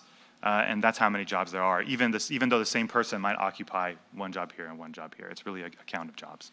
Full-time, part-time, self-employed are all counted as one. Output is business revenue or business activity, um, and value added is essentially output less the cost of all the things you had to buy to make your output. So if you think of a car, if GM sells a Corvette, the price of the Corvette is their output. Their value added is the price of the Corvette minus everything that they had to buy to make the Corvette, minus the steel, minus the wiring, minus the whatever. And pay. And pay. Uh, well, no, pay isn't value added. Oh, okay. Yeah, pay because the, the workers add value, but, uh, so all of the stuff they bought from somebody else that came pre-made, um, gets subtracted to get you value added. And the reason value added is important is that it actually represents uh, net new economic activity. So it's what's also called gross product. So if you hear gross state product, gross domestic product, that's value added, it's not output. Economic models have to be built around regions. In this case, we built six regions. You can see it's still the same shape file, so the weird Cape region persists. Um, but uh, we, so we have six regions uh, built around the existing economic and uh, sort of commuting uh, relationships uh, of the state. I think this is pretty self-explanatory for, for folks who are familiar with uh, the state. So, employment impacts. Um, direct is MGM Springfield. Induced, or sorry, indirect is that business-to-business chain of events that I discussed, and induced is primarily that consumption-based chain of events. And so what you see here is if you look at the averages, 593 um, workers are the average number of workers uh, in a particular year. And that led to about 1,050 uh, total workers elsewhere in the state. So the difference between those uh, are workers who had nothing to do, people who have jobs had nothing to do with building MGM Springfield. They weren't, uh, uh, they weren't on the site, they weren't employed by one of the companies working on the site. So they could have been suppliers of suppliers, they could have been Red Rose, you know, an increase in hiring of, you know, wait staff at Red Rose or, or whatever it might have been. Uh, these are uh, all kind of new. Obviously, these workers come with a paycheck. Uh, so um, the state as a whole gained $397 million of net new of, of new income versus the 173 that MGM directly paid. So again, that's a pretty big increase. What we found was that essentially for every dollar of compensation paid to construction workers, uh, there was additional $1.30 of compensation, of, of income created in Massachusetts. So that was a, a pretty, a pretty decent size impact. And if you look at the jobs, uh, it's basically, uh, I think it's 0.8, so 0.8 jobs for every one construction job. Rod, in these, uh, these numbers, the employment um, totals, um, are these um, full-time equi- equivalencies? Uh, no, these would be a job. So it would be whether it's full-time, part-time, or self-employed. The, Okay. the model looks at the, sorry, I'm moving away from my microphone. Um, the, mo- the model looks at the, or considers the average structure of a particular industry. So an industry like food services, where the majority of workers are part-time, you'll end up seeing a very low productivity. So the average labor productivity might only be 30,000 a year per worker, um, or 50,000 per year per worker, because that worker might only work 20, 25 hours a week. Uh, and so that structure, the average employment structure of each industry is built into the model, so you just put in a job as a job and don't have to worry about whether it's full-time, part-time, uh, or self-employed. Uh, and so I have one final slide, uh, which is this. Uh, so we'll look at the economic uh, activity, the, again, the knock-on effects of that. So if you look at output first, cumulative output, you'll see in Massachusetts 849 million. Recall that direct cons- construction was 573 million. So that's a pretty substantial uh, bump there as well. I think it was 48, we found 48 cents of additional Massachusetts economic activity for every dollar of construction. So think about that in a way that's easier to understand. For every $2 that was spent on construction, $1 of additional economic activity was created in Massachusetts after accounting for leakage out of the state through importation of inputs, leakage out of the state through commuting, and leakage out of the economy through taxation and so forth. So even after accounting for all of that, uh, you're still getting a dollar of additional economic activity for every $2 uh, of construction spending. I think you lost me on that. Can Sure. you Just sh- walk me through the chart a little bit, please. Okay, well, look at the third column from the left, cumulative output. If you look at the Massachusetts row, we have $849 million of total output. Mhm. So that is the total amount of business revenues uh, that were created in the economy as a result of building MGM Springfield. Of that 849, it's not shown on this chart, is the $573 million of total, the total construction budget that MGM spent. So the difference between those, between the 849 and 573, is the additional economic activity that was um, created uh, in, uh, in the state through, through these ripple effects and through these knock-on effects. And that 849 accounts for all the, the losses in the state's economy through importing goods and services from out of, out of Massachusetts, because when you import goods, you export money, so that money then leaves the state economy. Right. Um, commuting, if you import a worker, you export their wages to their home community. Uh, and then taxation. So taxation is also a, a, a leakage from current period economic activity. So uh, every time you pay a sales tax or a corporate income tax or, or so on, that is also uh, a leakage out of here. So even after accounting for all of that, uh, we still get 849 million from an input of 573 million. Was that, sometimes I get, uh, sometimes it's, my version of simple is not simple, so if that, when I've, I'm just wondering if maybe it needs to be on that page. Yeah, it's in the, the five, the Yeah, five the- seventy-three. The 573. I will, yeah, I will split up. I'll have to split it up um, for every county because every county obviously has a portion, so I think I will do that. Um, Perhaps Um, just good- put yeah, that- Metro Boston, construction vendors, you know, then additional Southeast construction vendors, then additional, I think I'll have to look something like that.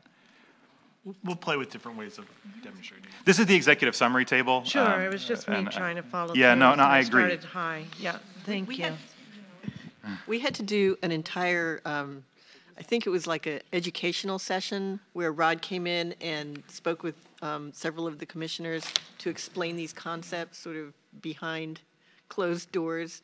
Um, They're not sort of Intuitive. intuitively graspable.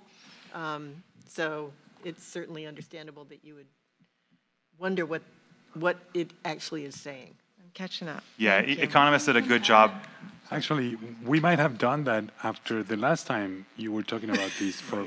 Yeah, I, be- I believe it was Because- after, I yeah. believe it was after Rob, Rod presented Rod, on yeah. um, EPC construction. And um, either Commissioner McDonald or. McHugh, Commissioner McHugh. McHugh, yeah.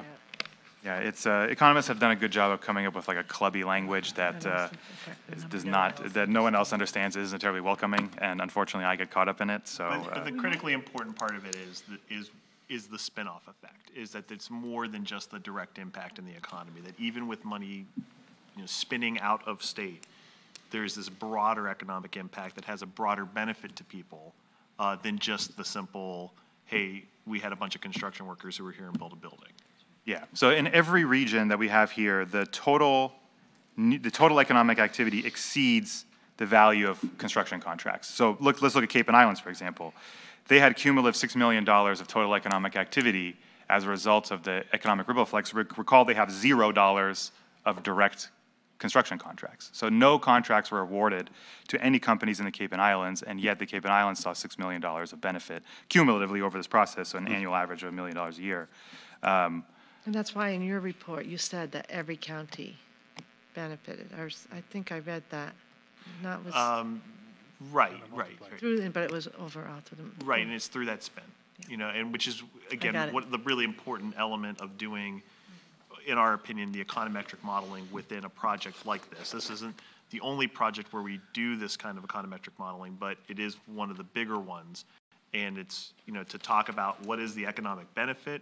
It's, you know, hey, it's the construction worker, it's the business to business, i- i- i- it's the, it's the building the building, it's the business to business, and then it's the person having money in their pocket and they go to the bar after, and, and, and what that all does in the economy uh, to, uh, you know, again, to the benefit of, of folks in the community. Yeah, I mean, ultimately, at the end of the day, if all licenses envisioned in the legislation, enabling a legislation, are awarded, that's still four out of 351 cities and towns that would have a casino. So the question, you know, we, we look at is how are casinos creating economic opportunity for all residents of the Commonwealth, not just the people who reside in these four cities and towns. And so part of that is looking at where do the workers live and where are the companies, but the, after that is, okay, then what happens?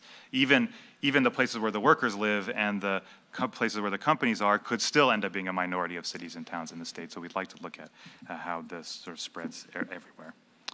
Um, Thank you. I think that's good. So. Thank you. All right, so then what's next? Um, So thi- this next slide is just to talk, just highlight some of the things that are coming. The real estate and the construction reports are, will be released soon. This was an executive summary of what Rod had been working on. Uh, That'll be released uh, in the, in the, in the near term. Coming up in December, we'll be releasing the MGM Lottery Report, uh, which will look at lottery sales uh, locally uh, and how that's trended over time.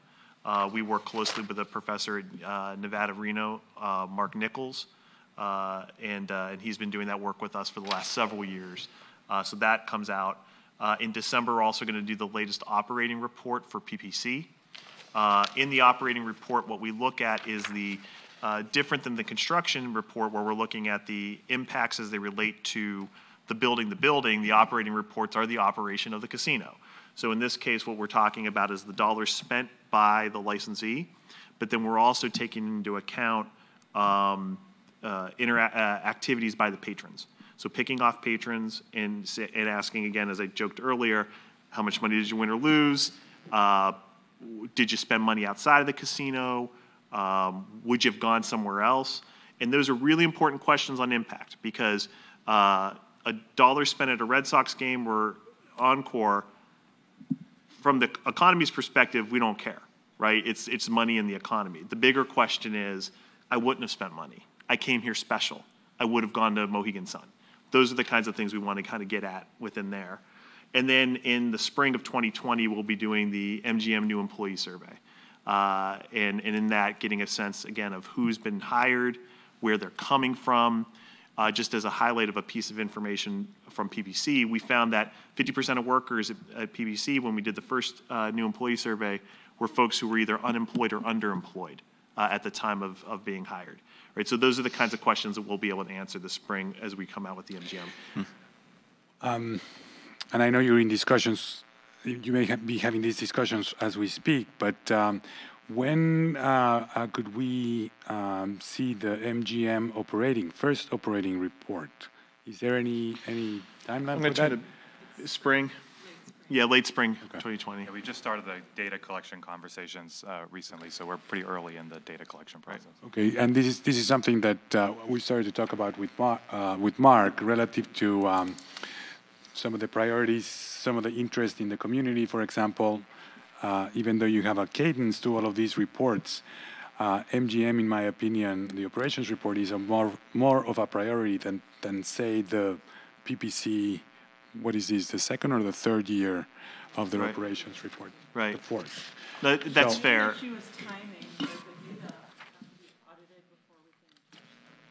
Yeah.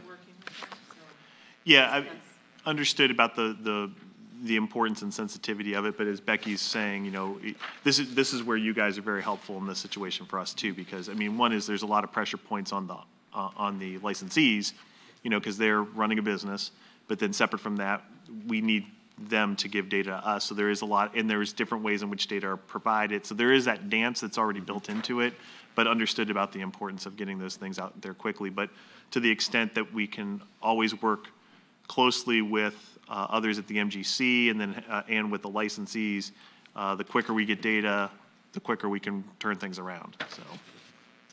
And, and I think to pick up on that point, that translates, I think, Mark, where you've been focused is how can this research kind of translate for other stakeholders? So Right. doing patron survey, what can that mean to the local tourism bureau of the city? You know, kind of who are the shareholders that are interested in what the actual results are? well? Right, right. No, that's an excellent point, and uh, I think one that we should continue to discuss about, you know, one is the leverageability of different elements of the data and how that could be helpful to uh, different parts of the community. I think the other thing that we've been really sensitive to is trying to think more about um, the the broadest reach possible out of the information and, and, and that we are able to cre- uh, create out of this project. Um, that includes you know, dashboards and infographics, but also trying to maintain that accessibility while having that, that, that academic and policy lens within the work and, and being sure that stakeholders of, of a wide variety, whether it be, uh, you know, the, the um, Tim Sheehan's of the world or, you know, person who lives in Springfield and Mhm. is just like, is just worried about their community and wants to know. Uh, so I think that's something as this project continues to evolve, uh, particularly as we are, uh, as the industry matures within the marketplace, that there's a lot of opportunities for different ways of, of using this information and, and, and I think really cutting edge and interesting ways. Excellent. Do we have any more questions for this panel? This has been, Thank you. we, we're very, work. very happy to be able to have these presentations Great. today and, and how fortunate to be here in Springfield, so thank you. Thanks, We guys. thanks for, thank you for your patience on our timing today. Thank you. Thank you. Thank you. Great And work. now we're, a quick break? No, we're, oh, really? Oh, okay. Are we just Okay. Hmm? We only have one more. Oh, you're really uncomfortable? On a scale. Uh, We're going to proceed with um, Workforce, Supplier, and Diversity Development. Uh, Director Griffin, please. Do we need, do you guys need to? I'm good. He's okay. He told me on a, s- on a scale to one to ten. It can, can turn evil. Okay. Thank you, Director Griffin, for your patience today. But very interesting report, so thank you. It was very Crystal? interesting and, and very pertinent to this next topic, so. Right. You're um, looking at workforce supplier and deve- uh, development, diversity development, excuse me, and a special guest. Um, So commissioners, um, the next topic is our vendor spotlight. And I'm going to introduce um, to you, some of you know um, Mr. Lamont Clemens, who's um, seated to my right. And um, Lamont is here repre- representing S. Cello um, Painting Company. Um, And S. Cello is an MBE union painting company that had quite a bit of work on the MGM project. Um, They were a subcontractor working on the parking garage, 95 State Street. They also worked on the podium and the hotel. So I just wanted to really turn it over um, so you could see, you know, firsthand. You heard about the research, but you could see firsthand some of the benefits. And so I'm going to turn it right over to Lamont. Thank you. Appreciate it. Uh, good afternoon. How are you guys doing? Good. I just wanted to uh, thank you guys for uh, for inviting me in and having me in. Uh, for first and foremost, I'll be thanking you guys for a few other things a little later on in, in my conversation. But I just wanted to start off with just like a background about uh, just ourselves, our company. Um, we are a family-owned company that's been in that's born and raised here in Springfield, Massachusetts. We've been here for about 34 years. Um, up until this point, we were doing you know small and medium-sized jobs. I would say we've had. Um, some, I would say one of our larger projects was probably about the size of the 95 State Street job alone for us here. So um, just to tell the magnitude of what the growth has been just predicated on, uh, on what has happened already um, here. So I'm, I'm one of uh, eight children, so it was a race to the cereal in the morning. And uh, and uh, fortunately, uh, we had some parents that really instilled some incredible work ethic in us. And literally, our motto was the only place that success comes before work is in the dictionary. So we uh, we were definitely had the uh, had some great work ethic, which was great. Um, our only uh, our our vehicle within that work ethic was obviously the painting company that my father had uh, had started. So that was the direction that I decided to go in with him, and it's been a very very incredible journey.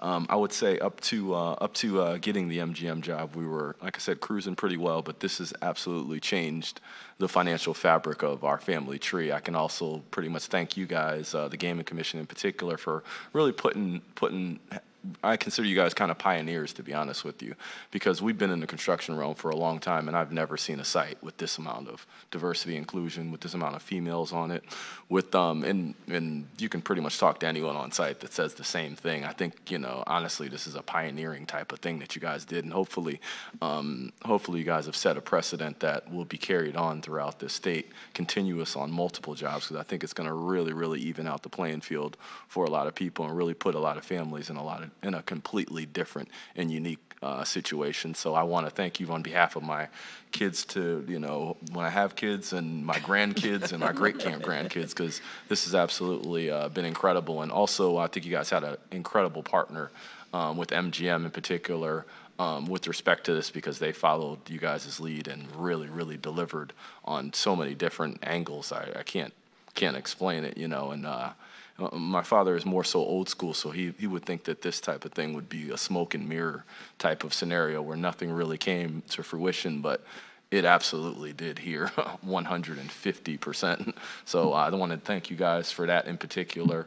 Um, also wanted to, uh, to uh, discuss a little bit about um, what we've been able to do. So we've employed dozens and dozens of painters on this job. Obviously, just like Jill said, we did the 11th floor, 95 State Street. We were blessed to do the podium. We also expanded our business model because when we were looking at the podium, we went out outside of just painting. We also sealed the concrete of the uh, 125,000 square feet, which is now something that, that we do uh, permanently, which is, uh, which is a great thing. And we also um, were able to really secure some more work just based off of the fact of getting a job of this magnitude. Um, as I, have mentioned uh, previously, we did some work down with Encore. So this piggybacked and, and went directly down to Encore, worked with them on the hotel project over there. That was excellent. Um, had a you know had a good experience down there with Encore. We again we were able to expand over to the eastern part of the state, which is, uh, if you guys know, uh, you know Springfield's kind of uh, like the redhead stepchild of the uh, the state. We kind of some of the people feel. So I feel like being able to expand over there really helped helped us in uh, in leaps and bounds. And now we're able. We're actually still we're actually doing some contracts with uh, Soap Painting, which is another painting contractor over in the eastern part of the state as well, which has been absolutely amazing. And then now MGM is actually, we've done now six projects for them even afterwards. So they not only did they they do their commitment in front, but even afterwards when they really didn't have to work with us, they came back and worked with us directly. And now we've done multiple of their projects that you guys probably heard about earlier. We're doing the VIP lounge currently, the uh, Plaza Bar outside, the Island Bar the um, sports book when it comes, and in the uh, hotel, they're making some changes in there, changing 24 rooms into 12 suites. So we got all of those projects as well. Um, hoping for Wahlburgers and then you know some of the other stuff that's upcoming. And uh, I'm firmly and confidently strong that we're going to get those. You know, really because of you know you guys and and what uh, you guys and the leadership that MGM has been able to uh, really really put together here. So I'm absolutely ecstatic. Um, truly, truly appreciate everything that, that you guys have done for us. Um, just want to talk a little bit more about who we've who we've been able to employ. So obviously we've had dozens and dozens of painters, but because we are from here, Springfield, we you know we I know I went to middle school and you know I went to school with a lot of people and the families and their kids that are around here. So we're able to engage with them and now put them into the workforce of uh, of the painting workforce, where we were able to. I literally had a conversation with a kid that who was 24 years old. You know, he was painting with his dad for uh, quite some time. Had came to me before we got this job and eagerly was saying, "I want to be on the MGM job." And I was like, "You're gonna have to come on as an apprentice. That's gonna involve you working all week, and then on Saturday going to class about an hour and a half away." And then, you know, enjoying your Sunday and coming back and doing the same thing all over again. And you know, I'm happy to say that he, he definitely uh, did do that. And uh, obviously, because he, his hours uh, increased, he was able to move from a 50% to a 55 to a 60% and is continuing to, uh, to work within the, uh, the union model, which is something that a lot of the inner city kids here in, in, in Springfield were completely unfamiliar with that even being a possibility, to be honest with you. So we've been able to walk them through it in the same fashion that MGM really walked us through this type of job. Um, you know, obviously with us doing those, you know, smaller and medium, medium-sized job, this job involved a lot more paperwork. MGM was extremely, extremely uh, great with walking us through that process, which I thought was incredible. I really wish uh, that this could be ran, you know, this exactly what happened here could happen across the nation. I think it would make the nation a really better place and uh, definitely has already made uh, Springfield and Western Mass a better place just based just predicated off of what you guys have done. So I guess that's that'll be it for me for today. So it's been great. We're also able to, I'm sorry, employ um, multiple women, females, which we still are employing, which is also a good thing. I think it's great to to you know get it for that one shot deal, but when you when you have people continuously working for you, it really, really speaks, you know, speaks some volumes. And you're continuing to hold to those same diversity uh, goals that you guys have just naturally as a business without having to have an actual mandate or or uh, or anything of that that type of goal. So I think it's uh, it's incredible. Looking forward to it and hoping to continuously build and get more work and honestly develop and continuously help other companies that that are that were in the situation that we were prior to. I think is really our goal. So I can't wait. Thank you so much, Lamont, and thanks for being patient. Um, do you have any questions, commissioners? Sure. So I think you, what you're saying is you were given an opportunity, but you had to, you had to do the work. You had to do really good work, or they wouldn't have hired you back. Would you agree with that? It's fair to say. Fair to Yeah, say. and, and, and the other point is, so now you're giving opportunities to others. You realize the value, including women, and maybe you wouldn't have realized it, you know, until you saw it working, the model working. You looked around and saw people who look like you, who look different than other job sites, right? Yeah, exactly. Yeah. So um, I don't. You just didn't give yourself enough credit, frankly. Oh. You were thanking us, but you know what? They they seriously wouldn't have continued to hire you back if you didn't do really good work. So Thank that's a- that's a a credit great to team. you and your company and your enthusiasm is is. Uh, Hey, I, I'd like to work for you. You, you, you know, you have that kind of enthusiasm, which is great for people to be around. Thank so you. I, I thank you for the work you do. I, I appreciate it truly. Well, I'm having my house painted right now, and they're, they're lucky they already have the contract. I'd be, be I'd be second meeting with you right now. Yeah, I was going to say something along those lines uh, that Commissioner Cameron is saying. Um, you give us a lot of credit, and a lot of other people deserve the credit, uh, not just uh, you and the work and the, and the, the people that you employ uh, in, in their ability to perform, uh, but a lot of people around, um, not just MGM, the city, Jill, perhaps uh, here especially. Um, there was really this sense of this would be a missed opportunity if a, a, a casino project that comes, you know, so infrequent uh, to an area like Springfield would be would go without, uh, you know, the promises that they make, especially when it comes to the local and the minority. Uh, it's something perhaps you alluded to uh, very in a very subtle way, but has happened in other. Perhaps through through the thinking of your father when you mentioned him, has happened in the past and has been a real missed opportunity, um, and a real tragedy, in my opinion.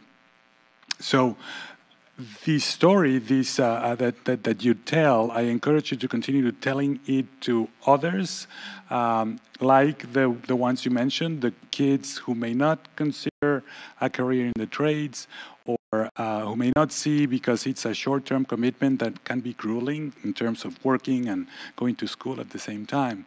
Uh, just seeing what could be at the at the end of that uh, road, if you will. Uh, I encourage you to do that because uh, you speak to it uh, very well, and there, that that's the pay it forward, if you will, uh, that make them. Absolutely, absolutely. And I, uh, I wouldn't be remiss then if I, if I do name uh, my, uh, my kids, are at least middle name Bruce or Jill, or, or happy. but um, even during the process, even even now, again, like uh, you know, having us having me, you know, come and speak here is you know great. I I welcome uh, doing this because I feel like the message needs to be delivered. I do the same thing in the local barbershop and our, the soul food restaurant my sister owns pretty much everywhere that I go around here because I think that message uh, is important for people to know and really see. And uh, so I appreciate that. And now, again, we'll be I'll be any opportunity I get the opportunity to really speak on this. I think I'm going to definitely do that. And then ultimately, um, the goal is because the construction trade skill set is dying as a whole. I ultimately want to want to be able to put uh, put together a program where uh, these kids can really understand how they can transition into their trades a little stronger. Um, and uh, hopefully, we'll stay tuned. I uh, I am talking to uh, some of the some of the assistant superintendent of Springfield Public Schools about a little bit of things as well, just regarding uh, regarding that because there's you know, we might, there's a lot of talent that's retiring. and, uh, and I think that uh, we need to make sure that the kids understand that you can make an incredible living um, in construction. And also, it's a really valuable trade. And, you know, also, you know, keeping people working with their hands as well. Absolutely. I, I just want to add, you know, I think Lamont and his company's story is a, a great story within the story of what casino gaming has meant to Massachusetts and, and your your line about, you know, these opportunities changing the financial fabric of your family's future is, you know, a, a message that just will stay with me. Um, but kudos to you because you're also involved in the community with Rotary and everything else. So it's not only running a business, it's being engaged in what going, what's going on in your community, and that's you know uh, a great asset for the city of Springfield to have, and for the region, and for your company to have too. So congrats. Well, thank you, Thank you. Lamont. You've been very patient, so if, um, I know you have other things to get to, so thanks. It's really, a- you're, you're really demonstrating such great leadership, you know, in addition to the contribution you're making through your trade and to others, but, you know, leverage that for I, life. I had amazing parents and, uh, That's and a excellent. family uh, that was very supportive. So I think that's important. I think it's important that a lot of these kids have get the opportunity to have that as well. So I think employing their parents ultimately is uh, is how we'll, uh, we'll we'll continue to pay it forward. And That's I'll stay excellent. tuned. Congratulations. guys. Thank you. Thank Thanks, you. Lamont. Thank you. Thanks so much. Thank you. Thanks again. So to my right is um, Lisa Clausen, and of course, you know Crystal Howard, Program Manager. Um, Lisa is with the Carpenters Labor Management Program. I think she has spoken before the commission, Mhm. um, maybe not in a while, though. So I'd like to welcome her back. And we're here to update you on an upcoming event that we're putting together, um, a Diversity Summit. Jill, can you speak right into your microphone? Oh, sorry. Thanks. Um, and I'll just say that um, uh, Lisa, in addition to being um, a partner in the planning of this summit, um, was really the visionary behind the concept. So I have to give her kudos. Uh, but Tuesday, October 8th, 12:30 to 3:30 at Smith College. Um, we are focusing on the practical applications and proven strategies to increase diversity in construction. And this summit is really intended to um, focus on the central and western Mass regions, um, which are under accessed by especially women, but also certain um, people of color. Um, and we're going to feature the best practices in construction diversity that um, uh, were evidenced by both of our Category 1 licensees, um, including we have um, Vice President of um, Development and Construction for MGM Springfield, um, Brian Packer, coming back into town. Um, and we'll also showcase the Build a Life recruitment campaign um, and the strategy that um, the commission launched with our partners NCTE back in uh, 2017, um, designed to increase women in the building trades. Um, so we really want to ensure that uh, the robust group of new recruits to the trades that came on um, really for the MGM project are kept employed, um, in addition to encouraging um, new opportunities and new projects. I'm actually going to turn it over to Lisa to talk a little bit more about the program. Thank you, Jill. And um, Uh, You know, I just have to say, it's, um, I had the concept of doing something coming off of the successful completion of MGM, and and Encore at the time was still finishing up. Um, um, And I just appreciate how quickly the Gaming Commission, uh, Commissioner Stebbins, the staff kind of embraced the idea of doing something to highlight what was done with the casinos. And it's extremely useful to be modeling it for what other institutions could do and how they could also similarly achieve their construction needs and at the same time create opportunity um, both for MBEs like Lamont's company and also on the workforce side for women and, and people of color in the in the trades. Um, and it's um, it's been really terrific. Both the Gaming Commission and then the UMass Building Authority has also at the same time been doing strong um, uh, enforcement and encouraging their contractors to um, meet goals that the state has on diversity in construction. Um, and having those two examples and those two models have been has been what we constantly are touting when we're talking with both municipalities that are considering it as well as private um, institutions. Um, and so, coming off of since uh, um, the MGM build, we have been starting to find inroads on both of those fronts in central and western Mass. Um, so, right before MGM was built, as we knew, and we're working to recruit more women and people of color in, um, we got Mass, uh, we got Mount Holyoke College. They were having a construction of a new student center to put uh, goals on that project, and so it enabled us to start training some people who then ended up furthering their career in the casino. But then since then, um, Smith College has um, I've been doing it with a, a, big construction of a new library that they have going on. Uh, over a hundred million dollar job that's that's happening there um, in um, Worcester. WPI has just decided to start putting diversity goals on some of their construction projects. So there's a academic building that they have coming up where they're going to do it for the first time. Um, Holy Cross has told me that they're going to start. They've been in conversations internally on how to do it and are going to start looking to apply some diversity goals to their construction projects. Um, the YWCA in Worcester is expanding their um, their facility doing a renovation expansion, and they decided to adopt diversity goals for that project. Um, and then on the public side, um, the city of Springfield has revamped um, kind of the enforcement of diversity requirements they already had on city contracts. I'll talk more about that in a minute, but the city of Worcester also has just announced um, very strong diversity goals for all of their public construction work. And Ed Augustus, the city manager, is going to come to the event on the 8th, and he's going to be on the panel and speak about that work. Um, and, um, and then in this region, Easthampton is currently has an ordinance where they're considering putting um, diversity goals um, on their construction work. And, and we've had some good conversations in the town of Amherst as well about doing it. Um, in each place, it's kind of where we can show them this model of how the Gaming Commission has done it and the two casinos did it.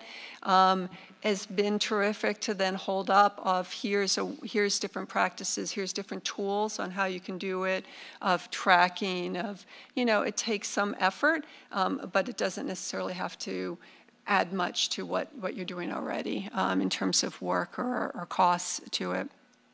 Um, and um, uh, the, this event on the 8th has been a place where as we've been going out and talking about to the WPIs of the world and the Smith Colleges of the world about taking this approach.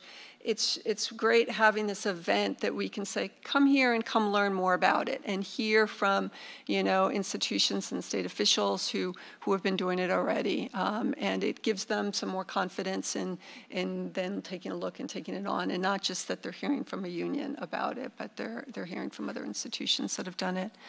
Um, so in the city of Springfield, um, working with Mayor Sarno um, and his um, staff team and working with some city councilors, um, the city did a disparity study um, a little over a year ago, and then the city of Worcester did a similar one as well, where they took a look at, they had some uh, researchers at UMass Boston who did analysis of the workforce and, and made the argument for how there's women and people of color are not proportionately in the industry as they could be and are often in uh, uh, similar jobs, high physicality, um, where they're earning less money. Um, and so if given the opportunity, you know, would then be, you know, the opportunity and the training could make the switch over.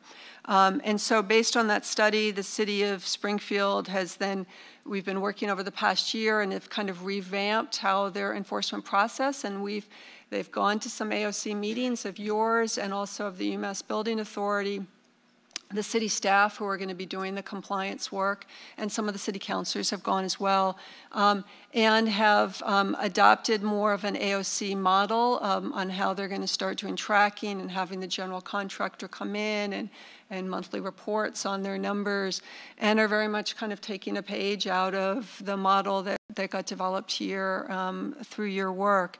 Uh, they just um, in September, we had the first meeting where um, there are some new projects going on right now in the city of Springfield, a big school in particular that's being built in the North End, um, where they're now starting to do that tracking. Um, and, um, and we're really excited for what it will bring. They're, they um, already had diversity uh, requirements on city contracts, and um, but again, they hadn't really been enforced for a while, and their numbers are, are 30% uh, local hire, Springfield residents of Massachusetts employees that are hired by a company, 20% people of color, 6.9% uh, women, and 5% veterans. Um, and um, the city of Worcester, meanwhile, did their own disparity study, and that came out with recommendations that their um, uh, the women um, numbers could be as high as 10 percent, um, with what's currently out there available to easily recruit into the construction market, and 38% for people of color.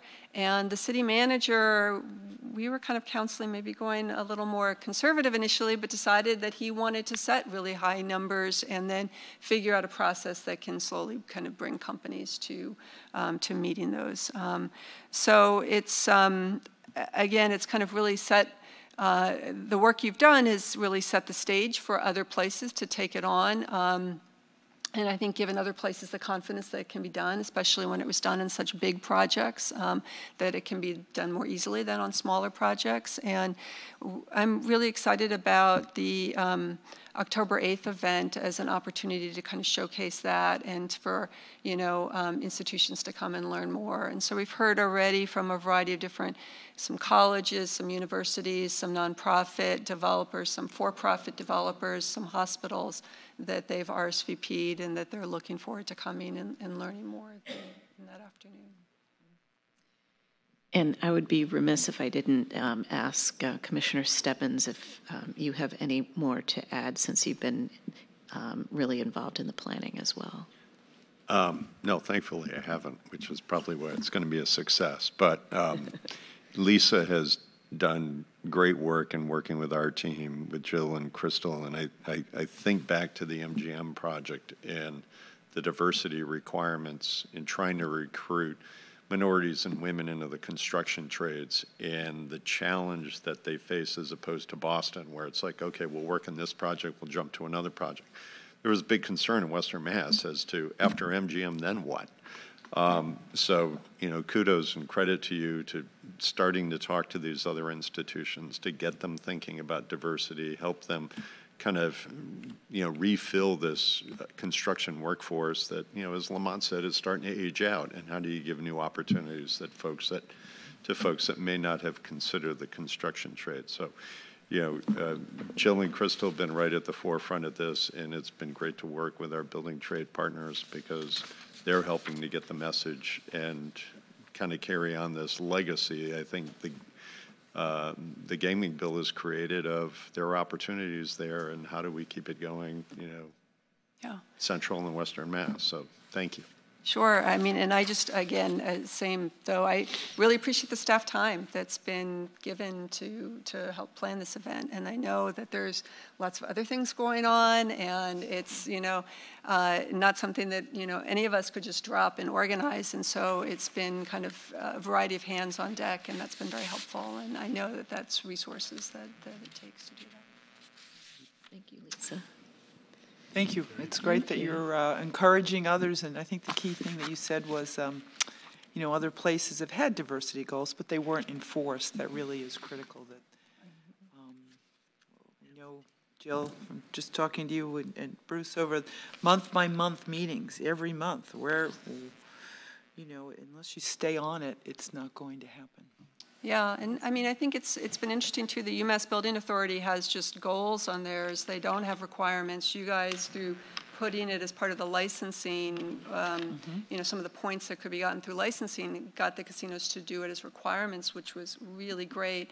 But even with goals, they've been at UMass uh, Amherst, the projects are all exceeding their goals, and it's through, again, these best practices that, that you guys have put in place, and that contractors are now feeling, okay, if, you know, we should do this, we need to do it to, to get that next job. And what we've been finding is more of our contractors are saying, okay, let me put someone, uh, some more diversity on my core crews. Um, so it's not just for where there's a job that has that requirement, let me fill that quota or that need, but, oh, this person was a good contract, a good carpenter, a good electrician, or a good operator, and, you know, it's, it's more important in this day and age, and so let me then start reflecting that and continue to employ that person. Um, And that's what we love, getting those calls saying, we're looking for the right fit for our, you know, X type of company, who have you got? And we say, well, we've got lots of people you can consider, and we talk to you about them.